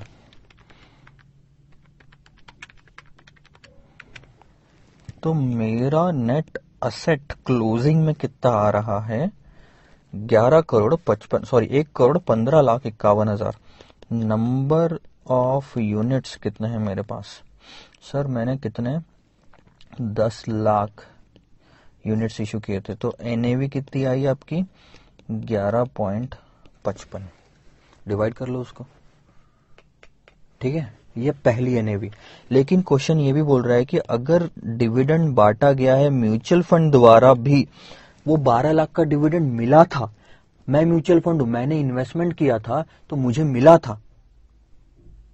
ठीक है? मुझे मिला था। अब मैं बांट रहा हूँ मेरे इन्वेस्टर्स में तो वो कितना मैंने बांटा है, यहाँ पे लिखा हुआ है क्वेश्चन में? सॉरी वो मैंने बांटा पॉइंट एट्टी पर यूनिट का। सो पॉइंट एट्टी मैं इसमें से माइनस कर दूँगा। देखो, ये एनएवी भी पर यूनिट है, डिविडेंड भी पर यूनिट है। ये भी दस लाख के इन, यूनिट से टोटल, और डिविडेंड भी दस लाख यूनिट होल्डर्स को बांटा है तो मैं डायरेक्टली माइनस कर सकता हूँ। अगर मैं माइनस कर दूँ तो मेरे जेब में से इतना पैसा चला जाएगा म्यूचुअल फंड का तो बाद में एनएवी जो आएगी, वो ये होगी। तो जो दो एनएवी हमको निकालनी थी क्वेश्चन में, वो ये है। ठीक है? फाइनल आंसर इज़ दिस ग्यारह पॉइंट पचपन और दस पॉइंट पचहत्तर you should note down these answers and after that will meet in the new question I hope you understood it क्या किया? हमने पूरे क्वेश्चन में सिर्फ़ नेट असेट्स निकाले. Net assets is total assets minus liabilities total assets में हमारे question में इन्वेस्टमेंट और कैश बैलेंस के अलावा और कुछ नहीं था। लाइबिलिटी ज़ीरो थी। इसलिए हमने इन्वेस्टमेंट प्लस कैश बैलेंस किया तो नेट असेट आया divided by number of unit किया और आ गया हमारा N so this is it this is the answer to this question if you have any kind of doubt in this question you can always feel free to ask me the doubts bye bye so now let's have look over the next question of the miscellaneous topic From the following particulars, calculate the effective rate of interest per annum as well as the total cost of funds to Bhaskar Limited. Bhaskar Limited, which is planning a commercial paper issue. नीचे आपको particulars कुछ दिया detail कुछ दिए हुए उसमें से आपको भास्कर लिमिटेड भास्कर लिमिटेड एक कंपनी पब्लिक लिस्टेड कंपनी है जो शायद कमर्शियल पेपर इशू कर रहे हैं मार्केट में कमर्शियल पेपर एक short term money market instrument है जब शॉर्ट टर्म शॉर्ट टर्म के लिए आपको पैसा लगता है तो आप commercial paper certificate of deposit ऐसी चीज़ें यूज़ इशू करते हैं मार्केट में। ठीक है? कमर्शियल पेपर जनरली डिस्काउंट में इशू होता है और फेस वैल्यू पे रिडीम होता है। तो मान लो कि एक लाख की अगर फेस वैल्यू है तो वो कुछ नब्बे हज़ार, पिचानवे हज़ार, ऐसी कुछ प्राइस में इशू होएगा। और उसके जब टाइम पीरियड खत्म होएगा, दो महीने, तीन महीने, चार महीने, तब वो एक लाख रुपए या फेस वैल्यू जो भी होगी, उस पर रिडीम हो जाएगा। आइए डिटेल देखते हैं भास्कर लिमिटेड के कमर्शियल पेपर इश्यू की। Issue price of the commercial paper is nineteen seven five five zero सत्तानवे हज़ार पाँच सौ पचास में वो इशू किया, यानी कि अगर आपको इन्वेस्टमेंट करना है भास्कर लिमिटेड के कमर्शियल पेपर में तो ना आपको सत्तानवे हज़ार पाँच सौ पचास रुपए देने पड़ेंगे। और फेस वैल्यू है एक लाख, जैसे कि मैंने अभी कहा था। Maturity period three months three months बाद वो रिडीम हो जाएगा एक लाख। तो आपके लिए, जो इन्वेस्टर के लिए इन्वेस्ट कर रहा है, वो नाइन्टी सेवन फाइव फिफ्टी पे इन्वेस्ट करेगा और उसको एक लाख वापस मिल जाएगा। तो जो डिफरेंस है, वही इनकम है। इश्यू एक्सपेंसेस देखिए brokerage 0.15% for 3 months. Reading charges 0.50% per annum. Stamp duty 0.175% for 3 months. From the following particulars, मैं और एक बार रीड करूँ, देखिए from the following particulars calculate the effective rate of interest per annum तो effective rate of interest per annum Bhaskar limited को कितना पड़ रहा है भास्कर लिमिटेड तो कमर्शियल पेपर इश्यू कर रहा है तो उसको ये बताना है कि वो इन्वेस्टर को इफेक्टिवली देखा जाए तो पर एनम बेसिस पे क्या रेट दे रहा है और ये भी हमको बताना है कि टोटल कॉस्ट कितना पड़ रहा है उसको, ये कमर्शियल पेपर इशू करने के लिए। आइए सॉल्व करते हैं question Bhaskar limited commercial paper issue करना चाहता है।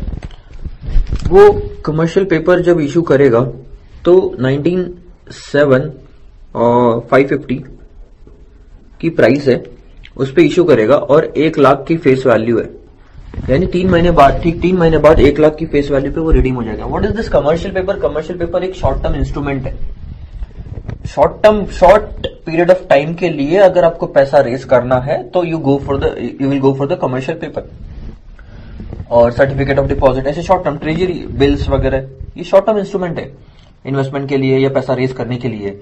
जैसे आप मान लो कि मेरे को अगर तीन महीने के लिए पैसा चाहिए तो मैं इक्विटी शेयर इश्यू नहीं करूँगा। Equity share long term preference share long term loan long term but you never go for the equity share in order to जो शॉर्ट टर्म आपके रिक्वायरमेंट uh, रहती है उसको फुलफिल करने के लिए you never go for the equity share equity share issue नहीं करोगे उसके लिए? ठीक है। So so, Bhaskar limited commercial paper issue करना चाहता है। तीन महीने का आपको ये डिटेल दिया गया है और क्वेश्चन में ये पूछा गया है कि बताओ कितनी इंटरेस्ट कॉस्ट पड़ रही है कमर्शियल पेपर इशू करने की? उसके बाद में टोटल कॉस्ट भी आपको निकाल के बतानी है। तो the only thing that we have to calculate is the implied interest rate कितना दिया जा रहा है? देखो first interest cost for commercial paper बहुत ही आसान। कितने पैसे यूज़ कर रहा है कंपनी 97,550 एक लाख रुपए वापस देगा minus ninety seven five fifty यानी कि कंपनी सत्तानवे हज़ार पाँच सौ पचास ले रही है, तीन महीने बाद एक लाख दे रही है तो ये जो न्यूमरेटर वाला पार्ट यानी इतना इंटरेस्ट दे रही है किस पे? नाइन्टी सेवन फाइव फिफ्टी पे, ठीक है? तो ये इंटरेस्ट की कॉस्ट होगी, लेकिन कितने महीनों की? ये सिर्फ़ तीन महीनों की है तो बारह महीनों की कितनी पर एनम बेसिस पे अगर हमको निकालना है तो? तो हम ऐसे निकाल सकते हैं उसको। देखो।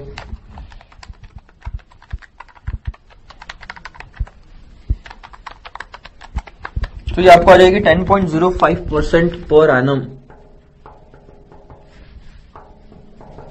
interest cost to the company for issuing commercial paper यानी प्रैक्टिकली स्पीकिंग जो भी इन्वेस्टर इसमें इन्वेस्ट करेगा, उसको 10.05 परसेंट पर एनम के हिसाब से इंटरेस्ट मिलेगा. Second total cost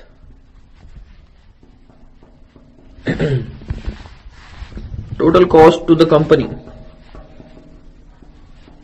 अभी इन्वेस्टर के एंगल से देखा जाए तो उसको सिर्फ़ 10.05 परसेंट ही इंटरेस्ट मिलेगा। लेकिन कंपनी के एंगल से देखा जाए तो सिर्फ़ इंटरेस्ट ही एक ही चीज़ नहीं है। ये जो सत्तानवे हज़ार पाँच सौ पचास रुपए कंपनी लेके आ रही है, इसके बदले में इन्वेस्टर को दे रही है 10.05 लेकिन ये इश्यू करने के लिए जिन जिन ने हेल्प की है, उनको भी पैसा दिया जा रहा है। जैसे ब्रोकरेज हो गया पॉइंट फिफ्टीन परसेंट उस पर भी जाएगा। उसके बाद में rating charges point fifty percent इधर भी जाएगा। उसके बाद में point one seven five percent इस पर भी जाएगा। यानी कि ये चार चीज़ें interest ten point zero five brokerage rating charges और आपका क्या है? स्टैम्प ड्यूटी इतनी सारी चीज़ें एज अ कॉस्ट लग रही है कंपनी को ये 97,550 रेज करने के लिए। तो टोटल कॉस्ट बतानी है हमको। पर एनम बेसिस पे बताएँगे सेम बेसिस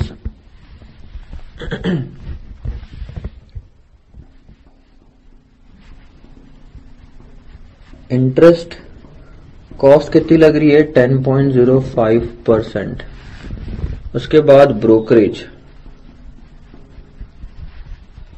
ब्रोकरेज अगर आप ध्यान देंगे तो 0.15 परसेंट फॉर थ्री मंथ्स दिया हुआ है।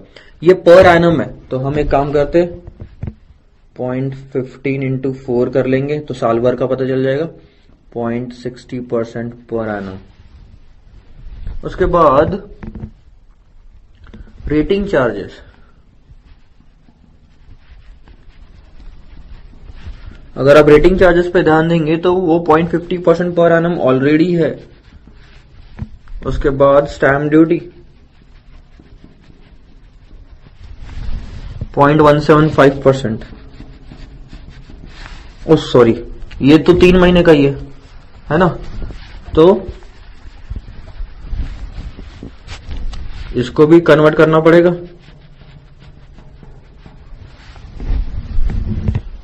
पॉइंट सेवेंटी परसेंट अब टोटल कर लेते हैं।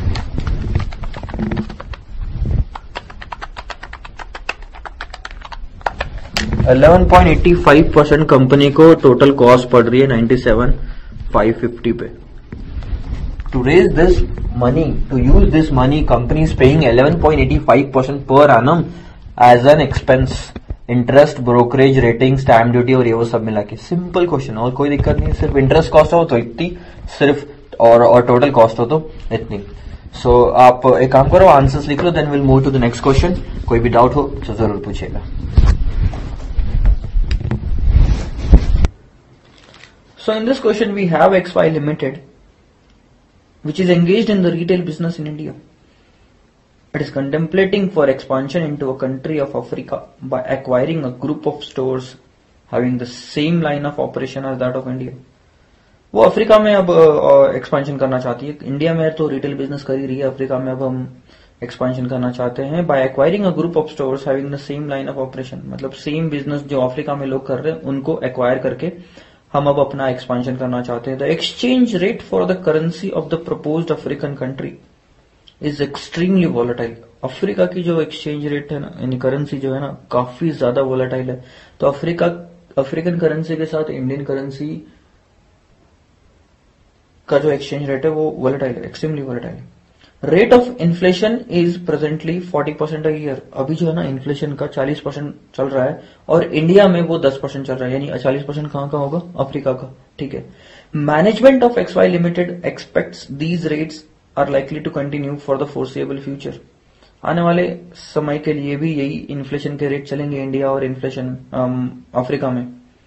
Estimated projected cash flows in real terms in India, underline the word real terms. This is very important. In India as well as African country for the first three years of the project are as follows. पहले तीन साल के project के लिए आ, क्या cash flows होंगे Indian operation से और अफ्रीकन ऑपरेशन से ये वो आपको दिए हुए year zero one two three cash flows in Indian rupees cash flows in African rands XY Limited assumes the year three nominal cash flows will continue to be earned each year independently. अब XYZ Limited क्या करता है कि assume करता है, मानता है कि जो तीसरे साल के नॉमिनल कैश फ्लोज होंगे सी अब अंडरलाइन करो वर्ड नॉमिनल कैश फ्लोज ऊपर जो आपको कैश फ्लोज दिए है, वो है रियल कैश फ्लोज उसमें इन्फ्लेशन इंक्लूडेड नहीं है. अब जो कैश फ्लोज आपको कंटिन्यू होंगे तीसरे साल के बाद परपेचुअली वो है nominal cash flows nominal cash flows में इन्फ्लेशन इंक्लूडेड होता है. Will continue to be earned each year indefinitely. तो ये परपेचुअल कैश फ्लोज हो जाएँगे. It evaluates all investment using nominal cash flows and nominal discounting rate यानी कि सारे के सारे कैश फ्लोज जो है नॉमिनल में कन्वर्ट हमको करना पड़ेगा. अभी रियल टर्म्स में रियल में इन्फ्लेशन ऐड कर देंगे तो नॉमिनल में कन्वर्ट हो जाएँगे, और नॉमिनल डिस्काउंट रेट यूज़ करके हम इसको डिस्काउंटिंग कर सकते हैं. The present exchange rate is African rand six to rupees one हर एक रुपए के लिए छह अफ्रीकन रैंड लगते हैं। You are required to calculate the net present value of the propose investment considering the following NPV निकालना है basically African rand cash flows are converted into rupees and discounted at risk adjusted rate ध्यान दो वापस. Foreign currency जो है African Rand इसको हम rupees में पहले कन्वर्ट कर रहे हैं, यानी फॉरेन करेंसी को होम करेंसी में कन्वर्ट करके रिस्क एडजस्टेड रेट पे डिस्काउंटिंग कर रहे हैं। इसी तरीके को अप्रोच को बोलते हैं होम करेंसी अप्रोच जहाँ पे हम पहले फॉरेन करेंसी को होम करेंसी में कन्वर्ट करते हैं और होम कंट्री डिस्काउंट रेट पे डिस्काउंटिंग करते हैं। All cash flows for this projects will be discounted at a rate of twenty percent to reflect its high risk ignore करो taxation और आपको प्रेजेंट वैल्यू दी हुई है। तो देखते हैं कैसे एनपीवी निकाल सकते हैं इस प्रोजेक्ट की।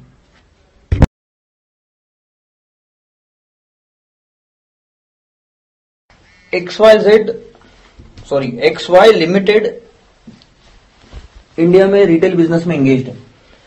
अब वो सोच रहा है कि अफ्रीका में एक्सपांशन किया जाए। आपको इंडिया के कैश फ्लोस दिए हुए आने वाले तीन साल के, अफ्रीका के कैश फ्लोज दिए आने वाले तीन साल के। उसके बाद ये कहा गया है कि चौथे साल से परपेचुअली तीसरे साल के जो कैश फ्लोस थे, वो चौथे साल से परपेचुअली इनकर होंगे। विथ अच्छा कोई ग्रोथ नहीं है। तो यानी जो भी तीसरे साल के कैश फ्लोज रहेंगे, वो चौथे साल से कंटिन्यूस रहेंगे आपके। ये आपको क्वेश्चन में दिया हुआ है। आपको जो क्वेश्चन में दिया हुआ है, वो है रियल कैश फ्लोज अंडरलाइन करना वर्ड जस्ट टेबल के ऊपर में दिया हुआ जो है। इन रियल टर्म्स यानी इसमें इन्फ्लेशन इंक्लूडेड नहीं है। इंडिया का इन्फ्लेशन 10 परसेंट, अफ्रीका का इन्फ्लेशन 40 परसेंट। और उसके बाद नीचे हमको निकालने बोला है एनपीवी और उसके लिए हमको रिस्क एडजस्टेड रेट दिया हुआ है 20 परसेंट। बीस परसेंट। ये 20 परसेंट फाइनल रेट है। मतलब इसमें रियल रेट भी इंक्लूडेड है इन्फ्लेशन भी इंक्लूडेड है। 20 परसेंट में दोनों इंक्लूडेड है। कैश फ्लोज में इन्फ्लेशन इंक्लूडेड नहीं है। तो क्या मैं रियल कैश फ्लोज को नॉमिनल रेट से डिस्काउंटिंग कर सकता हूँ? नहीं ना क्या मैं ऐसे कैश फ्लोज को जिसमें इन्फ्लेशन नहीं है, उसको ऐसे रेट से डिस्काउंटिंग कर सकता हूँ जिसमें इन्फ्लेशन है? नहीं ना। इस रेट में 20 परसेंट में तो इन्फ्लेशन और रियल रेट दोनों इंक्लूडेड है। लेकिन ये जो कैश फ्लोज है, इसमें इन्फ्लेशन नहीं है। तो पहले इसमें इन्फ्लेशन डालना पड़ेगा। इस रियल कैश फ्लोज में इन्फ्लेशन डाल के नॉमिनल कैश फ्लोज में कन्वर्ट करना पड़ेगा। फिर नॉमिनल रेट ऑफ़ रिटर्न से डिस्काउंटिंग करेंगे। नॉमिनल कैश फ्लोज को नॉमिनल रेट से डिस्काउंटिंग करेंगे। और फिर पता करेंगे एनपीवी क्या आएगी। इतना दिमाग में ला लो कि पहले तीन साल की प्रेजेंट वैल्यू प्लस परपेचुटी की present value is the total net present value ठीक है? तो पहले मैं मेन फॉर्मेट बना लेता हूँ कि एनपीवी कैसे निकालेंगे हम। जानबूझ के मैं इसको यहाँ लिख रहा हूँ।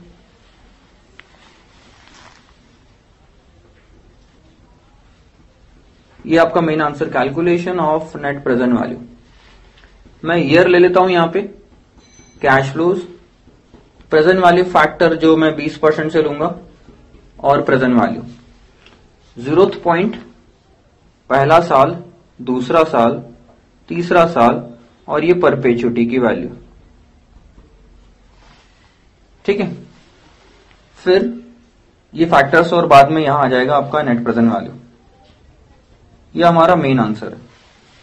अब ये जो तीनों साल की कैश फ्लोज है, वो मैं इधर निकाल लेता हूँ। ध्यान देंगे कैसे सॉल्व कर रहे हैं अपन उसको।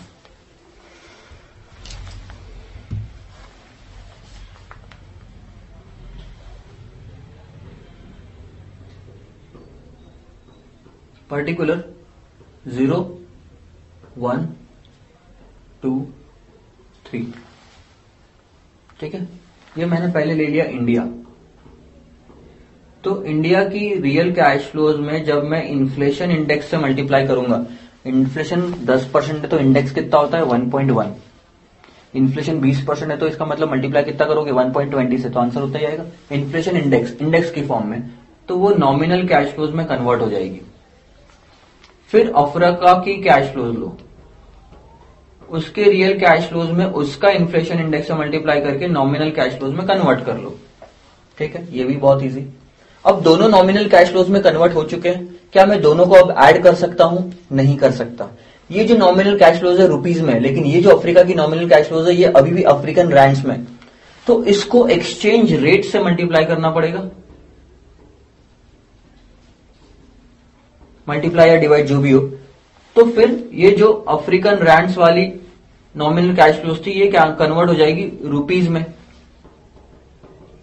है ना? अब ये अफ्रीका की रुपीज़ वाली नॉमिनल कैश फ्लोज है और ये इंडिया की रुपीज़ वाली नॉमिनल कैश फ्लोज है। अब इन दोनों को मैं मिक्स कर सकता हूँ ज़ीरो ज़ीरो का। तो ठीक है, ये हो गया टोटल कैश फ्लो अच्छा टैक्सेस वगैरह है क्या? नहीं कैश फ्लोज ये है दी हुई। चलो तो इतना सॉल्व कर लेते हैं, फिर देखते हैं आगे क्या होता है। ठीक है तो ज़ीरो पॉइंट ऑफ़ टाइम पे रियल कैश फ्लोज है इंडिया की पचास हज़ार पंद्रह सौ दो हज़ार और दो हज़ार पाँच सौ। पचास हज़ार पंद्रह सौ दो हज़ार और दो हज़ार पाँच सौ। Inflation index zero point of time पे इन्फ्लेशन कितना होता है? वन मतलब कोई इन्फ्लेशन नहीं ज़ीरो आज की कैश फ्लो में सब आ, आज के कैश फ्लो में इन्फ्लेशन कहाँ से आएगा? जब टाइम बीता ही नहीं है। अब ठीक एक साल बाद इन्फ्लेशन रेट कितना था? दस परसेंट इंडिया का। है ना? तो इंडिया का इन्फ्लेशन इंडेक्स 1.1 एक साल का। मतलब आज के सौ रुपए में 10 परसेंट इन्फ्लेशन डालोगे तो 110 हो जाएँगे, यानी 100 को 1.1 से मल्टीप्लाई करोगे तो 110 होंगे, ये 1.1 सेकंड ईयर का कितना रहेगा? 1.21 मतलब ये कैश फ्लोज जो 2000 की कैश फ्लोज है, इसको पहले साल से गुजरना पड़ेगा इन्फ्लेशन फिर दूसरे साल से गुजरना पड़ेगा इन्फ्लेशन रहा समझ में क्या है? 2000 में बिल्कुल भी इन्फ्लेशन नहीं है। और ये 2000 सेकंड ईयर की कैश फ्लो है।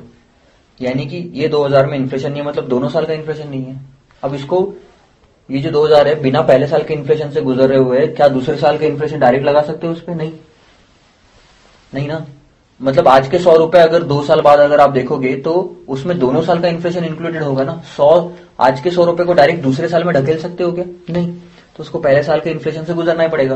यानी कि सौ रुपए, यानी कि ये दो हज़ार रुपए इंटू वन पॉइंट वन पहले साल का inflation into one point one दूसरे साल का इन्फ्लेशन तो ये one point one into one point one होता है वन पॉइंट टू वन फिर तीसरे साल का inflation one point one into one point one into one point one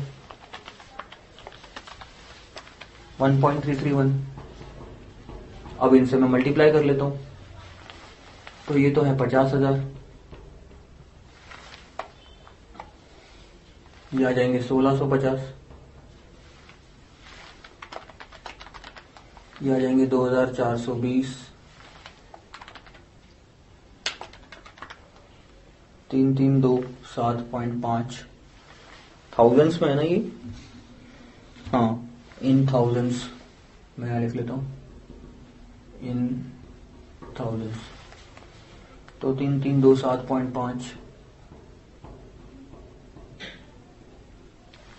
या के नॉमिनल कैश फ्लोज अब ऐसे सेम टू सेम अफ्रीका के साथ कर ले।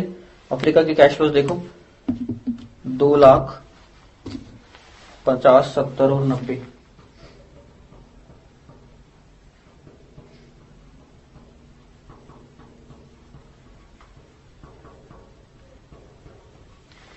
अब इसका इन्फ्लेशन ज़ीरो पॉइंट पे तो वन ही होता है।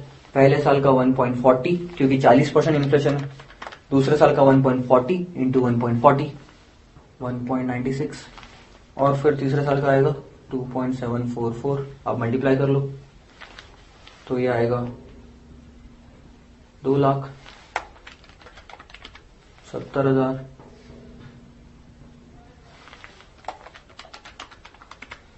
एक सैतीस दो सौ।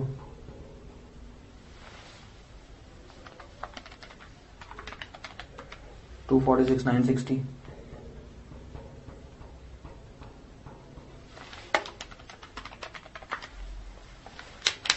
अब एक्सचेंज रेट से मल्टीप्लाई करना है, या डिस्काउंट जो भी है।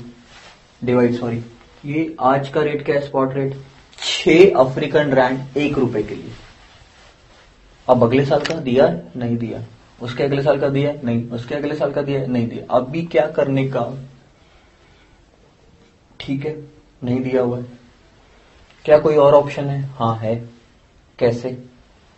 एक्सचेंज रेट दिया नहीं है तो निकालना पड़ेगा। आज से ठीक एक साल बाद का एक्सचेंज रेट निकाल सकते हो। उसको बोलते हैं फॉरवर्ड रेट आपके पास इन्फ्लेशन है इंडिया का, आपके पास इन्फ्लेशन है अफ्रीका का। ऐसा कौन सी मेथड थी ऐसी कौन सी मेथड थी जिसमें आप इन्फ्लेशन को यूज़ करते हुए फॉरवर्ड रेट निकाल सकते हो? परचेसिंग पावर पैरिटी थेरी ठीक है तो मैं purchasing power parity theory use करता हूँ और इन्फ्लेशन के रेट्स निकाल लेता हूँ। चलो, यहाँ निकाल लेते हैं।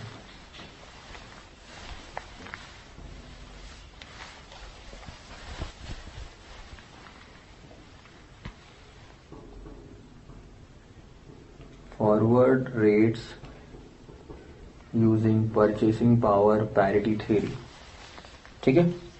देखो year one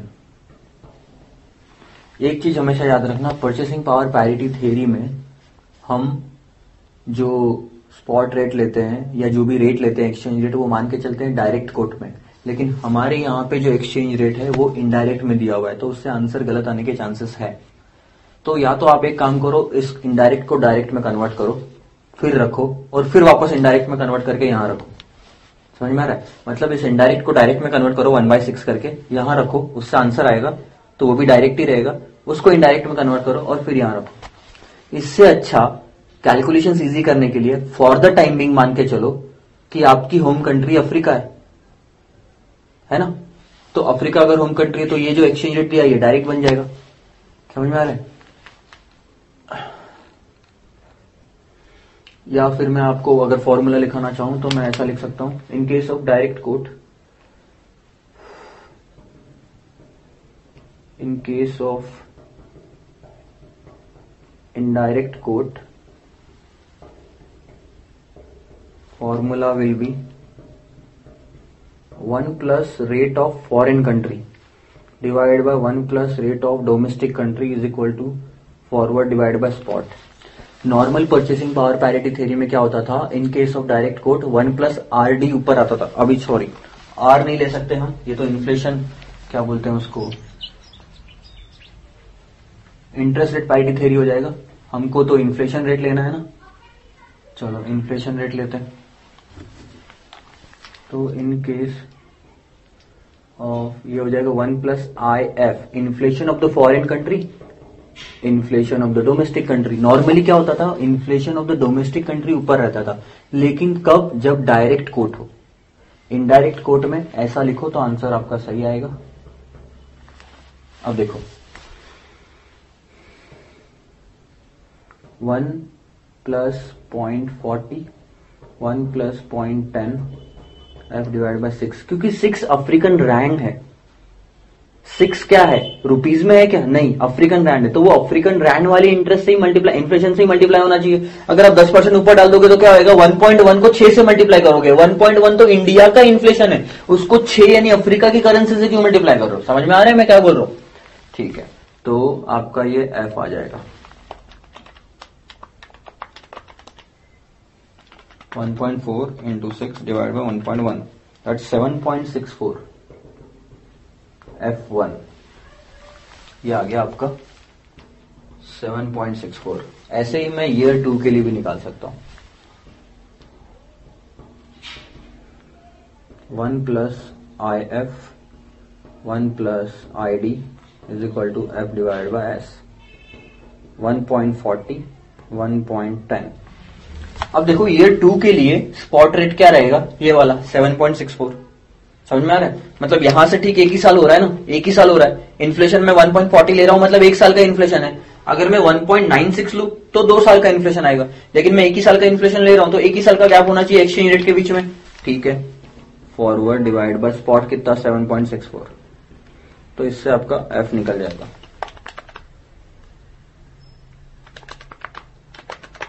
Nine point seven two. ध्यान दो, अगर आप यहाँ 1.40 की जगह 1.96 लेते हो और 1.1 की जगह 1.21 लेते हो तो आप यहाँ f डिवाइड बाय सिक्स कर सकते हो।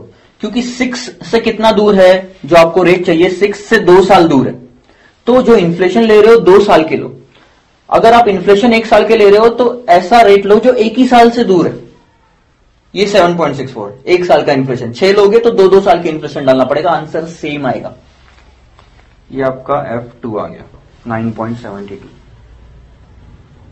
ऐसे ही हम ईयर थ्री के लिए निकालेंगे।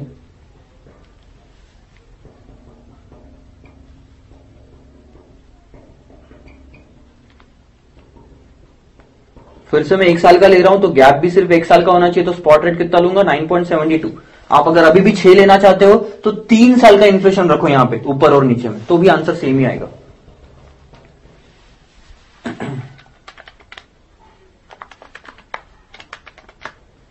बारह पॉइंट सैतीस।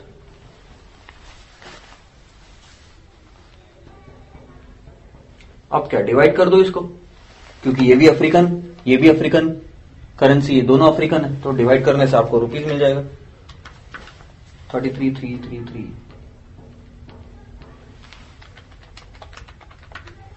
nine one six two point three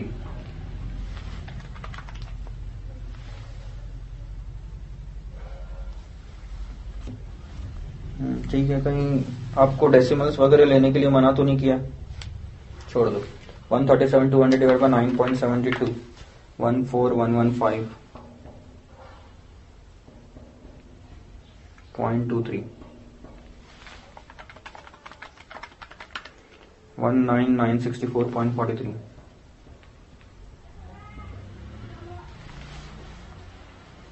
सही है?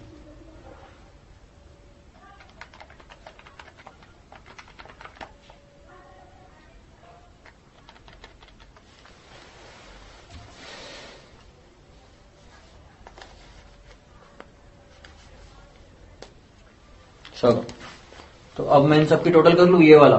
Nominal cash flow in rupees और nominal cash flow in rupees इन दोनों की अगर मैं टोटल कर लू तो आपका आंसर आ जाएगा। ठीक है तो ये आएगा minus eighty three three thirty three ठीक है? Nine one six two point thirty minus one six five zero seven one sorry seven five one two point three zero one four one one five point two three minus two four two zero one one six nine five two point two three 19964.43 minus 3327.50 16636.93 अब मैं रख सकता हूँ ये चारों के चारों cash flows यहाँ पे। Minus eighty three three thirty three सात हज़ार पाँच सौ बारह. पॉइंट थर्टी ग्यारह one one six nine fifty two कुछ गड़बड़ हुई? One one sorry one four one one five point two three minus two four two zero. ये आता है one one six nine five point two three. ओहो। तो one one six point two three और तीसरे साल का sixteen six thirty six point ninety three. अब चाहिए परपेचुटी की वैल्यू ये मैं यहाँ निकाल लेता हूँ।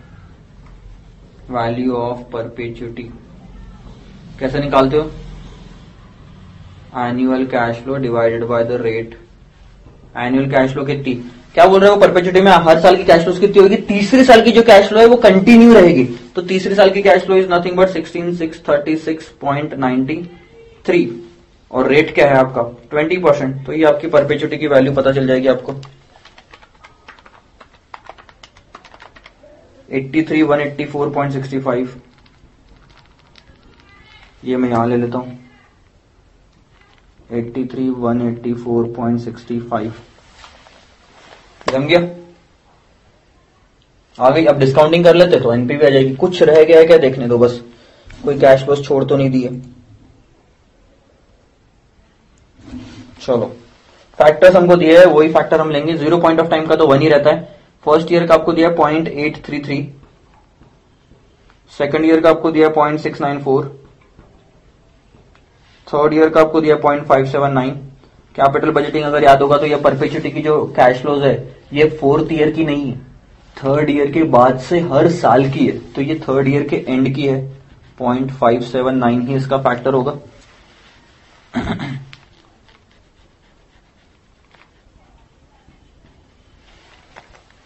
क्यू इसका factor point five seven nine होगा. I will request you to go through the capital budgeting lecture once again the perpetuity वाला जो कंसेप्ट है, या फिर डिविडेंड डिसीज़न में भी आप जाओगे तो परपेचुटी काफ़ी टाइम आपको यूज़ हुई है. Just go through it and you will get to know why we are using the third year factor only बहुत ज़्यादा इंपॉर्टेंट है. बहुत लोगों की गलतियाँ यहाँ पे होती है. चौथे साल का फैक्टर ले लेते हैं.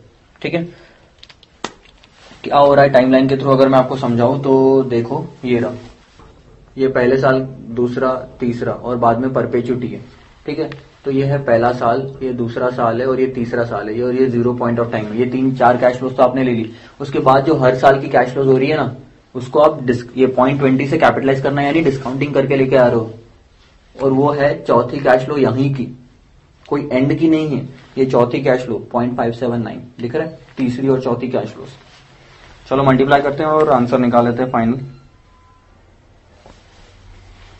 ये तो आएगा minus eight three three three three. Six two five, seven point seven five.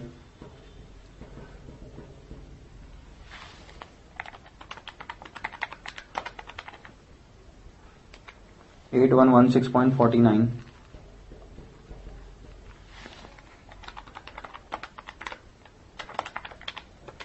Nine, six, three, two point seven eight.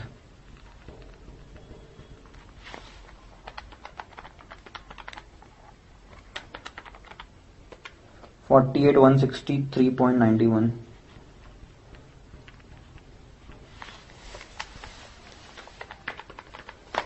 है आपका ग्यारह हज़ार एक सौ बासठ। अच्छा पॉइंट में डिफरेंस आएगा, मैं यहाँ से चेक कर लेता हूँ।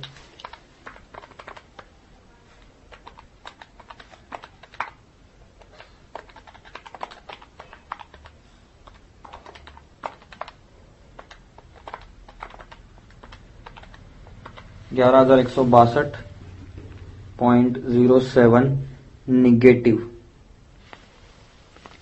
NPV negative आ रही है, ये याद रखना। हमको डिसीज़न लेने बोला है कि नहीं? अगर डिसीज़न लेने बोला होता तो हम क्या डिसीज़न लेते कि इन्वेस्टमेंट नहीं करना चाहिए अफ्रीका में? बेसिकली स्पीकिंग इंडिया के कैश फ्लोज की वजह से ज़्यादा निगेटिव आ रहा है। तो यू कैन नॉट डिसाइड कि अफ्रीका में इन्वेस्टमेंट नहीं करना चाहिए। हो सकता है अफ्रीका में इन्वेस्टमेंट करने की वजह से थोड़ी एनपीवी निगेटिव जो है वो कम निगेटिव है।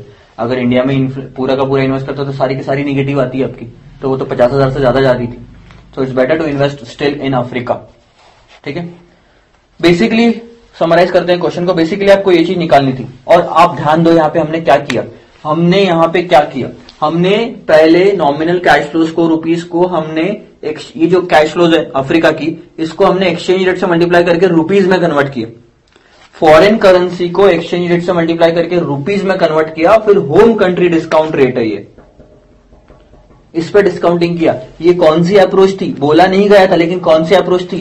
Home currency approach international capital budgeting में होम करेंसी अप्रोच जिसमें हम पहले फॉरेन करेंसी कैश फ्लोज को, हम पहले फॉरेन करेंसी कैश फ्लोज को एक्सचेंज रेट से मल्टीप्लाई या डिवाइड करके होम करेंसी में कन्वर्ट करते हैं। फिर उसको डिस्काउंटिंग करते हैं होम कंट्री डिस्काउंटेड पे। This was the home currency approach जो हमने किया। पता भी नहीं चला। तो बेसिकली हमको 20 परसेंट पर सब कुछ डिस्काउंटिंग करके एनपीवी निकालनी थी, ये पर्पज था। तो ये जो कैश फ्लोज थी ना, ये कैश फ्लोज जो थी, ये नॉमिनल कैश फ्लोज होनी चाहिए थी। यानी इसमें इन्फ्लेशन इंक्लूडेड होना चाहिए था। लेकिन हमको जो दिया था, उसमें इन्फ्लेशन इंक्लूडेड नहीं था। तो हमने इंडिया की कैश फ्लोज ली इन्फ्लेशन डाला नॉमिनल में कन्वर्ट किया। अफ्रीका की कैश फ्लोज ली इन्फ्लेशन डाला नॉमिनल में कन्वर्ट किया। लेकिन African cash flows African rand में थी तो उसको एक्सचेंज रेट से डिवाइड करके इंडिया की करेंसी में कन्वर्ट किया। अब इंडिया के कैश फ्लोज और अफ्रीका के कैश फ्लोज रुपीज़ में आ चुके थे। दोनों को टोटल किया। ये टोटल हमने यहाँ ले ली और परपेचुटी भी कैलकुलेट कर लिया। ये जो एक्सचेंज रेट है, ये कैलकुलेट करने के लिए हमने purchasing power parity theory use की। क्योंकि कोड इनडायरेक्ट था, इसलिए मैंने थोड़ा सा फॉर्मूला रिवर्स किया। कोड डायरेक्ट होता तो वन प्लस आईडी ऊपर आता। आ रहा समझ में? So this is how we calculate the net present value just do one thing note down the answer और if you have any question or any doubt just ask me feel free to ask me so this is it for this day till that time uh, just revise what we have done next lecture में मिलते हैं new concept और new problems के साथ में till that time it's bye bye from Let's have a look over the next question for the foreign exchange and risk management chapter. Company has imported goods for 7 lakh US dollar. NP and company ने 7 lakh US dollar के goods import किए हुए the amount is payable after three month जिसका पैसा तीन महीने बाद देना है। आज से ठीक तीन महीने बाद सात लाख डॉलर आपको फॉरेन में भिजवाने फॉरेन कंट्री में किसी पार्टी को देने हैं। तो तीन महीने बाद आप बैंक जाके सात लाख डॉलर खरीदोगे। The company has also exported goods for US dollar four lakh fifty thousand यानी साढ़े चार लाख डॉलर के आपने एक्सपोर्ट भी किया है। And this amount is receivable in two months दो महीने में ये पैसा आ जाना है। सात लाख का जो पैसा का पेमेंट करना है, वो तीन महीने बाद की बात है। और जो साढ़े चार लाख डॉलर पैसा आने वाला है, वो दो महीने की ही बात की बात है। For receivable amount of forward contract is already taken और रिसीवेबल की जो बात चल रही है, इसके लिए ऑलरेडी आपने फॉरवर्ड कॉन्ट्रैक्ट ले चुके हो। जो कि अड़तालीस रुपए नब्बे पैसे पे आपने प्राइस फिक्स कर चुके यानी कि आज ही आपने ऑलरेडी कॉन्ट्रैक्ट कर चुका है बैंक के साथ में कि आप दो महीने बाद में बैंक जाओगे और अड़तालीस रुपए नब्बे पैसे के हिसाब से एक डॉलर बेच दोगे, क्योंकि आपको दो महीने बाद पैसा आएगा और आप बैंक ले जाके बेचना चाहते हो। स्पॉट मार्केट के आपको रेट्स दिए हुए अड़तालीस रुपए पचास पैसे और अड़तालीस रुपए सत्तर पैसे। दो महीने और तीन महीने के आपको स्वैप के पॉइंट्स दिए हुए इससे फॉरवर्ड रेट निकल जाता है। The company wants to cover the risk and it has two option as under अब कंपनी रिस्क कवर करना चाहती है और उसके पास में दो ऑप्शन है। Payable to cover the payables in the forward market forward market में पेबल्स भी कवर कर लो। जैसे आपने रिसीवेबल्स के लिए ऑलरेडी कॉन्ट्रैक्ट लेके रख लिया है, वैसे ही पेबल्स के लिए भी आप ले लो। कहानी खत्म कर दो। To lag the receivable by one month and cover the risk only for the net amount आप एक चीज़ ये भी कर सकते हो कि जो दो महीने बाद साढ़े चार लाख डॉलर आने वाले हैं ना कस्टमर को फ़ोन करके बोलो, भैया, दो महीने बाद पेमेंट मत करो। एक महीना और रख लो और तीसरे महीने में पेमेंट करो। तो तीसरे महीने में क्या होगा सात लाख डॉलर देने रहेंगे, साढ़े चार लाख डॉलर लेने रहेंगे। तो नेट अमाउंट जो है ढाई लाख डॉलर उतना ही देना रहेगा तो उतने का ही रिस्क कवर करो। आज no interest for delaying the receivable is earn तो ये जो एक लाख सॉरी ये जो साढ़े चार लाख डॉलर आपने डिले किया, उसके लिए कोई इंटरेस्ट नहीं पे करेगी सामने वाली पार्टी क्योंकि आपने डिले करवाया, सामने वाले ने नहीं। Evaluate both the option if the cost of rupee fund is twelve percent हाँ लेकिन आपको रुपीज़ की कॉस्ट कितनी पड़ रही है? बारह परसेंट। और आपको बताना है कौन सा ऑप्शन प्रेफरेबल है? पेबल्स को फॉरवर्ड मार्केट में कवर अप करना या रिसीवेबल्स को लैक करके नेट अमाउंट कवर अप करना। तो देखते हैं कैसा, कैसे हम डिसीज़न ले सकते हैं, कौन सा ऑप्शन प्रेफरेबल है। एमपीएन कंपनी ने क्या किया है? गुड्स इंपोर्ट किए, सात लाख डॉलर के। ठीक है? और ठीक तीन महीने बाद में ये सात लाख डॉलर भिजवाने हैं एमपीएन कंपनी को। ठीक है? एमपीएन कंपनी कहा कि? इंडिया की रुपीज़ सात लाख डॉलर तीन महीने बाद भिजवाने हैं। यही नहीं, साढ़े चार लाख डॉलर के गुड्स भी एक्सपोर्ट किए हुए। तो ठीक दो महीने बाद साढ़े चार लाख डॉलर आएँगे, तीन महीने बाद सात लाख डॉलर जाएँगे। जो आने वाले हैं साढ़े चार लाख डॉलर उसके लिए तो आप ऑलरेडी फॉरवर्ड कॉन्ट्रैक्ट ले चुके हो forty eight point ninety rupees के लिए। यानी आप ऑलरेडी बैंक से कॉन्ट्रैक्ट कर चुके हो कि आप दो महीने बाद जाओगे बैंक के पास में। ठीक, दो महीने बाद क्या होगा बाहर से यूएस से आपके पास पैसा आएगा, साढ़े चार लाख डॉलर ये साढ़े चार लाख डॉलर ले जाके आप बैंक के पास जाओगे और हर एक डॉलर के बदले में अड़तालीस रुपए नब्बे पैसे ले लो। ये कॉन्ट्रैक्ट हो चुका है। बात आती है सिर्फ़ पेबल्स की, सात लाख डॉलर की। जो आज आपने इंपोर्ट करा लिया, ठीक तीन महीने बाद सात लाख डॉलर आप बैंक से खरीद के उधर पेमेंट करोगे। लेकिन उस दिन स्पॉट रेट पे खरीदोगे तो ज़्यादा रेट रहेंगे। ये रिस्क है। ये रिस्क हटाना है। इसलिए आपको दो ऑप्शन दिए जैसे आपने रिसीवेबल्स को कवर किया फॉरवर्ड में, वैसे ही पेबल्स को भी कवर कर लो फॉरवर्ड में। आज ही प्रॉमिस कर लो बैंक के साथ में। आज ही पूछ लो बैंक को कि भैया, तीन महीने बाद मैं आपके पास से डॉलर खरीदने आऊँगा। तो आज रेट बता दो। उस दिन के रेट पे मैं खरीदना नहीं चाहता। मेरे को लगता है उस दिन ज़्यादा रेट होगा। आज के रेट आ, आज रेट बता दो। आज फिक्स कर लो rate that is forward rate या तो दूसरा ऑप्शन है। ये जो दो महीने बाद पैसे आने वाले हैं डॉलर इसको एक महीने से और पोस्टपोन कर दो। फ़ोन करके बोलो कस्टमर को कि भाई साहब दो महीने बाद दो डॉलर देने वाले हो ना साढ़े चार लाख मत दो। एक महीना आपके पास और रखो। ठीक तीन महीने बाद देना। तो ठीक तीन महीने बाद आपके लिए सिचुएशन कैसे क्रिएट हो जाएगी? सात लाख डॉलर भिजवाने रहेंगे, साढ़े चार लाख डॉलर आने रहेंगे। तो रिस्क सिर्फ़ ढाई लाख डॉलर का रहेगा।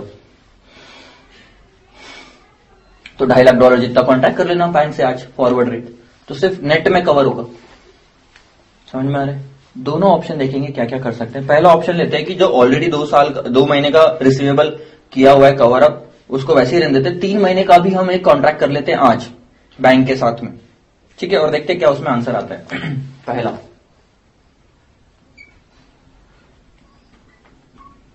Cover the payables in forward market तो पेबल्स भी हम फॉरवर्ड मार्केट में कवर कर लेते हैं।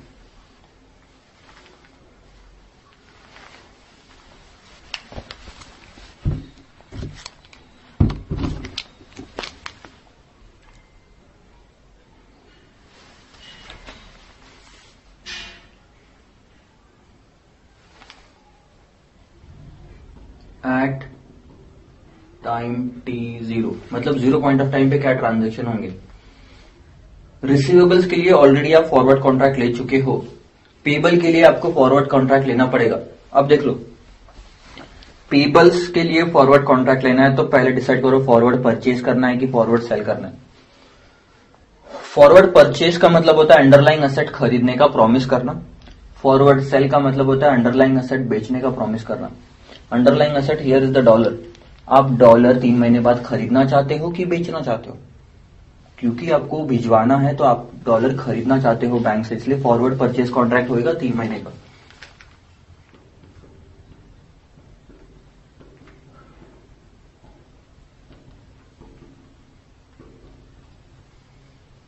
अब तीन महीने का फॉरवर्ड परचेज कॉन्ट्रैक्ट यानी कि आप तीन महीने बाद खरीदना चाहते हो डॉलर बैंक से। तो तीन महीने बाद के रेट पे बैंक डॉलर बेचना चाहती है तो आस्क रेट लगेगा। आप खरीदना चाहते हो बैंक बेचना चाहती है डॉलर डॉलर वाला आस्क रेट तो वो कैसे कैलकुलेट करोगे? देखो 48.70 में आपको 45 पॉइंट्स ऐड करने पड़ेंगे। है ना? मैं ब्रैकेट में ले लेता हूँ। 48.70 आस्क रेट है, लेकिन ये स्पॉट रेट है, ये अपने काम का नहीं है। इसमें स्वैप पॉइंट्स ऐड करने पड़ेंगे, जो कि 45 है। Plus point forty last two digits तो एट 49.15 के रेट कंफर्म हो गया पेबल्स के लिए। यानी अब दो चीज़ कंफर्म हो गई। ठीक, दो महीने बाद अड़तालीस रूपए नब्बे पैसे पे आप रिसीवेबल्स कन्वर्ट करा लोगे, और तीन महीने बाद उन पचास रुपए पंद्रह पैसे पे सात लाख डॉलर खरीद के भेज दोगे। आई थिंक यहाँ पे और कुछ ट्रांजेक्शन करने की ज़रूरत नहीं है। At time T is equal to two months अब दो महीने बाद क्या होगा देखो। हम्म यहाँ से दो महीने कंप्लीट हुए। साढ़े चार लाख डॉलर आएगा। ये आप बैंक में ले जाके बेचोगे जैसा कि कॉन्ट्रैक्ट किया था। और एक डॉलर के लिए कितना लोगे? अड़तालीस रुपए नब्बे पैसे।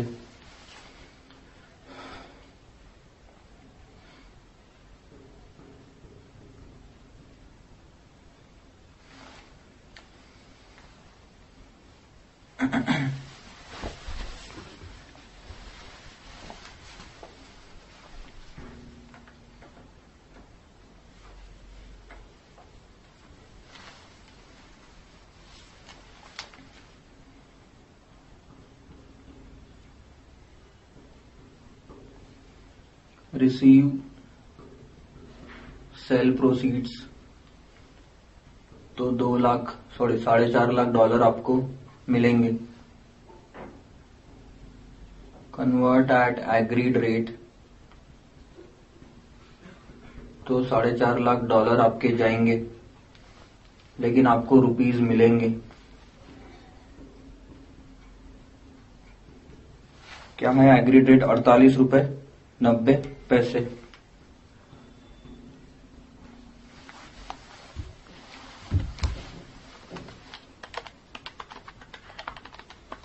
बाईस double zero five triple zero. ठीक है, इतने आपको मिलेंगे। आप क्या करोगे इसका? इसका हम करेंगे क्या? इसको हम इन्वेस्ट कर देंगे, क्योंकि अभी तो हमको कैलकुलेशन दोनों दोनों ऑप्शन को कंपेयर करना, ठीक है? ये वाला ऑप्शन और सेकंड वाला ऑप्शन ये वाला ऑप्शन और सेकंड वाला ऑप्शन तो दोनों के cash flows at the end of the कोई एक पर्टिकुलर बेस होना ना जिसपे एक ही टाइम पे कैश फ्लोज दिखे सारे के सारे. ये दो महीने बाद के कैश फ्लोज दिखा के कोई सेंस नहीं है तो इसको हम एक महीने के लिए और इन्वेस्ट कर देंगे. चलो तो कंटिन्यू करते हैं आगे. इन्वेस्ट करेंगे. अब जो, इतना जो पैसा आ चुका है ना हमको कन्वर्ट कराने के बाद में, ये सब हम उसी टाइम पे इन्वेस्ट कर देंगे, एक महीने के लिए. तो वापस ज़ीरो हो गया यहाँ पे। अब एट टाइम थ्री मंथ्स यानी अब तीन महीने बाद क्या होगा देखो। अब आप डॉलर खरीदोगे। सात लाख डॉलर जो उधर भिजवाने के, उसके लिए कॉन्ट्रैक्ट आपने ऑलरेडी कर चुके थे forty nine point one five में।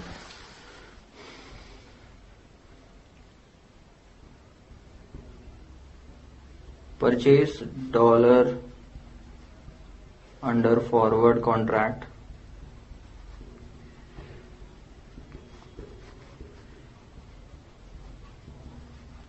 सात lakh into forty nine point one five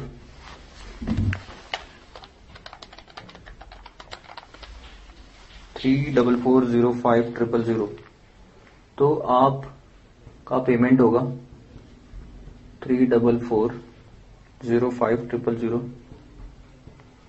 और आपको सात लाख डॉलर मिल जाएँगे। Remit the same to vendor vendor को ये पैसा चला जाएगा, उसको देना था। ठीक है? तो सात लाख डॉलर आए, सात लाख डॉलर चले गए। अब और एक क्या आइटम बाकी है? इन्वेस्टमेंट प्रोसीड आपने इन्वेस्ट किया था? Twenty two double zero five thousand. बारह परसेंट पर आनम रेट है। एक महीने के लिए इन्वेस्ट किया तो, तो एक परसेंट मिलेगा into one point zero one double two double two five zero five zero.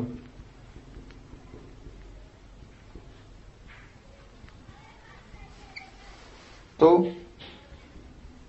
Net cash outflow आ जाएगा इस ऑप्शन का।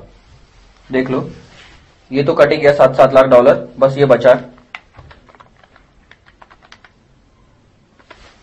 One two one one two one, seven nine nine five zero.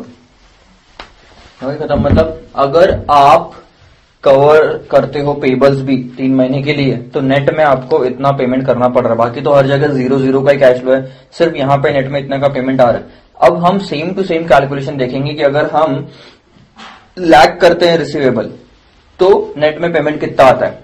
वो अगर इससे कम आया तो वो ऑप्शन चूज़ करेंगे, लेकिन वो अगर ज़्यादा आया तो ये ऑप्शन चूज़ करेंगे, क्योंकि हमारा आउटफ्लो कम से कम हो, सबसे वही बेटर है। ठीक है? तो देखो, अब हम सेकंड वाला पार्ट करते हैं।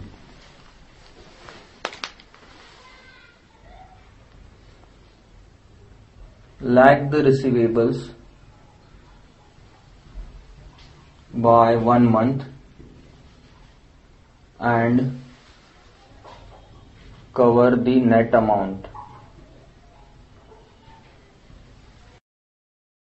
तो अब मेरे को एक चीज़ बताओ, आपने फ़ोन करके बोल दिया कस्टमर को कि भैया, दो महीने बाद पेमेंट मत करो, तीन महीने बाद करना। किससे, किसको बोला? जिससे साढ़े चार लाख डॉलर लेने थे। तो अब दो महीने बाद आपको साढ़े चार लाख डॉलर नहीं मिलेंगे, ठीक तीन महीने बाद मिलेंगे। तो तीन महीने बाद साढ़े चार लाख डॉलर मिलेंगे, सात लाख डॉलर भिजवाने रहेंगे तो ढाई लाख डॉलर नेट जो आया, उसके लिए आप फॉरवर्ड कवर ले लो। ढाई लाख भिजवाने हैं अभी भी, तीन महीने बाद, जैसे सात लाख भिजवाने थे। तो आप क्या करोगे? एक कवर ले लोगे। एट टाइम टी ज़ीरो अब देखना काफ़ी इंपॉर्टेंट यहाँ पे, क्या होएगा? आज से ठीक दो महीने बाद अब आपको साढ़े चार लाख डॉलर आएँगे क्या? नहीं आएँगे। लेकिन आपने यहाँ साढ़े चार लाख डॉलर बेचने का प्रॉमिस ऑलरेडी कर चुके हो बैंक को। लिखा है ना क्वेश्चन में कि 48.90 के रेट से ऑलरेडी कॉन्ट्रैक्ट हो चुका है। अब ये कॉन्ट्रैक्ट क्लोज करना पड़ेगा।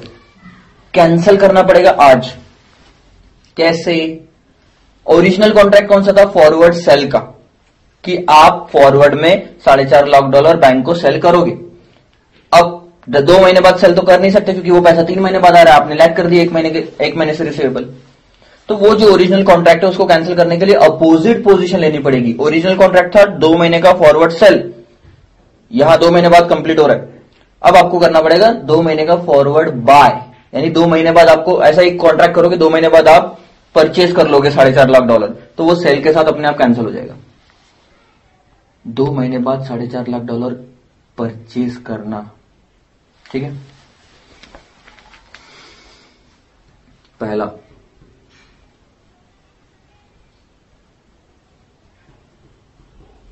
Cancel the old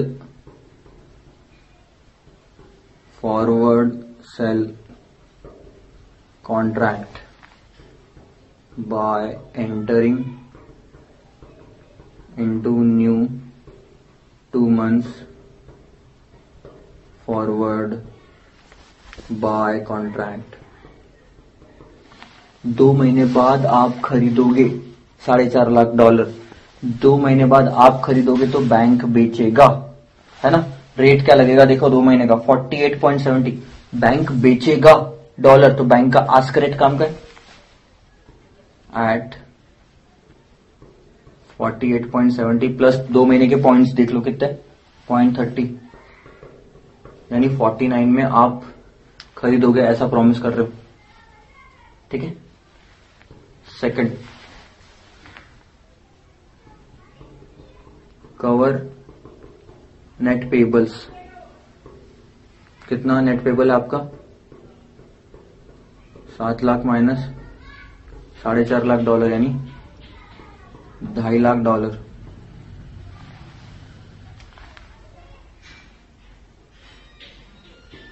in three month forward market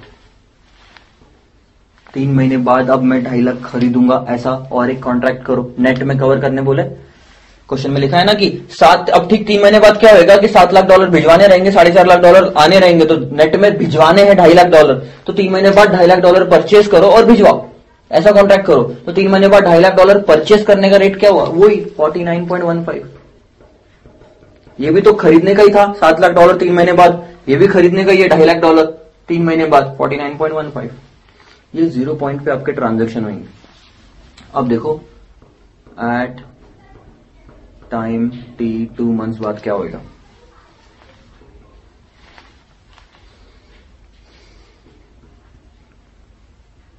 Loss on cancellation buy rate क्या था आपका? कितने में आप खरीदने वाले हो? 49 में। सेल रेट था आपका 48.90 loss of rupees per dollar is point ten. Value कितनी थी? साढ़े चार लाख डॉलर। टोटल लॉस कितना हुआ? पैतालीस हज़ार का। मतलब क्या हुआ पता है नेट में? ठीक, दो महीने बाद आप बैंक को ले जाके पैंतालीस हज़ार रुपए दे दो। आपका पुराना कॉन्ट्रैक्ट अपने आप अपने आप खत्म हो जाएगा। ना अलग से सेल करने की ज़रूरत, ना अलग से बाय करने की ज़रूरत। क्योंकि सेल करोगे और बाय करोगे, मान लो किसी बैंक से जाके आपने खरीदा 49 में और इसको बेच दिया क्योंकि पुराना प्रॉमिस था तो अल्टीमेटली पैंतालीस हज़ार का नुकसान होना ही है।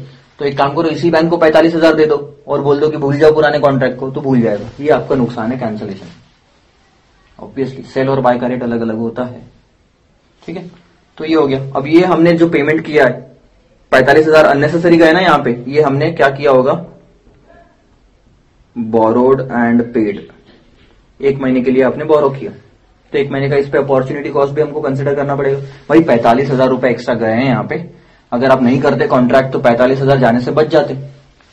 अब एट टाइम थ्री मंथ सिर्फ़ दो चीज़ें रहेगी। ढाई लाख का खरीदने वाला रहेगा आइटम और ये इसका रीपेमेंट रहेगा।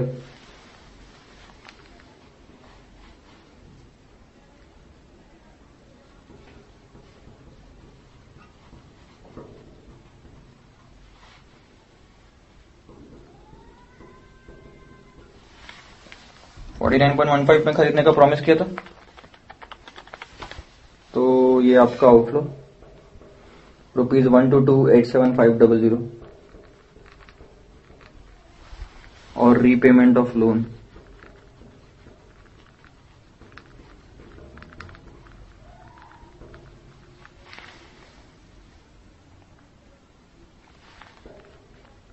पैतालीस हज़ार एक महीने के लिए एक परसेंट इंटरेस्ट रेट क्योंकि बारह महीने का बारह परसेंट था। पैतालीस, चार सौ पचास। Net cash outflow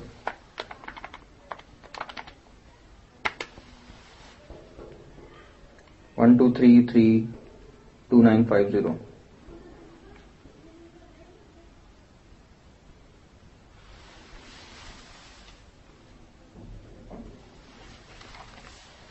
आपके दोनों ऑप्शन के आंसर आ चुके हैं। कि भैया, अगर आपने लैग किए रिसीवेबल तो नेट में इतना पेमेंट करना पड़ेगा, लेकिन अगर आपने कवर किया पेबल तो आपको नेट में इतना पेमेंट करना पड़ेगा। देख लो कहाँ सबसे ज़्यादा पेमेंट जा रहा है, वो ऑप्शन सबसे बेस्ट दिख रहा है, यहाँ पे सबसे कम पेमेंट जा रहा है आपका, है ना?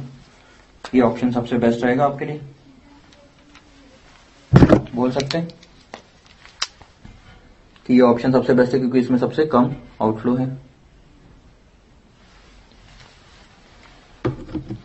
से देख लो क्या क्या करना है क्या क्या किया हमने, अभी तक दिखा देता हूँ। इसमें था कवर करना पेबल पेबल कवर करना यानी कि रिसीवेबल तो कवर कर ही चुके हो पेबल्स भी कवर कर लो। तो पेबल्स कवर करने के लिए हमने डिसाइड किया कि भाई पेबल है मतलब किसी को पैसा देना है मतलब पहले बैंक से पैसा खरीदना पड़ेगा, और हम खरीदेंगे तो बैंक पैसा देगी देगी, यानी उसका आस्क रेट हो गया। तो फोर्टी पॉइंट हमारा आस्क रेट आया, वो कैसे निकला? स्पॉट में मैंने स्वैप पॉइंट्स ऐड कर दी। ठीक है? उसके बाद में दो महीने बाद क्या हुआ? तब तो और कुछ पैसा देने की ज़रूरत नहीं दो महीने बाद क्या हुआ? जो साढ़े चार लाख डॉलर आने थे, आए वो मैंने बैंक में भेज दिए आए तो साढ़े चार लाख डॉलर पॉजिटिव वो बैंक में भेज दिए तो निगेटिव लेकिन इसके बदले में आपको रुपीज़ मिले। और ये आपने एक महीने तक ऐसे जेब में थोड़ी पड़े रखोगे। अपॉर्चुनिटी कॉस्ट ले लो। एक महीने तक आपने इन्वेस्ट कर दिया। ठीक है? खत्म कहानी। थ्री मंथ्स थ्री मंथ्स बाद में आपने जो प्रॉमिस किया था, क्या? सात लाख डॉलर खरीदने का, ये रेट पे। सात लाख डॉलर खरीदे तो आए पॉजिटिव इसके लिए रुपीज़ दिए निगेटिव ये सात लाख डॉलर आए बैंक से और आपने वेंडर को दे दिए। चला गया। लेकिन और जो इन्वेस्टमेंट था, ये भी इंटरेस्ट के साथ वापस मैच्योर हो गया तो नेट में कितना, इतना पेमेंट लगा। ये वाला आइटम देख लो। इसमें हमने क्या किया, जो दो महीने का कॉन्ट्रैक्ट हमने ऑलरेडी कर चुका था, कर चुके थे, वो हमने कैंसिल किया। क्यों? क्योंकि अब दो महीने बाद पैसा आने वाला ही नहीं था, क्योंकि हमने लैग कर दिए थे रिसीवेबल लैग करना रिसीवेबल यानी एक महीने से और डिले करना। फ़ोन करके कस्टमर को फ़ोन करके बोला कि भैया, मत पेमेंट करना। दो महीने बाद पेमेंट मत करना। साढ़े चार लाख डॉलर जो आप भिजवा रहे हो ना, दो महीने बाद मत भिजवाना, तीन महीने बाद भिजवाना। तो वो तो खुश। उसको तो एक महीने और यूज़ करने मिल गया। लेकिन दिक्कत क्या हुई? अब दो महीने बाद साढ़े चार लाख डॉलर नहीं आएगा। बैंक से तो प्रॉमिस कर चुके हो। ऑलरेडी कॉन्ट्रैक्ट हो चुका था 48.90 के रेट से। कि बैंक को आप 48.90 के रेट से बेचोगे। ठीक है? बेचेंगे। तो अब हमको कहीं और से खरीदना पड़ेगा उसको बेचने के लिए। तो हमने फॉरवर्ड बाय कॉन्ट्रैक्ट किया उसको कैंसिल करने के लिए। और उसका रेट निकला 49 दो महीने का फॉरवर्ड बाय यानी दो महीने बाद ठीक कहीं से खरीदोगे और बैंक को दे दोगे। तो 49 में खरीदोगे 48.90 में बेचोगे। दस पैसे का हर डॉलर पे नुकसान होएगा। टोटल डॉलर थे साढ़े चार लाख। टोटल नुकसान हुआ पैंतालीस हज़ार। ले देके कहानी खत्म की। पैंतालीस हज़ार बोरो किया, उस दिन मार्केट से और दे दिया। तो ज़ीरो कैश फ्लो अगेन पैंतालीस हज़ार कैश फ्लो नहीं है नेट में। बोरो किया और दे दिया। और फिर आपने आखिरी में ढाई लाख का कवर अप ले लिया था। जो तीन महीने बाद क्या होगा ढाई लाख ही पेमेंट करना पड़ेगा नेट में। साढ़े चार आएगा, उधर के उधर भिजवा देना। ढाई lakh into this rate forty nine point one five तीन महीने का पेबल और ये रीपेमेंट ऑफ़ बोरोइंग कहानी खत्म। आ रहा समझ सो क्वेश्चन में आंसर लिख दे रहा हूँ। यहाँ लिख लेता company should cover the payables in forward market as the cash outflow is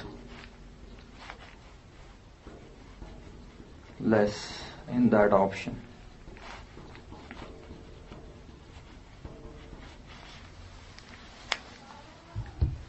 आया एक समझ में क्वेश्चन आंसर नोट कर लो फिर हम नेक्स्ट क्वेश्चन पे मूव करते हैं if you have doubts in case just ask me feel free to ask me bye bye Hey, hi everyone, this is Mayank Kothari. In this video, we are going to deal with a, a special question in the foreign exchange and risk management chapter. And this is the best question to uh, test your uh, conceptual clarity on the concepts in foreign uh, foreign exchange risk management chapter. ये question में गलती करने के काफ़ी ज़्यादा chances है। पहली बात तो क्वेश्चन पढ़ के ठीक से समझ में भी नहीं आएगा कि आपको कैसे उसको स्टार्ट करना है कैसे उसको सॉल्व करना है और आगे बढ़ाना है। बहुत सारे लोग उसमें गलतियाँ कर चुके हैं। पिछले अटेम्प्ट में भी lot of people have ask me lot of queries उससे भी आइडिया आ जाता है कि क्या माइंडसेट रहता है बच्चों का कैसे स्टूडेंट uh, इस पर्टिकुलर क्वेश्चन को उन्होंने लिया है। तो let's have a look on this question first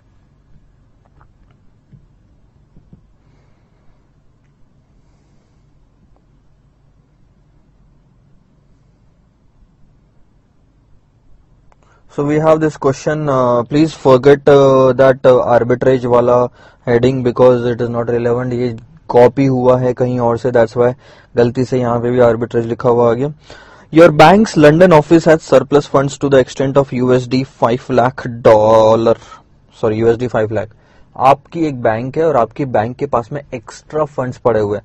पहली चीज़ क्लियर करो लंडन ऑफ़िस है। धीरे धीरे मैं आपको समझाते जा रहा हूँ, ठीक है? लंडन ऑफ़िस है मतलब आपकी होम करेंसी है जीबीपी अब आपकी होम करेंसी जीबीपी होने के बाद में आपके पास एक्स्ट्रा में क्या पड़े हैं? जीबीपी नहीं पड़े डॉलर पड़े मतलब आपके पास एक्स्ट्रा में फॉरेन करेंसी है। आगे। For a period of three months मतलब आपके साम, आपके पास में ये सरप्लस फंड्स जो है फॉरेन करेंसी का, ये सिर्फ़ तीन महीनों के लिए है। अभी ध्यान में रखना, आप इंग्लैंड में है, ऐसा फील करो, ठीक है? So GBP is your home currency और आपके पास में सॉरी डॉलर एक्स्ट्रा में पड़ा हुआ है तीन महीने के लिए। The cost of the funds to the bank is four percent per annum बस यही लाइन अब पूरा इंटरप्रिटेशन बदल देगी। अभी तक जो हमने पढ़ा दो लाइन उसके मीनिंग जो भी निकलता था, ये अगली लाइन उसका इंटरप्रिटेशन बदलती है। इसका बोलना ऐसा है कि जो हमारे पास में सरप्लस फंड पाँच लाख डॉलर का, पाँच लाख फॉरेन करेंसी का सरप्लस फंड पड़ा हुआ है, उस पे हमको कॉस्ट लग रही है that is four percent per annum चार परसेंट पर एनम लग रही है तो तीन महीने के लिए एक परसेंट लगेगा। That is five thousand dollar तो जब तीन महीने बाद में रीपे करना पड़ेगा, किसी और को देना पड़ेगा तो पाँच लाख पाँच हज़ार डॉलर देना पड़ेगा। Now please consider the situation क्या होगी ये मैं आपको बता रहा हूँ। हो सकता है कि मैंने दस सो, मैंने मान लो बारह लाख डॉलर, मेरी बैंक की लंदन ऑफ़िस ने बारह लाख डॉलर मंगवाए हो या लोन लिया हो। ठीक है? बारह लाख डॉलर लोन लिया हो। किसी पर्पज के लिए उसमें से सात लाख डॉलर ही यूज़ हुए, किसी कारणवश पाँच लाख डॉलर बचे रह गए। और ये बारह लाख का लोन था तीन महीनों के लिए। तो एक तरह से तीन महीने बाद वो बारह लाख डॉलर पे करने वाली है। उसमें से पाँच लाख डॉलर ये है। अब वो सात लाख डॉलर जो कहीं और इन्वेस्ट हो चुके हैं इसके बारे में कहानी छोड़ दो। बस मैं आपको इतना बताना चाहता हूँ कि ये सरप्लस है मतलब इससे ज़्यादा अमाउंट बोरो किया गया था तीन महीनों के लिए। वो ज़्यादा अमाउंट तो छोड़ दो। बचा हुआ कितना है? पाँच लाख डॉलर और इस पे भी आपको इंटरेस्ट लगना है। सो so, ये और कुछ नहीं आपकी बैंक ने लोन लेके रखा है तीन महीनों के लिए पाँच लाख डॉलर का जो तीन महीने बाद आपको वापस चुकाना है पाँच लाख पाँच हज़ार डॉलर। इतना ध्यान में रखना। आगे। It it proposes to invest these funds in London New York और Frankfurt and obtain the best deals without any exchange risk to the bank now अब क्योंकि तीन महीने बाद, तीन महीने तक मेरे को डॉलर कैसे भी पड़ ही रहेगा, मेरे पास में तीन महीने बाद रीपे करना है सामने वाले को। तो what I will do is मैं तीन महीने तक ये डॉलर कहीं इन्वेस्ट कर दूँगा। अब इन्वेस्टमेंट के लिए तीन ऑप्शन दिए हैं आपको क्वेश्चन में। ये तीन ऑप्शन क्या है? सर, पहले तो आप एक काम करो, लंदन में इन्वेस्टमेंट कर दो। दूसरा, लंदन में नहीं इन्वेस्टमेंट करते हो तो न्यूयॉर्क में ये डॉलर इन्वेस्टमेंट कर दो, या फ्रैंकफर्ट में कर दो। तीनों में से कोई भी सिटी में आप इन्वेस्टमेंट कर दो। ध्यान रहे, कोई भी सिटी में, कोई भी कंट्री में जब आप इन्वेस्टमेंट करने जाते हो तो उस कंट्री की करेंसी में इन्वेस्टमेंट होगा। तो भले मेरे पास डॉलर है और मैं लंदन में इन्वेस्टमेंट कर रहा हूँ तो पहले डॉलर को मेरे को पाउंड में कन्वर्ट करना पड़ेगा। डॉलर बेच के पाउंड खरीदूँगा और फिर इन्वेस्ट करूँगा। ठीक है?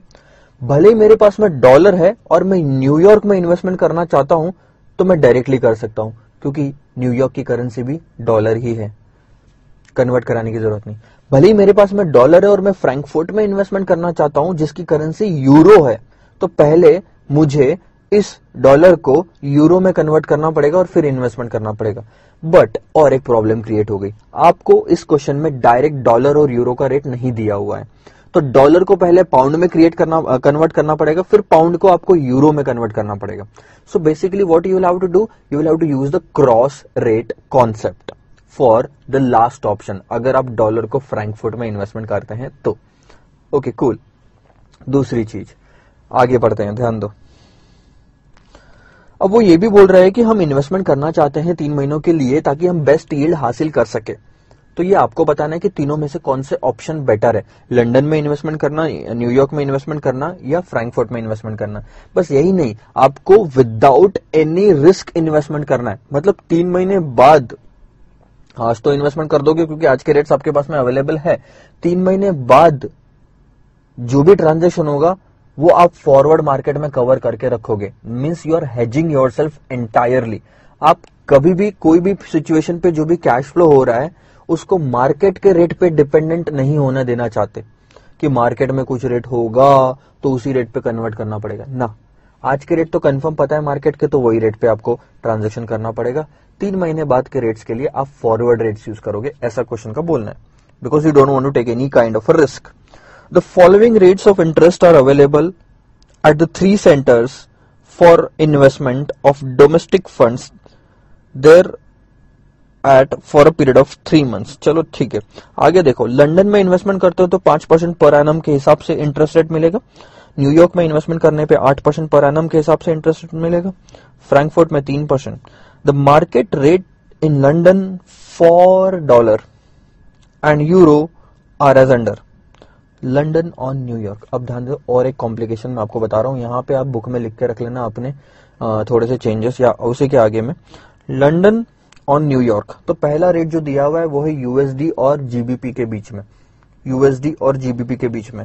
अब आप अगर स्पॉट रेट देखोगे तो स्पॉट रेट आपको दिखेगा 1.5350 और 90 तो सबसे पहले 1.5350 इज़ अ बिड रेट जो दूसरा 90 है, सर, ये 90 कहाँ से यूज़ करते हैं? ये 90 लास्ट के टू सॉरी लास्ट से शुरू होता है। सो ये जो लास्ट के टू डिजिट्स है, उसको रिप्लेस करेगा। सिर्फ़ उसको रिप्लेस करेगा।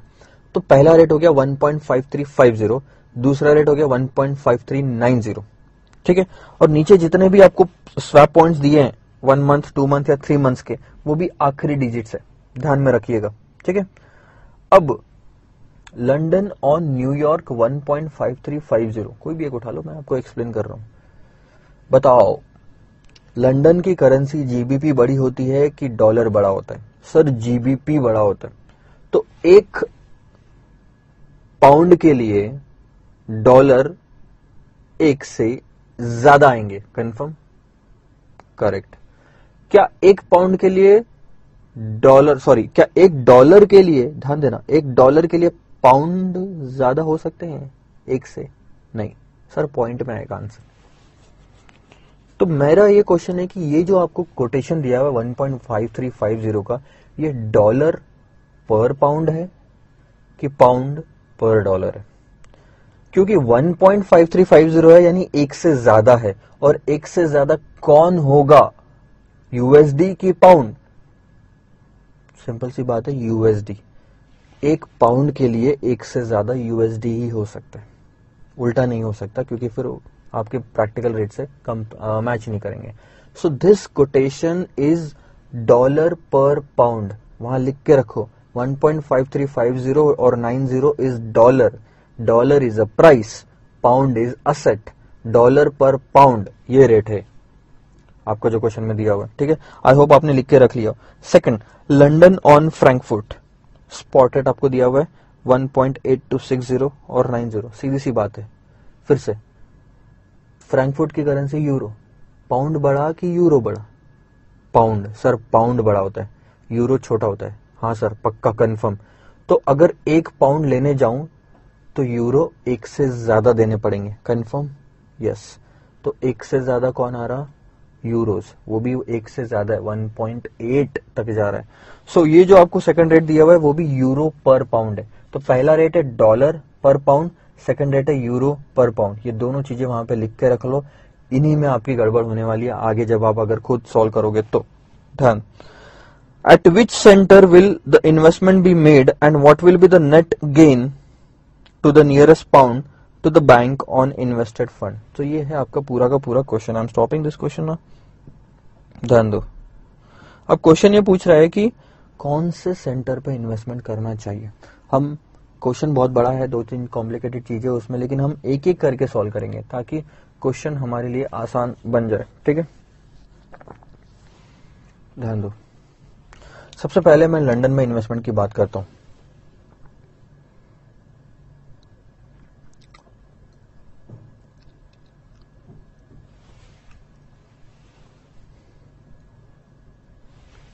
छोड़ो भाई, इधर से लिख लेता हूँ, गड़बड़ ना हो कहीं।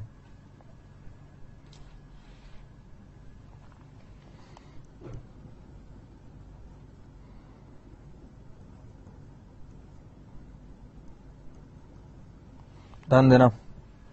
आपके पास में पाँच लाख डॉलर है। आप लंदन में इन्वेस्टमेंट करना चाहते हो तो सबसे पहले आपको डॉलर बेच के पाउंड खरीदने पड़ेंगे, क्योंकि लंदन में तो सिर्फ़ पाउंड ही इन्वेस्टमेंट कर पाओगे। ठीक है? तो सबसे पहला आपका ट्रांजेक्शन है sell dollar at spot rate buy pound ठीक है?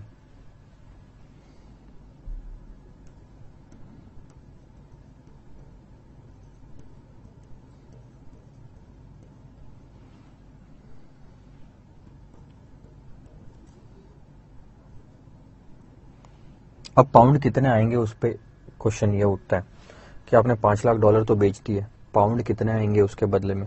बहुत ही सिंपल सा रेट है, आपको स्पॉट रेट दिया हुआ है and spot rate is dollar पर पाउंड असेट के टर्म में इंटरप्रेट करना, अगर आपको सही इंटरप्रिटेशन चाहिए रेट गलत नहीं होना चाहिए तो what is the asset in both the rates pound is the asset तो पाउंड खरीदना है या बेचना है, ये बात करना, ठीक है? आपने डॉलर बेचा इसका मतलब आप डॉलर बेचना चाहते हो, इसका मतलब आप पाउंड खरीदना चाहते हो।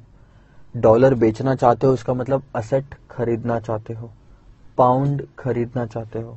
अगेन एम रिपीटिंग पाउंड में खरीदना चाहता हूँ जो कि असेट है। तो बैंक पाउंड बेचेगी। आप पाउंड खरीदना चाहते हो तो बैंक पाउंड बेचेगी। तो स्पॉट रेट में आस्क रेट लगेगा, क्योंकि बैंक बेच रही है असेट को। तो आस्क रेट अप्लीकेबल हो गया आपके लिए? सो आस्क रेट है आपको 1.5390 ठीक है? तो मैं यहाँ ब्रैकेट में लिख लेता हूँ। Sell dollar at five lakh five lakh dollar divided sorry, यहाँ ले लेते हैं।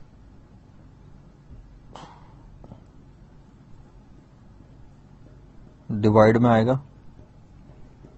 1.5390 से डिवाइड कर दिया। तो आपके पास में पाउंड आ जाएँगे three two four double eight six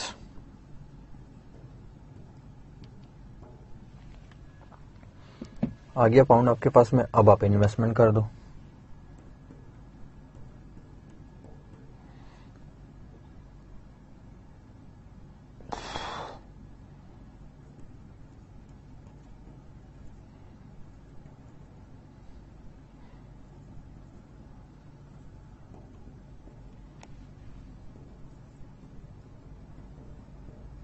आप पाँच परसेंट पर एनम के रेट से इन्वेस्टमेंट कर दो, ठीक है?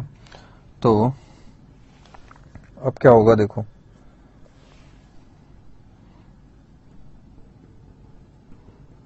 आफ्टर थ्री मंथ्स अच्छा एक चीज़ और रह गई थी यहाँ पे। Take forward cover for dollar. कितना? पाँच लाख पाँच हज़ार। सॉरी। पाँच लाख पाँच हज़ार। ये कहाँ से आया? पाँच lakh into one point zero one आपने क्वेश्चन में लिखा हुआ है, चार परसेंट पर एनम के हिसाब से कॉस्ट आपको पाँच लाख डॉलर पे पड़ रही है तो एक परसेंट तीन महीने का लगेगा। पाँच लाख पाँच हज़ार डॉलर आपको पे करने हैं। नाउ, यहाँ से मैं आगे बढ़ता हूँ। After three months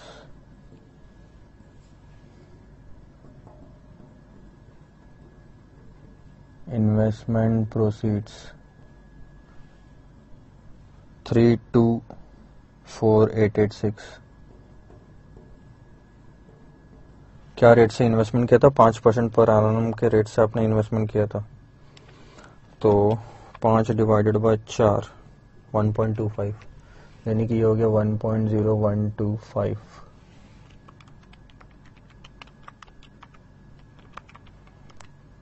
three two eight nine forty seven pound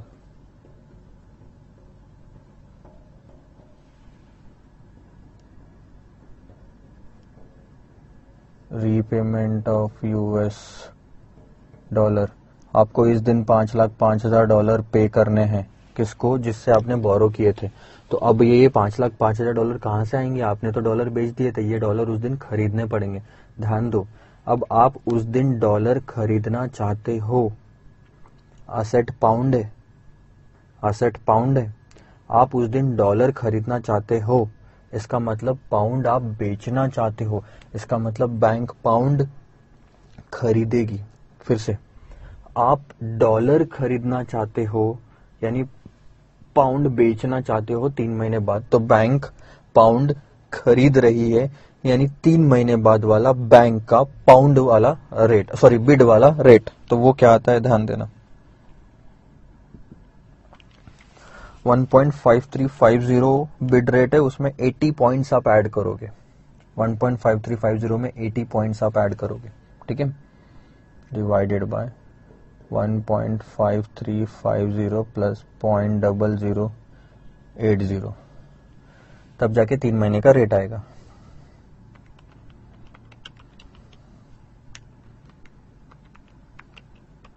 So three twenty seven two eighty five answer आ रहा है आपका।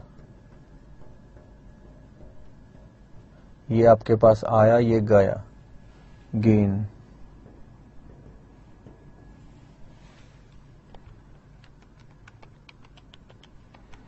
One six six two pound ये आपका एक पार्ट सॉल्व हुआ है। अभी सिर्फ़ लंदन वाला, ठीक है? सेकंड पार्ट में ले रहा हूँ।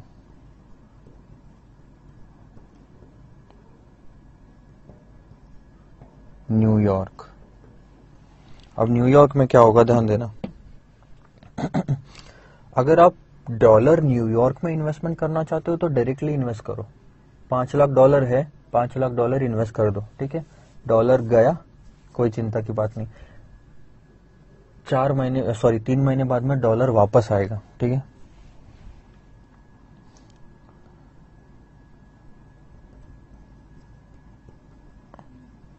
इन्वेस्टमेंट प्रोसीड्स अगर आपने डॉलर इन्वेस्टमेंट किया तो आपको तीन महीने बाद डॉलर वापस आएगा। क्या रेट से आपने इन्वेस्टमेंट किया था? ध्यान दो, मैं इधर देख के बताता हूँ आपको। आठ परसेंट पर एनम के रेट से इन्वेस्टमेंट किया था तो आठ डिवाइडेड बाय दो सॉरी आठ डिवाइडेड बाय चार करोगे तो दो परसेंट आपको मिलेगा। ठीक है? यानी कि आपको पाँच लाख पे दो परसेंट मिलेगा। ये हो गया पाँच लाख दस हज़ार डॉलर, ये आपके इन्वेस्टमेंट अब क्या करना है ना, उसी कंट्री में आप रीपेमेंट कर दो ऑफ़ यूएस डॉलर कितना रीपेमेंट करना है? वही पाँच lakh into one point zero one पाँच लाख पाँच हज़ार डॉलर आपको तीन महीने में, तीन महीने बाद रीपे करना है। ध्यान देना, ये पाँच लाख पाँच हज़ार डॉलर जो तीन महीने बाद रीपे करना है ये सारे केस में आएगा।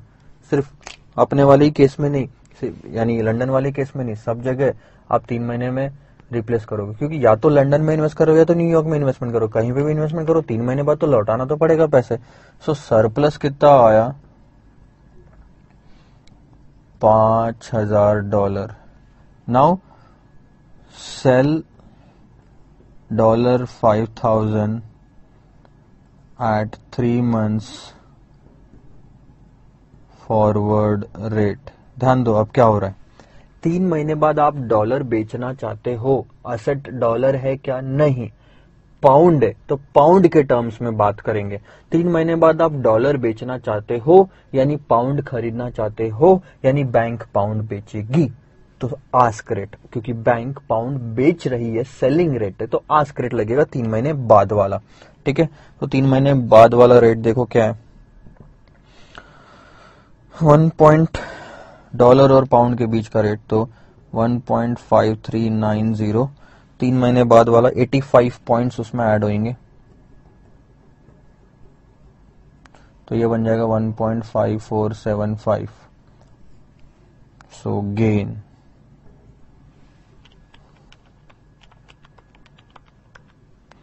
three two three one pound ये आपका सेकंड पार्ट सॉल्व हो गया। सो so, अगर मैंने लंदन में इन्वेस्टमेंट किया तो मेरा गेन है 1662 का। और अगर मैंने न्यूयॉर्क में इन्वेस्टमेंट किया तो मेरा गेन है 3231 का। इतना आई थिंक आपको समझ में आ गया। अब मैं लास्ट वाली बात कर रहा हूँ और ये सबसे ज़्यादा कॉम्प्लिकेटेड है। तो इसको थोड़ा सा और ध्यान देने की कोशिश करना मैं स्लो ही पढ़ाऊँगा। अब आपके पास में डॉलर है।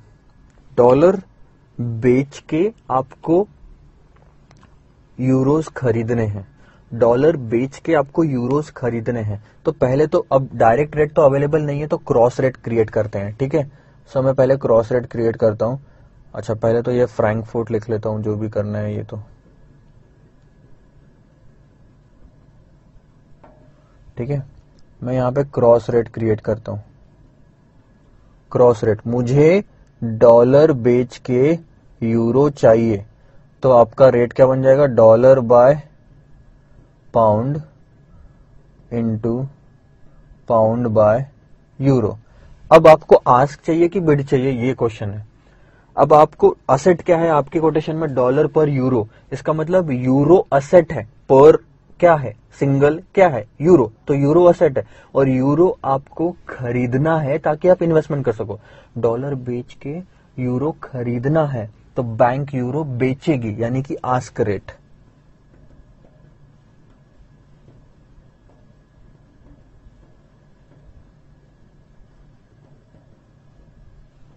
ये आस्क रेट आ गया। यूरो आप खरीदना चाहते हो तो बैंक बेचेगी आस्क रेट अब देखना, डॉलर पर यूरो, डॉलर पर पाउंड का आस्क रेट क्या है, अपने क्वेश्चन में। डॉलर पर पाउंड का आस्क रेट डॉलर पर पाउंड। आज आज आज ही आपको इन्वेस्टमेंट करना है ना तो आज के रेट देखो सिर्फ़।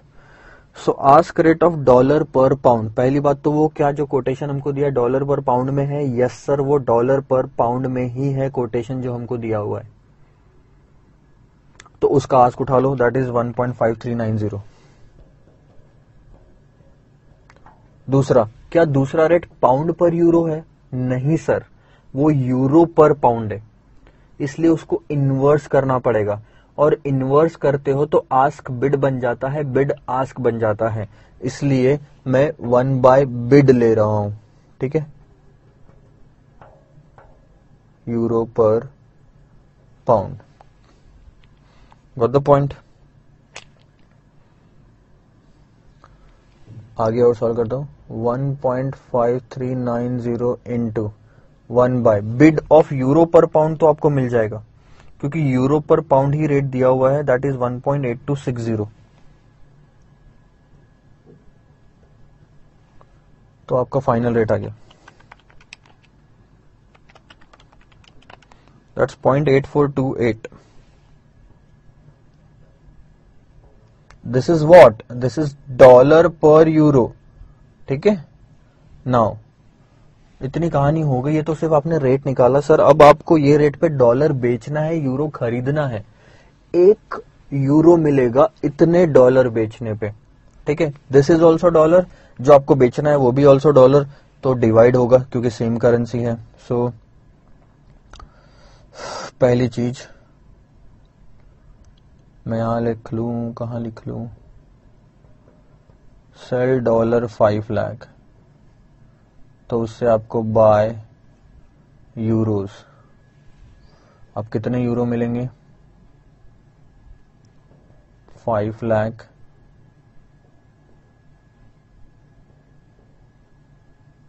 divided by point eight four two eight ये आपको इतने यूरोस मिलेंगे.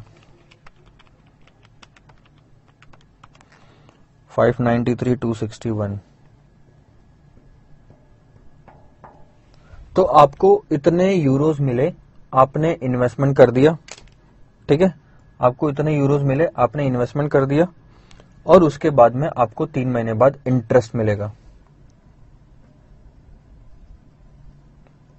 Interest for three month at the rate of कितना है ध्यान दो? Three percent per annum three percent per annum तो थ्री डिवाइडेड बाय फोर करोगे तो पॉइंट सेवेंटी फाइव परसेंट आता। So that is four four nine four four four nine euro four four four nine एक बार फिर से calculate कर लो तो फोर फोर फोर नाइन ठीक है? तो टोटल आपको तीन महीने बाद euro receipt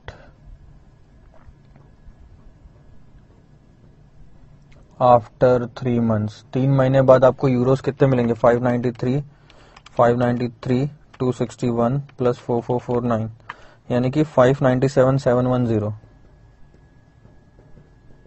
ये आपको यूरोज मिलेंगे, ठीक है? अब क्या करोगे? अब आपके पास में तीन महीने बाद सिर्फ़ दो सिचुएशन है, ध्यान देना। आप हो लंदन में। इधर से आपको यूरोज आए हैं और इधर से आपको डॉलर भेजना है, तीन महीने बाद में। ध्यान देना बहुत ही इंपॉर्टेंट है लास्ट वाला पार्ट यूरोज को कन्वर्ट करो पाउंड में और डॉलर को कन्वर्ट करो पाउंड में. बस खत्म. अब यूरो से डायरेक्ट डॉलर कन्वर्ट करने की कोई ज़रूरत नहीं है बिकॉज़ ये दोनों अलग अलग करेंसी और हमको रुकना लंदन में ही है, बाहर नहीं जाना. ठीक है? सो पाँच लाख पाँच हज़ार डॉलर आप खरीदोगे पाउंड बेच के और उसके लिए यही रेट लगेगा आपने. आपने यहीं पे यही चीज़ की थी. पाँच लाख पाँच हज़ार का रीपेमेंट किया था आपने ये रेट पे. Three two seven two eighty five तो यही चीज़ लगेगी।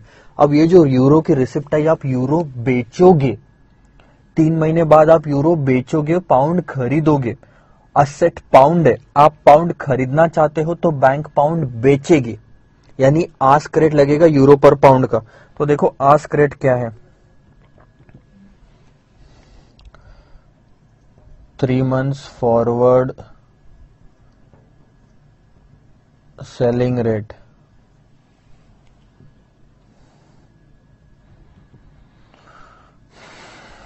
one point eight two nine zero, ठीक है?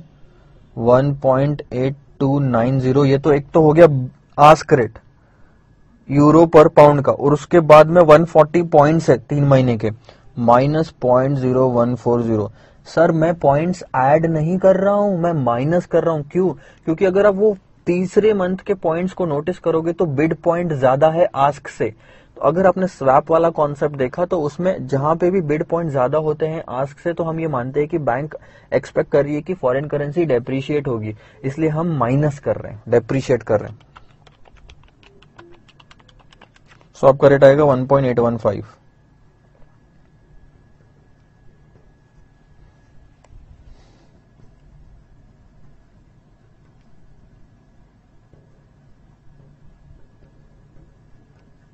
यूरो बेच के कितने पाउंड मिलेंगे? Three twenty nine three one seven कहानी यहाँ खत्म हुई कि सर? अभी पाँच लाख पाँच हज़ार का पाउंड का बेचना बाकी है। सॉरी पाँच लाख पाँच हज़ार डॉलर बेचना बाकी है। Repayment of dollar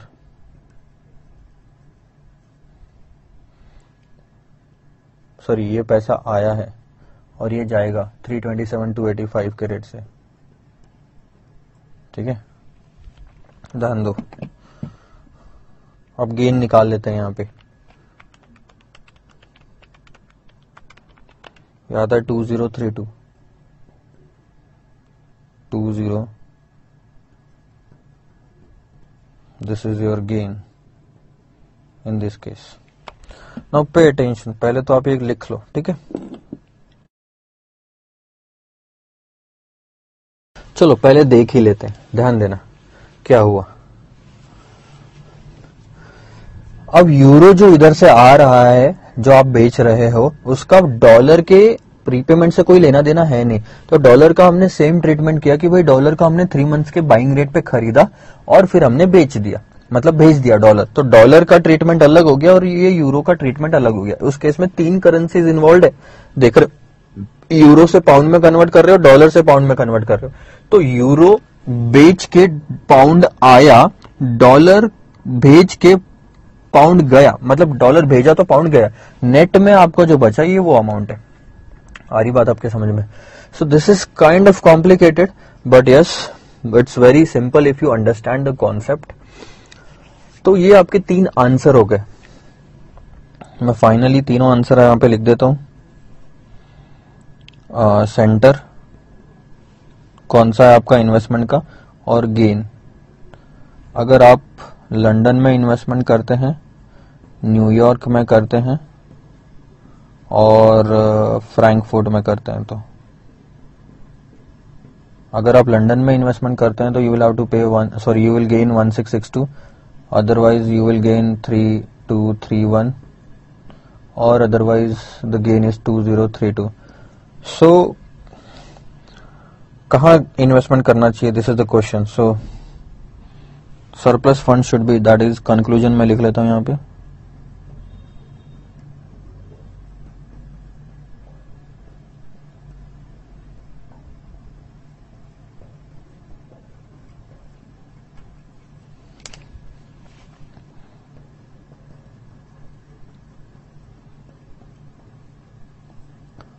As the gain is highest.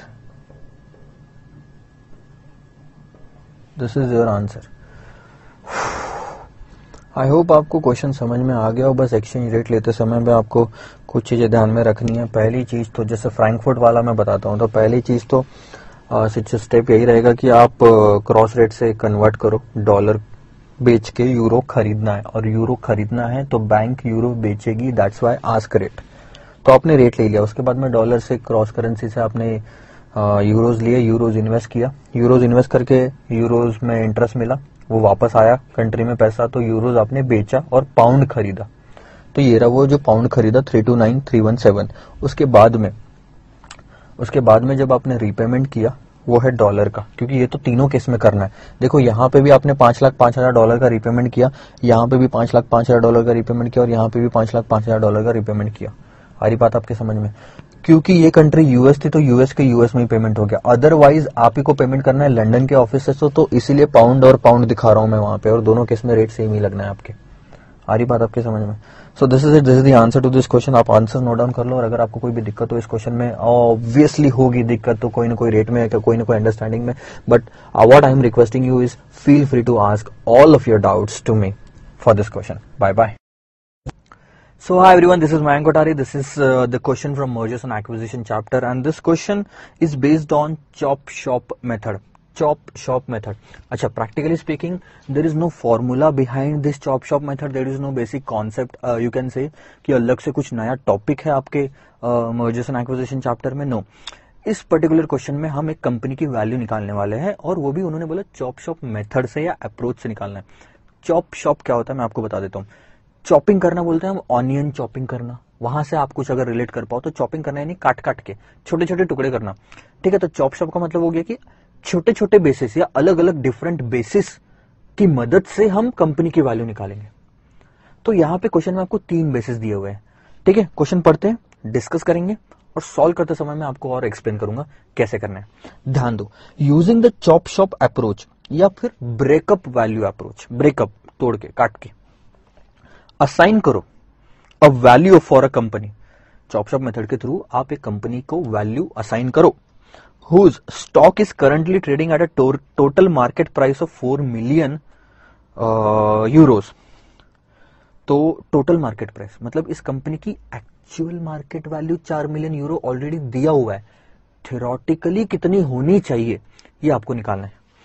For cranberry limited the accounting data set forth three business segments consumer wholesale retail and general centres data for the forms three segments are as follows business segment आपको तीन दिए हुए wholesale retail general उसके बाद में sales वाला segment asset वाला segment और ऑपरेटिंग इनकम वाला सेगमेंट ये जो सेल्स असेट और ऑपरेटिंग इनकम है, ये बेसिस है.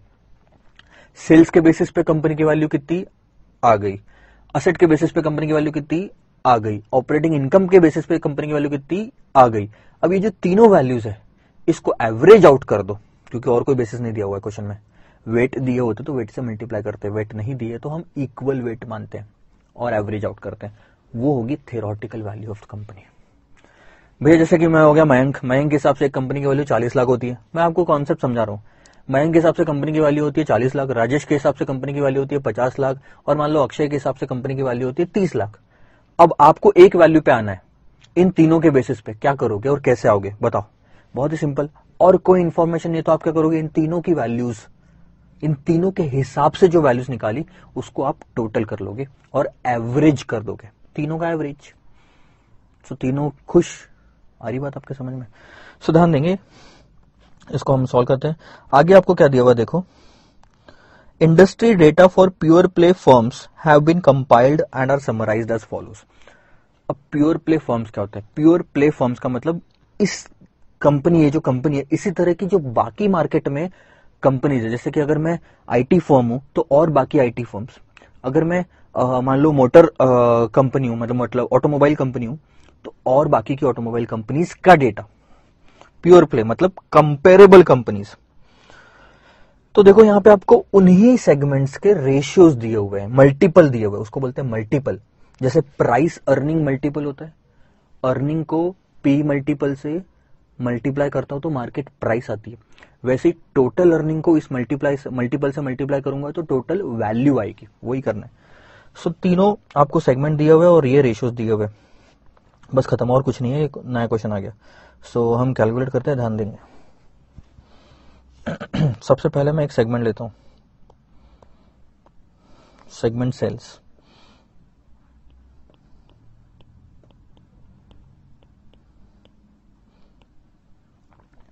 उसमें मैंने किया सेगमेंट ले लिया बिज़नेस सेगमेंट ले लिया। उसमें मैंने मल्टीपल ले लिया। उसमें मैंने वैल्यू ले ली और थेरोटिकल वैल्यू आ गई यहाँ पे। ठीक है सेगमेंट है आपका होलसेल रिटेल और general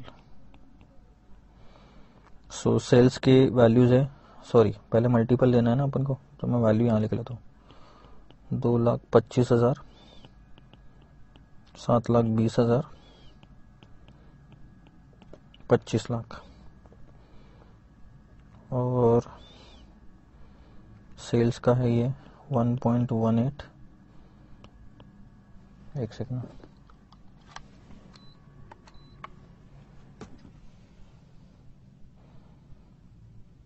one one point one eight point eighty three और वन पॉइंट टू फाइव तो अब ध्यान दो, ठीक है? अब क्या होगा? यहाँ पे अगर आप ध्यान से देखोगे तो ये सेल्स बाय कैपिटलाइजेशन रेशियो है मल्टीपल है, ठीक है? तो ये कैसे आएगा? ये आपका सेल्स डिवाइडेड बाय मैं इसको बोल सकता हूँ वैल्यू जो भी कैपिटलाइजेशन वैल्यू होती है इज़ इक्वल टू ये मल्टीपल है। अगर इस फॉर्मूले में मैं पहली फिगर रखूँ तो हमको निकालना क्या है? ये, ठीक है? दो लाख पच्चीस हज़ार डिवाइडेड बाय ये वैल्यू निकालनी है और हमको मल्टीपल दिया हुआ है वन पॉइंट वन एट। तो आपको एक चीज़ समझ में आ रही है, ये वन पॉइंट वन एट इधर आने के बाद में डिवाइड हो जाएगा। ठीक है? तो मैं इन सारी फिगर्स को डिवाइड करूँगा, क्योंकि मुझे निकालनी है वैल्यू कैपिटलाइजेशन वैल्यू ठीक है? तो यही चीज़ समझाना था कि बस अपन डिवाइड करने वाले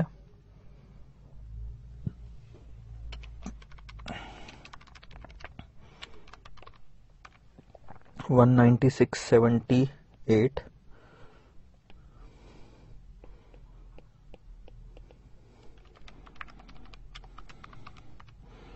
eighty six seventy four seventy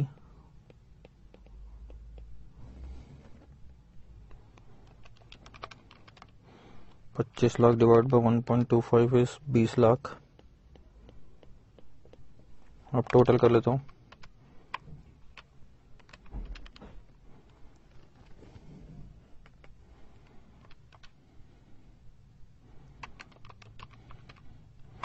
So this is 30 lakh 58 148 इसी तरह से बाकी के सेगमेंट ख़त्म करेंगे।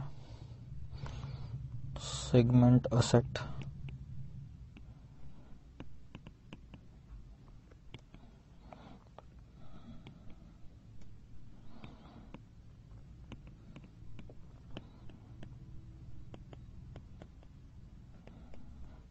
अब आप लिख लो ये सब, मैं हर बार नहीं लिखूँगा, ठीक है?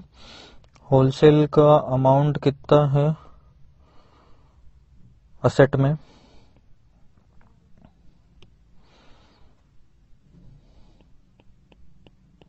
छ लाख, पाँच लाख, चालीस lakh.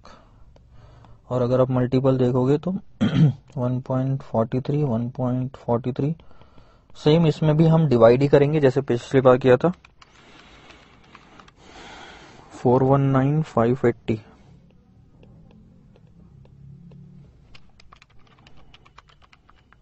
three four nine six fifty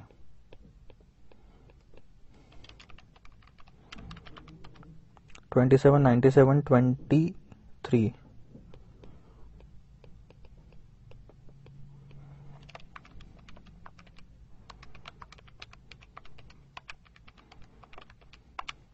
thirty five sixty six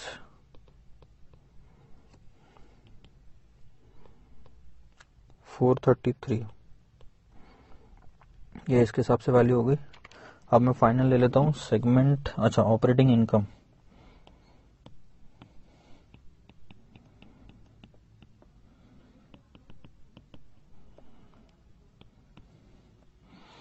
capitalisation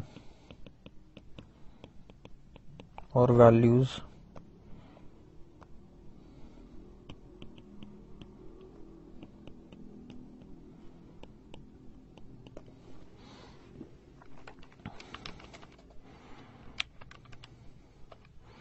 six eight one eight one eight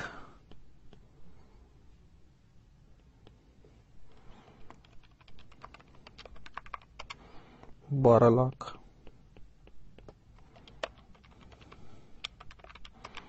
अट्ठाईस lakh.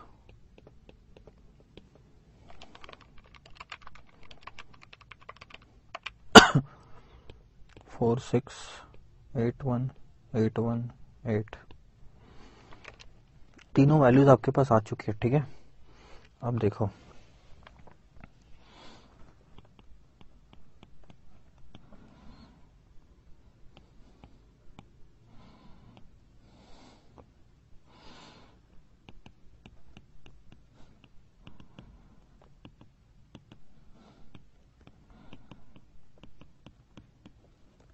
अब कंपनी की थेरोटिकल वैल्यू इन तीनों की हम टोटल ले लेंगे। क्योंकि और कोई बेसिस नहीं दिया तो हम एवरेज आउट कर देंगे इन तीनों को, जो कि हो रहा है thirty fifty eight one forty eight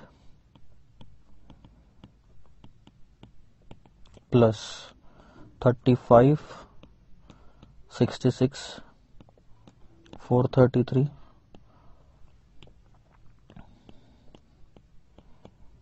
forty six eighty one eight one eight सही है? और डिवाइडेड बाय थ्री क्योंकि एवरेज में ये तीन फिगर है।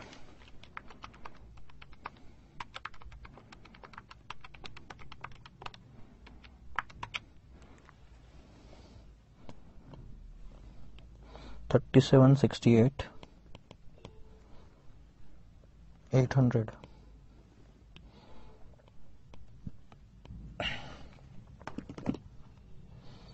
ये आपकी एवरेज वैल्यू आ गई जो आपको चॉप शॉप मेथड के हिसाब से निकालनी थी। सिंगल सिंगल देखो तो अलग अलग वैल्यू है चॉप शॉप करके अगर एवरेज आउट करो तो ये आपके thirty seven sixty eight eight hundred euros की वैल्यू आ रही है। ठीक है? So this is your final answer note down करो आंसर को अगर आपको कोई भी दिक्कत हो इस क्वेश्चन में तो ज़रूर पूछिएगा। बाय बाय देखो नेक्स्ट क्वेश्चन देखते हैं मर्जर्स एंड एक्विजिशंस का। The following information is provided related to the acquiring firm Mark Limited and the target firm Mask Limited नीचे आपको इन्फॉर्मेशन दी है किसकी? मार्क लिमिटेड और Mask Limited earnings after tax Mark Limited के 2000 lakh Mask Limited के 400 lakh. Number of shares outstanding 200 और 100 ये जो अर्निंग्स आफ्टर टैक्स है divided by number of shares करोगे तो आपको अर्निंग पर शेयर मिल जाएगी। उसके बाद जो पी रेशियो दिया है, दस और पाँच, उससे मल्टीप्लाई करोगे तो मार्केट प्राइस मिल जाएगी। देखो क्या निकालना है। What is the swap ratio based on the current market prices दो जो करंट मार्केट प्राइसेस पहले आपको निकालनी पड़ेगी और फिर बताना पड़ेगा कि क्या स्वैप रेशियो होना चाहिए। स्वैप रेशियो यानी कि एक्सचेंज रेशियो क्या होना चाहिए एक्वायर करने के लिए। मार्क लिमिटेड और मास्क लिमिटेड के बीच। What is the EPS of Mark Limited after acquisition Mark Limited कौन है जो एक्वायर कर रहा है? तो एक्विजिशन के बाद मार्क लिमिटेड का बताओ कि अर्निंग पर शेयर कितना होना चाहिए। What is the expected market price per share of Mark Limited after acquisition चलो ठीक है।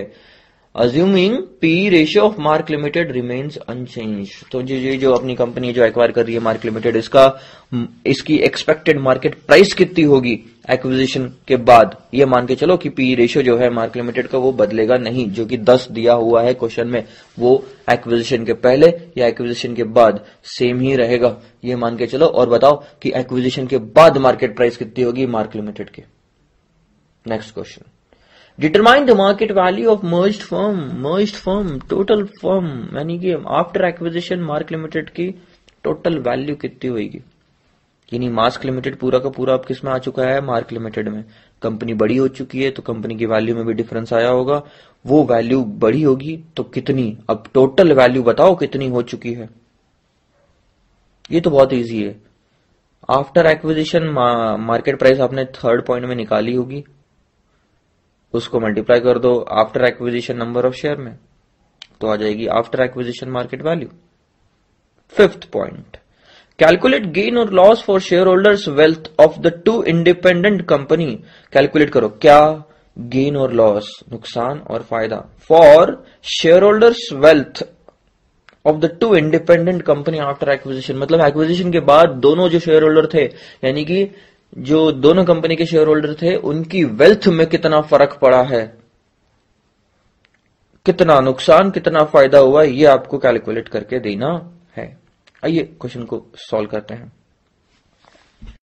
दो कंपनीज़ हमको दी हुई है मार्क लिमिटेड और मास्क लिमिटेड और हमको पूछा गया है कि इन दोनों का स्वैप रेशियो क्या होना चाहिए? यानी मार्क लिमिटेड जो है मास्क लिमिटेड को खरीदना चाहता है, ठीक है? मास्क लिमिटेड को खरीदेगा तो बदले में उनके शेयर होल्डर्स को कुछ देना पड़ेगा। मैं, क्योंकि मैं कोई चीज़ खरीद रहा हूँ तो कुछ दूँगा ना उनको। तो शेयर होल्डर्स को मैं कुछ दूँगा। दो चीज़ दे सकता हूँ, या तो कैश या तो शेयर्स यहाँ बात चल रही है शेयर्स देने की। और शेयर्स देंगे तो बेसिस हमको पता करना चाहिए कि क्या बेसिस पे एक्सचेंज रेशियो डिसाइड हो रहा है। यानी उनके एक शेयर के बदले मैं अपना कितना शेयर्स दूँगा। ठीक है? तो करंट मार्केट प्राइसेस के बेसिस पे उन्होंने बोला है कि बताओ एक्सचेंज रेशियो क्या होना चाहिए। हमको करंट मार्केट प्राइस दी नहीं है, लेकिन हम निकाल सकते हैं। पहला आइटम देखो। ये ले लेता हूँ मैं मार्क और ये ले लेता हूँ मैं मास्क। ठीक है? अब अर्निंग्स आफ्टर टैक्सेस दी हुई है। अभी सिंपल सी चीज़ है। आपको बोला करंट मार्केट प्राइसेस के बेसिस पे निकालो अर्निंग एक्सचेंज रेशियो क्या होना चाहिए? अब मार्केट प्राइसेस पहले निकालनी पड़ेगी। मार्केट प्राइस कहाँ से आती है? EPS into number of sorry EPS into P ratio P ratio आपको दिया हुआ है क्वेश्चन में। ईपीएस निकालना है। तो अब ईपीएस कैसे निकालोगे?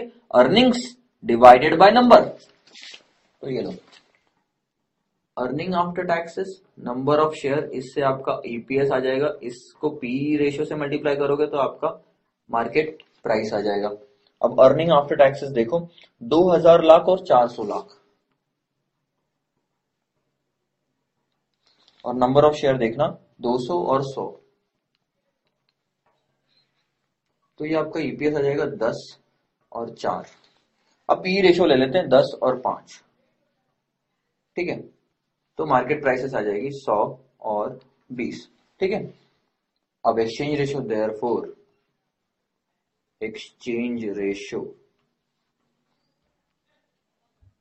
one is two five दिख रहा है? Twenty by hundred that is one is two five ये आपका पहला आंसर हो गया। सेकंड देखो। सेकंड में उन्होंने पूछा है कि what is the EPS of Mark Limited after acquisition देखो आफ्टर एक्विजिशन ये जो मार्क लिमिटेड है, ये तो रहेगी नहीं। सिर्फ़ मार्क रहेगा। मार्क के कितने शेयर है? 200 प्लस और बढ़ जाएँगे। कितने? 100 लाख जो शेयर है। इनके बदले में आप ये एक्सचेंज रेशियो दे रहे हो ना? यानी 100 lakh into one by five करोगे तो आपको पता चल जाएगा कितने एक्स्ट्रा शेयर्स देने पड़ रहे हैं। ये नंबर ऑफ़ शेयर्स है, ये कंपनी है। ये कंपनी को आप खरीद रहे हो तो इनको नंबर ऑफ़ शेयर्स देने पड़ेंगे। इनके पास अभी सौ है इस कंपनी में। तो इनको कितना दोगे? One by five one two five हर पाँच के बदले एक तो सौ के बदले बीस। और हमको क्या पूछा ये जो कंपनी है मर्जर के बाद की जो कंपनी है ना ये, इसकी ईपीएस बताओ। तो पोस्ट मर्जर ईपीएस निकालने के लिए पोस्ट मर्जर अर्निंग होना divided by post merger number of share होना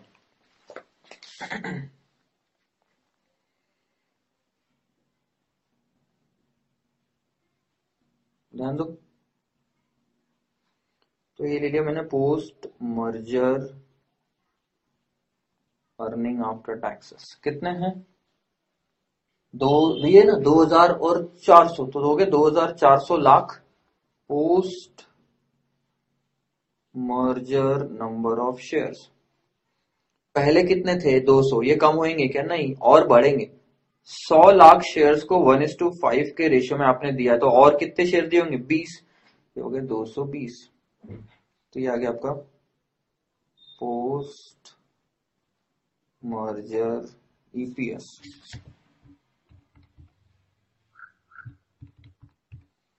Ten point nine one.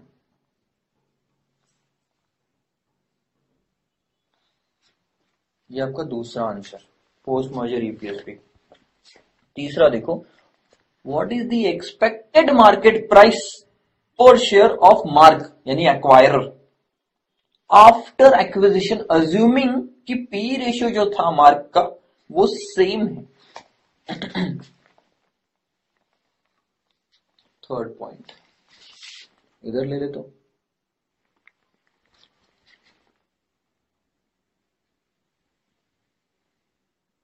market price post merger. Post merger market market price कैसे आती है? ईपीएस इंटू पी रेशियो सही? अगर ये मार्केट प्राइस पोस्ट मर्जर है तो ईपीएस भी पोस्ट मर्जर ही होना। दिख रही है ten point ninety one post merger EPS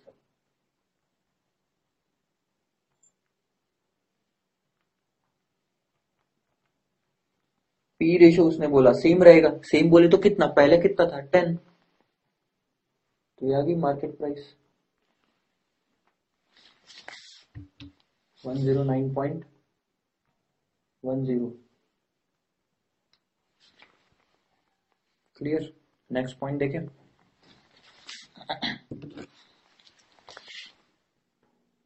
चौथा आइटम देखो। Determine the market value of the merged firm merged firm की मार्केट वैल्यू बहुत ही आसान।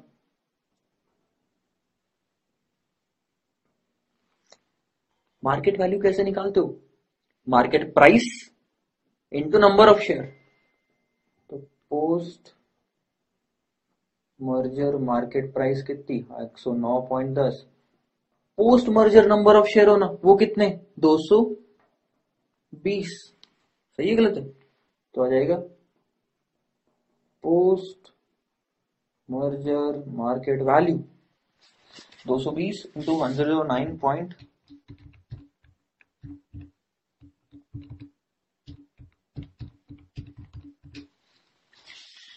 चौबीस हज़ार दो लाख।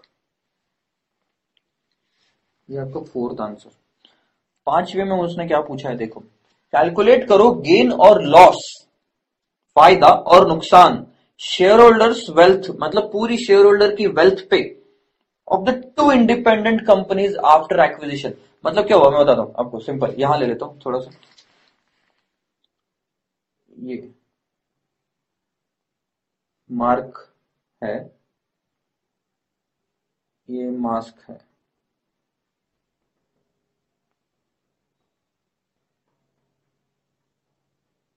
ये उनके शेयर होल्डर्स है। ठीक है?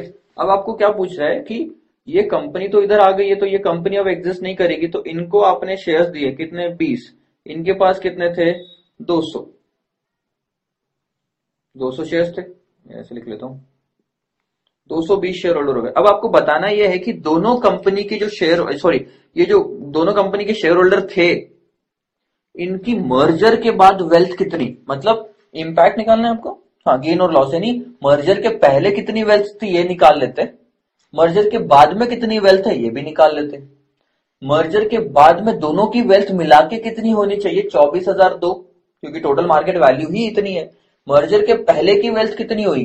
अपनी अपनी मार्केट वैल्यू तो देखो कैसे सॉल्व करना है इसको।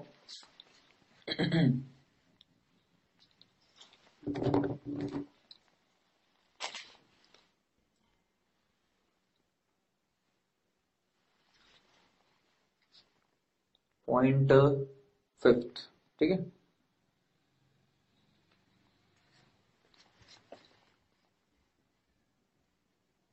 Impact on wealth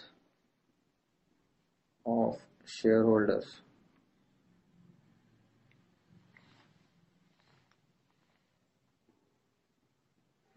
Mark Mask pre-merger wealth pre-merger Mark Limited के शेयर होल्डर्स कितने 200 और मार्केट प्राइस कितनी थी? 100 तो ये हो गया बीस हज़ार। इसके शेयर होल्डर्स कितने थे? सौ। और मार्केट प्राइस कितनी थी? बीस। तो ये हो गया दो हज़ार। अब निकाल लेते हैं पोस्ट मर्जर बहुत ही आसान। पोस्ट मर्जर ये 200 वालों की मार्केट प्राइस कितनी? 109.10 और ये जो 100 थे, इनको मिले कितने शेयर है नई कंपनी में? 20 इंटू एक सिंपल तो ये आपको पता चल जाएगा गेन और लॉस कितना आ रहा है।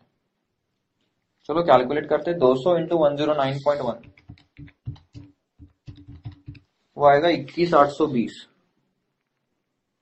और